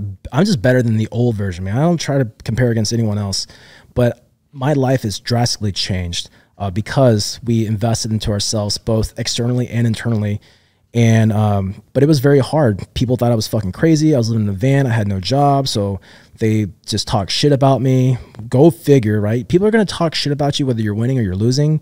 It took me a while to really understand that, and I was super insecure because around this time I started my YouTube channel. Uh, I started my Instagram. I was really sharing what I was going through, and People were calling me stolen valor on my YouTube channel. People were talking shit like, oh, you weren't in the military. You weren't a SOF guy. And I was like fucking crying at nighttime reading these hateful fucking comments that had no validity. But I was so down on myself that everything was like I was giving my power away and I didn't know how to like take it back. And so I was on this journey to like take back my shit and like find me again and my self confidence. And because I had no confidence at all, I lost when my body started to crash. I literally lost every fucking thing became a very passive aggressive person, became very uh, non confident in any decision making. Um, there was no alpha in me, there was no leader in me. There was just, I literally turned myself into a victim, self induced for sure. Uh, but I didn't realize how I was programming myself through my actions and allowing my circumstances to depict my outcome. Um, so yeah, transitioning out of the military was super hard. Uh, I felt like I needed a job. I felt like I needed to make money. Then I fucking hated money. I thought money was a devil and I didn't want it. Then I realized like, wait a second, I want land one day. I'm never gonna get land by just saving up my few couple of thousand dollars for my pension and stuff. Like I'm gonna have to go do something with my life. And uh, you know, I started my my brand, We Defy the Norm. Uh, it was like an um, ability for me to share kind of like my my philosophy, my ideology of my transformation of self and to encourage others to do the same thing. And um, you know, later years, to to be fact, like a year and a half ago, that's when I started my coaching group, Defy Tribe.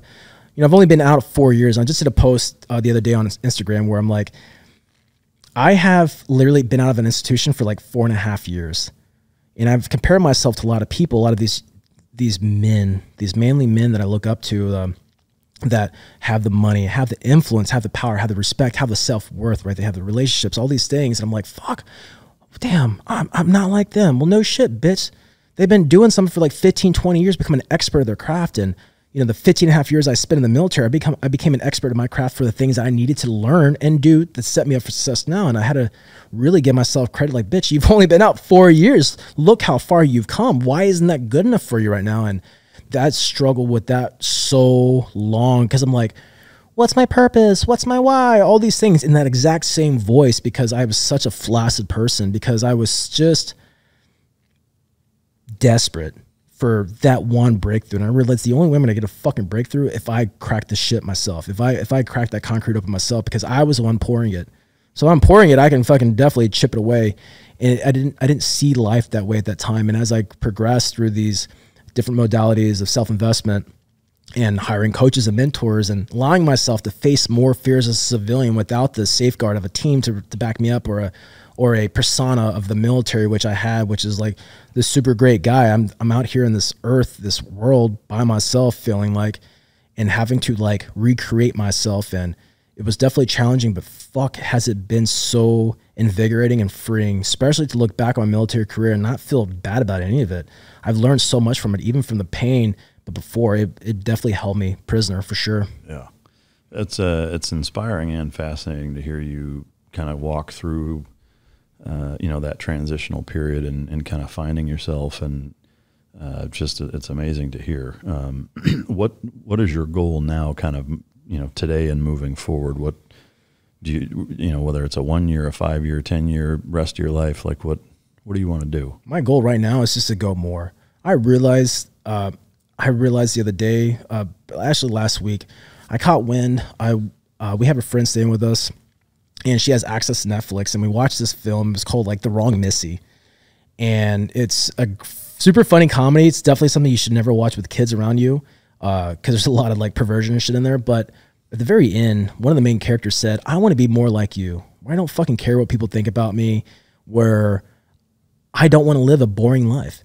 And I, I realized at this point in time in my life where I've done all these things in this past four plus years, I'm like, fucking, even though I thought I was defying conformity, even though I thought I was like not caring, I realized, holy shit, I am fucking caring way too much what people think about me. Dude, I, I wouldn't even say the word God because I wasn't, a, you know, this religious title or I didn't have the same belief as someone else. And I was worried about what everyone else was going to think about me. I realized how truly small I've been playing. Even though I've been going fast and hard, I just realized, nah, dog, I'm at a new level of consciousness, I'm a new level of life.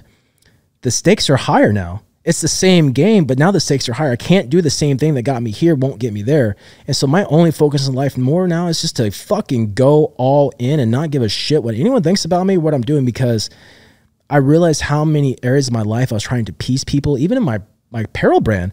Mm. I wanted everyone to feel empowered. Well, bitch, I'm not for everybody. Yeah. And I was making myself available to everyone. I was making my ideologies and my philosophies available to everybody. And I realized that I was really only impacting a portion of who I know I'm here to impact. But most importantly, I was sacrificing my own true empowerment at that cost. I'm like, that's that's fucking stupid. Yeah. And I will not live a boring life and I will not live in fucking fear worrying about what anyone thinks about me and I will not give my power away to people. I will not put my what do you think about me? No, bitch. I know what I think about me and for the first time in my, my life, dude, like straight up, I have never felt more empowered and like I'm so excited to get back to to where I'm where I live at and just to just move. I'm so excited to get back. I'm so excited to just make things happen because there's so much to be done. Yeah, I, I don't disagree. I think it's great to you know, and, and I will say, like I, I, have kind of a hard and fast rule for uh,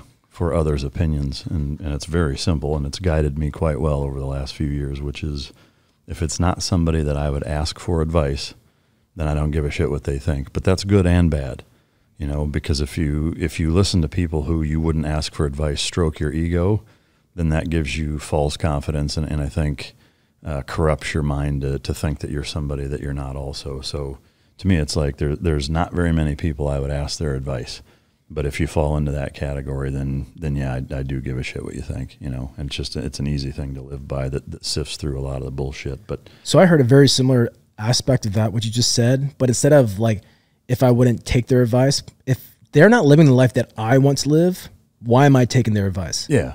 And uh, yeah, I mean, I wouldn't ask if so, if somebody wasn't living how I wanted to live, I, I wouldn't wouldn't ask them. For advice, right. But but uh, no, it's it's uh, it's really awesome. Um, have, have you felt guided at all uh, through the process, uh, or has it been more of a trying to figure it out as you go? Like, has there been something that you've followed to accomplish this? My consciousness. Yeah.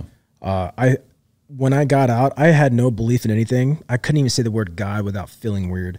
Um, I'm like, I'm more of like a spiritual person, but in, in, in all actuality, I had no confidence in any belief system of my own.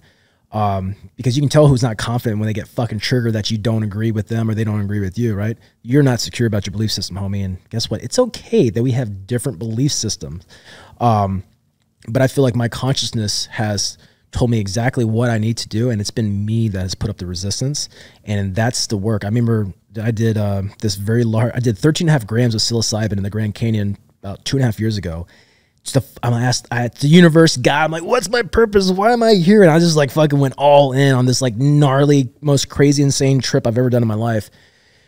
And I felt like I received this message and was told exactly what to do. And I'm like, what? You want me to do X, Y, and Z? You want me to give up X, Y? I'm like, fuck because the person I was going to have to become to do those things was completely uncomfortable. I was going to have to like not be a piece of shit. I was going to have to like not fucking use these vices and distractions. And it's taken me a couple years to to chip away at what I feel I receive this guidance. But the more I do them and the more I walk into the unknown, the more I feel like my my connection to consciousness is guiding me more, right? Like that intuition, I'm tapped more into it. I'm like, I know when I'm fucking up. I know when I'm crossing the line. And I also know when the resistance is so thick, I know that's the path because if it was easy, if it was if your path was illuminated to success and evolution of self, then everyone would be fucking doing it. Clearly, it's not the lit path that guides you to your salvation. It's the dark one, dude. It's the one that you got to go in and you're like, none of y'all are coming with me. Well, all right, because it's your journey. And so I feel like that voice inside me has helped me get to where I'm at today and really impact the lives I'm able to impact. You know, like I'm just fucking grateful of this entire opportunity. Yeah. No, I think it's awesome. I, I love the the perspective you have, the attitude that you exude, and uh, and I appreciate you sharing it. I've got a couple of random questions, totally fucking random. I love it. Uh, have you done the Harry Potter sorting test, the house sorting test? Are you have you gone through that? No, but Are I'm you a Harry Potter fan. Oh yeah, I like it. So if you go on like if you, I think you have to sign up. Uh, well, you do have to sign up for like their fan club or whatever, okay. and you go through the, the house sorting. I'd be curious what your uh, your Harry Potter house is. I'll text you later. and let you know. Awesome. Uh, earlobe tattoos. Tell me about it. Everyone asks about that. I mean, it's hard not to. Like, yeah. you're the only person I know with tattooed earlobe. So yeah. Uh, so, damn, is this where we do it? This is where we like unveil so. that yeah. gold? Unless you want to take your pants off and tell a story. so I decided a long time. I I feel called to to uh, you know I want a community, man. I want people that I can rely on. I want people that are committed to this life, right? Uh, in my in my circle because I don't have time for friends. I have time for people that want to live. Right? There's a difference to me, and I realized my viewpoint of friends were not the same as where I'm at today in, in my current life. Uh, I also realized that my goals of homesteading and, and farming, cannot do this shit by myself, and I have no plans. I don't want to just live in a fucking farm for the rest of my life. Like I feel so called for more. I, I can't. I'm not going to stay in one place, but I also can't accomplish these things by myself, and I can't build this life by myself. So me and uh, one of my best friends and his family and my wife were like, we're going to start a tribe. And uh, so our, our earlobes are like our commitment to ourselves and to this life of like, hey man, we're not fucking perfect, but we're committing to one another because we know that the path we're on is fucking paved in fucking adversity and overcoming and that's how that's how we're tribing up and that's what we're doing to, to build this empire that we know we're called upon to build and uh, that's exactly what it is man everyone asked me about it Yeah, I mean it's it's very unique that way. Was there something that um, illuminated your thought to to do that as as a representation of tribe? Is it a Native American thing? it's just one of those things you're like you know i'm i'm not a you know people are like oh well, your reciprocity you should like shut the fuck up you know like i feel what i feel called to feel dude i'm a warrior class right i have a fucking tomahawk i have a tomahawk tattooed on my forehead and i realized that a true warrior's role in life no matter what background ethnicity culture tribe a true warrior's role in life is to fucking heal yourself and to evolve into a king because if you stay a warrior the rest of your life, you will stay in hell. You will not evolve and you will limit your true potential. And all that hardships you've gone through would be for nothing because it's absolutely selfish to harness all that wisdom that you've had access to and not share it with the world. Because your truth can set someone else free, it can give someone else the power to rise to their highest level. Find their God, find their belief system, find their happiness, right? Find their voice. And why do I have my earlobes tattoo? Why do I feel so called to a to a warrior tribe? Because who the fuck is to say that I'm not, right? Why are we so worried that oh you're not brown skin, you're not a Native American, bitch? I'm Cody Alford. That's who I am. And if I say this is my fucking tribe, and this is my tribe, and that's it. It's it's a non-negotiable for me, and it's a it's a it's a stance that I will never falter for and I never waver for because we all we have in this life is our fucking word to ourselves and to our people. And I have let so many people down in my life. I have gone against my word. I've gone against myself so many times. And when I look back on those moments, I'm like, dude, you disgust me. And if all I have, and this is like you talked about God and stuff, I don't, Jesus, all these things, but the story of Jesus carrying his cross, I've had a lot of those versions, those those moments come to me in, in psychedelic trips, and it's so powerful. And if it's if it's if I'm butchering it, I'm butchering. Get over it. But if it's true how it's written, you know, I I I think about bearing your cross. I take it to a whole new level. When I used to hear that shit before, it used to irk me. But I, I I visualized myself when I was doing this psychedelic trip. I saw Jesus carrying his fucking cross up into his death, to his crucifixion. I saw all these eyes on him.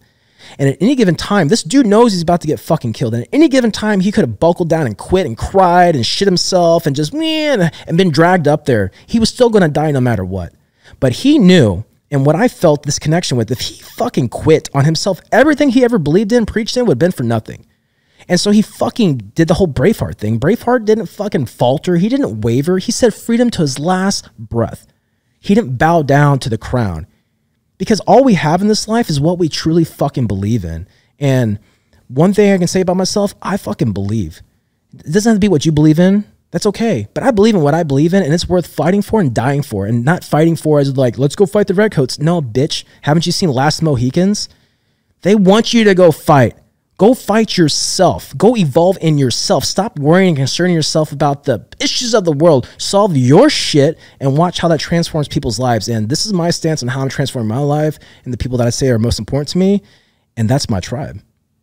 I think it's a fantastic way to look at it. I'm still curious where the idea came from. The idea came from so uh, my friend was looking at getting Polynesian tattoos. Uh, he he's a tattoo artist, and um, we were watching this show. I think it was called like Outsiders. It was like this like, have you seen that show? Not the movie, Uh, like the movie from the book. not the doo wop outsiders, but the these were like these like hillbillies in a hill that just like they, they're kind of fucked up. They're like all like inc- like incest type of people. Yeah, I haven't seen that. but they are basically like separated from society and uh they have their own way of life their own way of living and it, it's a drama tv show so it had its ups and downs and lefts and rights but what they had most was community yeah, and uh, they separated themselves in, the, in their garb and in their tattoos and we're like well how the fuck can we do this to separate ourselves by our garbs and our tattoos and earlobes was it. You know, it's not like here's my little butterfly on my ankle. Like, nah, bitch. Because at the end of the day, dude, Yeah. when you're holding the line, there will be no question about where I stand for. You know, and and to me, that's power. Yeah.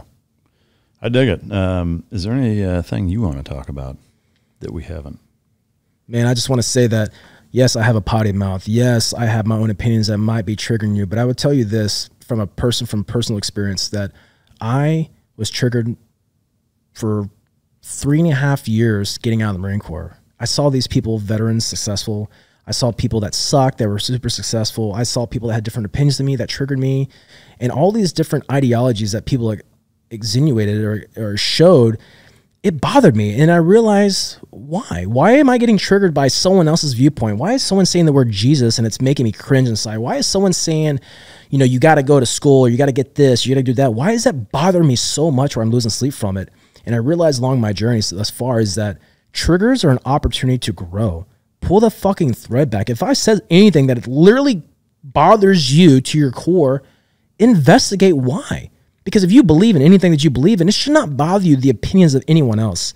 And if I could just say one message to the world, like, dude, heal yourself. Whatever the fuck that means to you, do it, dude. Let no darkness dim your fucking light because that's what society wants you to do. They want you to, it, they, I don't care what title you put on that, what unit, what group, what elite, it, they, it, sometimes even you wants you to play so small. And if you feel a small speck of being called for more in this life, it is your fucking duty and you're right to fucking pave that path to walk into the darkness and to fucking become who you're here to become.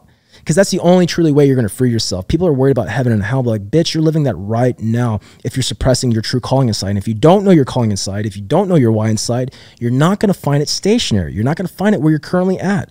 Have faith in yourself. This one thing that we sacrifice, especially as Americans, we we sacrifice this thing called faith faith in anything and everything that you need to fucking take one step in front of the other. You have no idea what's going to come to you into your life if you move forward, but nothing is guaranteed to come to you if you stay the same. And, um, you know, that's what I'm all about, man. I, run this coaching group called Defy Tribe and I, I share with people these things that I've gone through, but these, these, these, nuggets of information that might piss them off. And I'm really good at pissing people off. I'm really good at triggering people. I'm really good at just being an asshole. Like, it's my superpower, man. I'm good at getting people to think and question. I did it my whole military career. And when I was fighting and struggling, like, what am I really good at? I was denying myself this power because I wanted to like create a water bottle. I wanted to create a tangible thing I could sell and offer.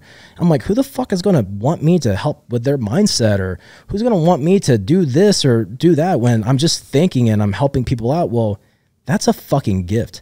And I'm living proof that you can grow and evolve and you can become your own person. You don't have to be like everyone else. You can truly realize that we aren't the same and that's perfectly fine. And stop trying to be like everyone else because you're not here to be them. And if you wouldn't have them write your obituary, stop looking at them for guidance in your life and take that power back to yourself and see what you can actually do with this one fucking chance we have to experience everything we have to experience and to feel every ounce of emotion we're here to fucking feel. To me, that is what a gift, man. That's a gift. No, I, I love everything that you're saying. I think it's a, a phenomenal and powerful message, and uh, and I know a lot of people can benefit from it. Where where do they find that? Uh, they they can go to defytribe.com. Uh, that's uh, where I have for my coaching group. Uh, if they want to support the brand, we defy the norm. That's we defy the norm.com. And and man, the information's out there, but you just have to be ready to uh, to go get it. And I and I'll leave probably the audience with this: invest in yourself. Find a coach, find a mentor, because time is the one thing that humans think they have and we don't. If you can compress time with growth and evolution, with learning how to do something, finding the who to do the what, you can get your time back. And when you get your time back, you make way more impact. You can do way more things in your life. And don't try to do it all yourself. Find your tribe, find your people you can rely on, and go all in. And you'll be surprised what you can actually do in this life. I would say I'd take it a step further and say you can't lose. You cannot lose in numbers. You can't lose. You are a product of your environment. You cannot lo- dude. When I'm hanging around my high performing friends, or I'm going to a mastermind, I'm hanging around super high performers, millionaires, billionaires, uh, multiple seven figure entrepreneurs or people that are starting up, but they have that hunger mindset, just like in our teams. People are like, how did you guys accomplish that tactical mission? Well, bitch, I'm around straight alpha males that want to destroy and dominate every aspect of weakness and fucking uh, hurdle in their life. You can't lose when you're around that mentality. That's why guys who aren't really bred and born for special operations, they stick out like a sore thumb. Not because they suck, but it takes you to a whole new level of experience when you surround yourself with people who want the same thing. Not the same thing as I do, Yeah. but I want growth. And that's the type of people that I provide in the Defy tribe. And that's the type of people I only want to associate myself with because I don't have time. Yeah, No, I love it. Uh, and they can find that at uh, where's the what, the website? We'll put it in the description, but just uh, if you can verbalize it. DefyTribe.com. Awesome. I got something for you. Uh, this is from Champion Silver Services, as well as uh, well, bo- actually both of them are from there. But so we got uh, got the Mike Drop coin uh, for you to take back, and you can shove it up your ass, whatever you want to do. Maybe uh, help with the liver cleanse. Thank you, sir. And then this is uh, in conjunction with your favorite color. What? Uh, we got uh, cha- same champion uh, silver services and John Johnston out in California has uh, graciously donated these uh, parting gifts to all the guests. So Dude, this is super epic. Thank you so yeah. much. Oh, absolutely. It'll I have be- a good Mac belt. Uh, Amen. You know Yeah. Mac belt? Oh, yeah, yeah. Yeah, I, I got a good leather Mac belt, American made. That this bad boy's gonna go on. Awesome, man. Well, that's good shit. I, I uh, can't thank you enough for coming and, and uh, sharing both your story and your perspective and viewpoint on everything. Uh, super interesting guy. I'm proud of shit for everything that you've uh, accomplished and, and will continue to do so. Uh, and just thank you for uh, for coming and sharing it. Thanks for having me, man. I'm really, really grateful, really appreciative. No, I, I appreciate you. Thank you. To the listeners, uh, you know we appreciate you. Uh, and even if you didn't like the episode, you know you can choke yourself. And until next time, this is Mike Drop.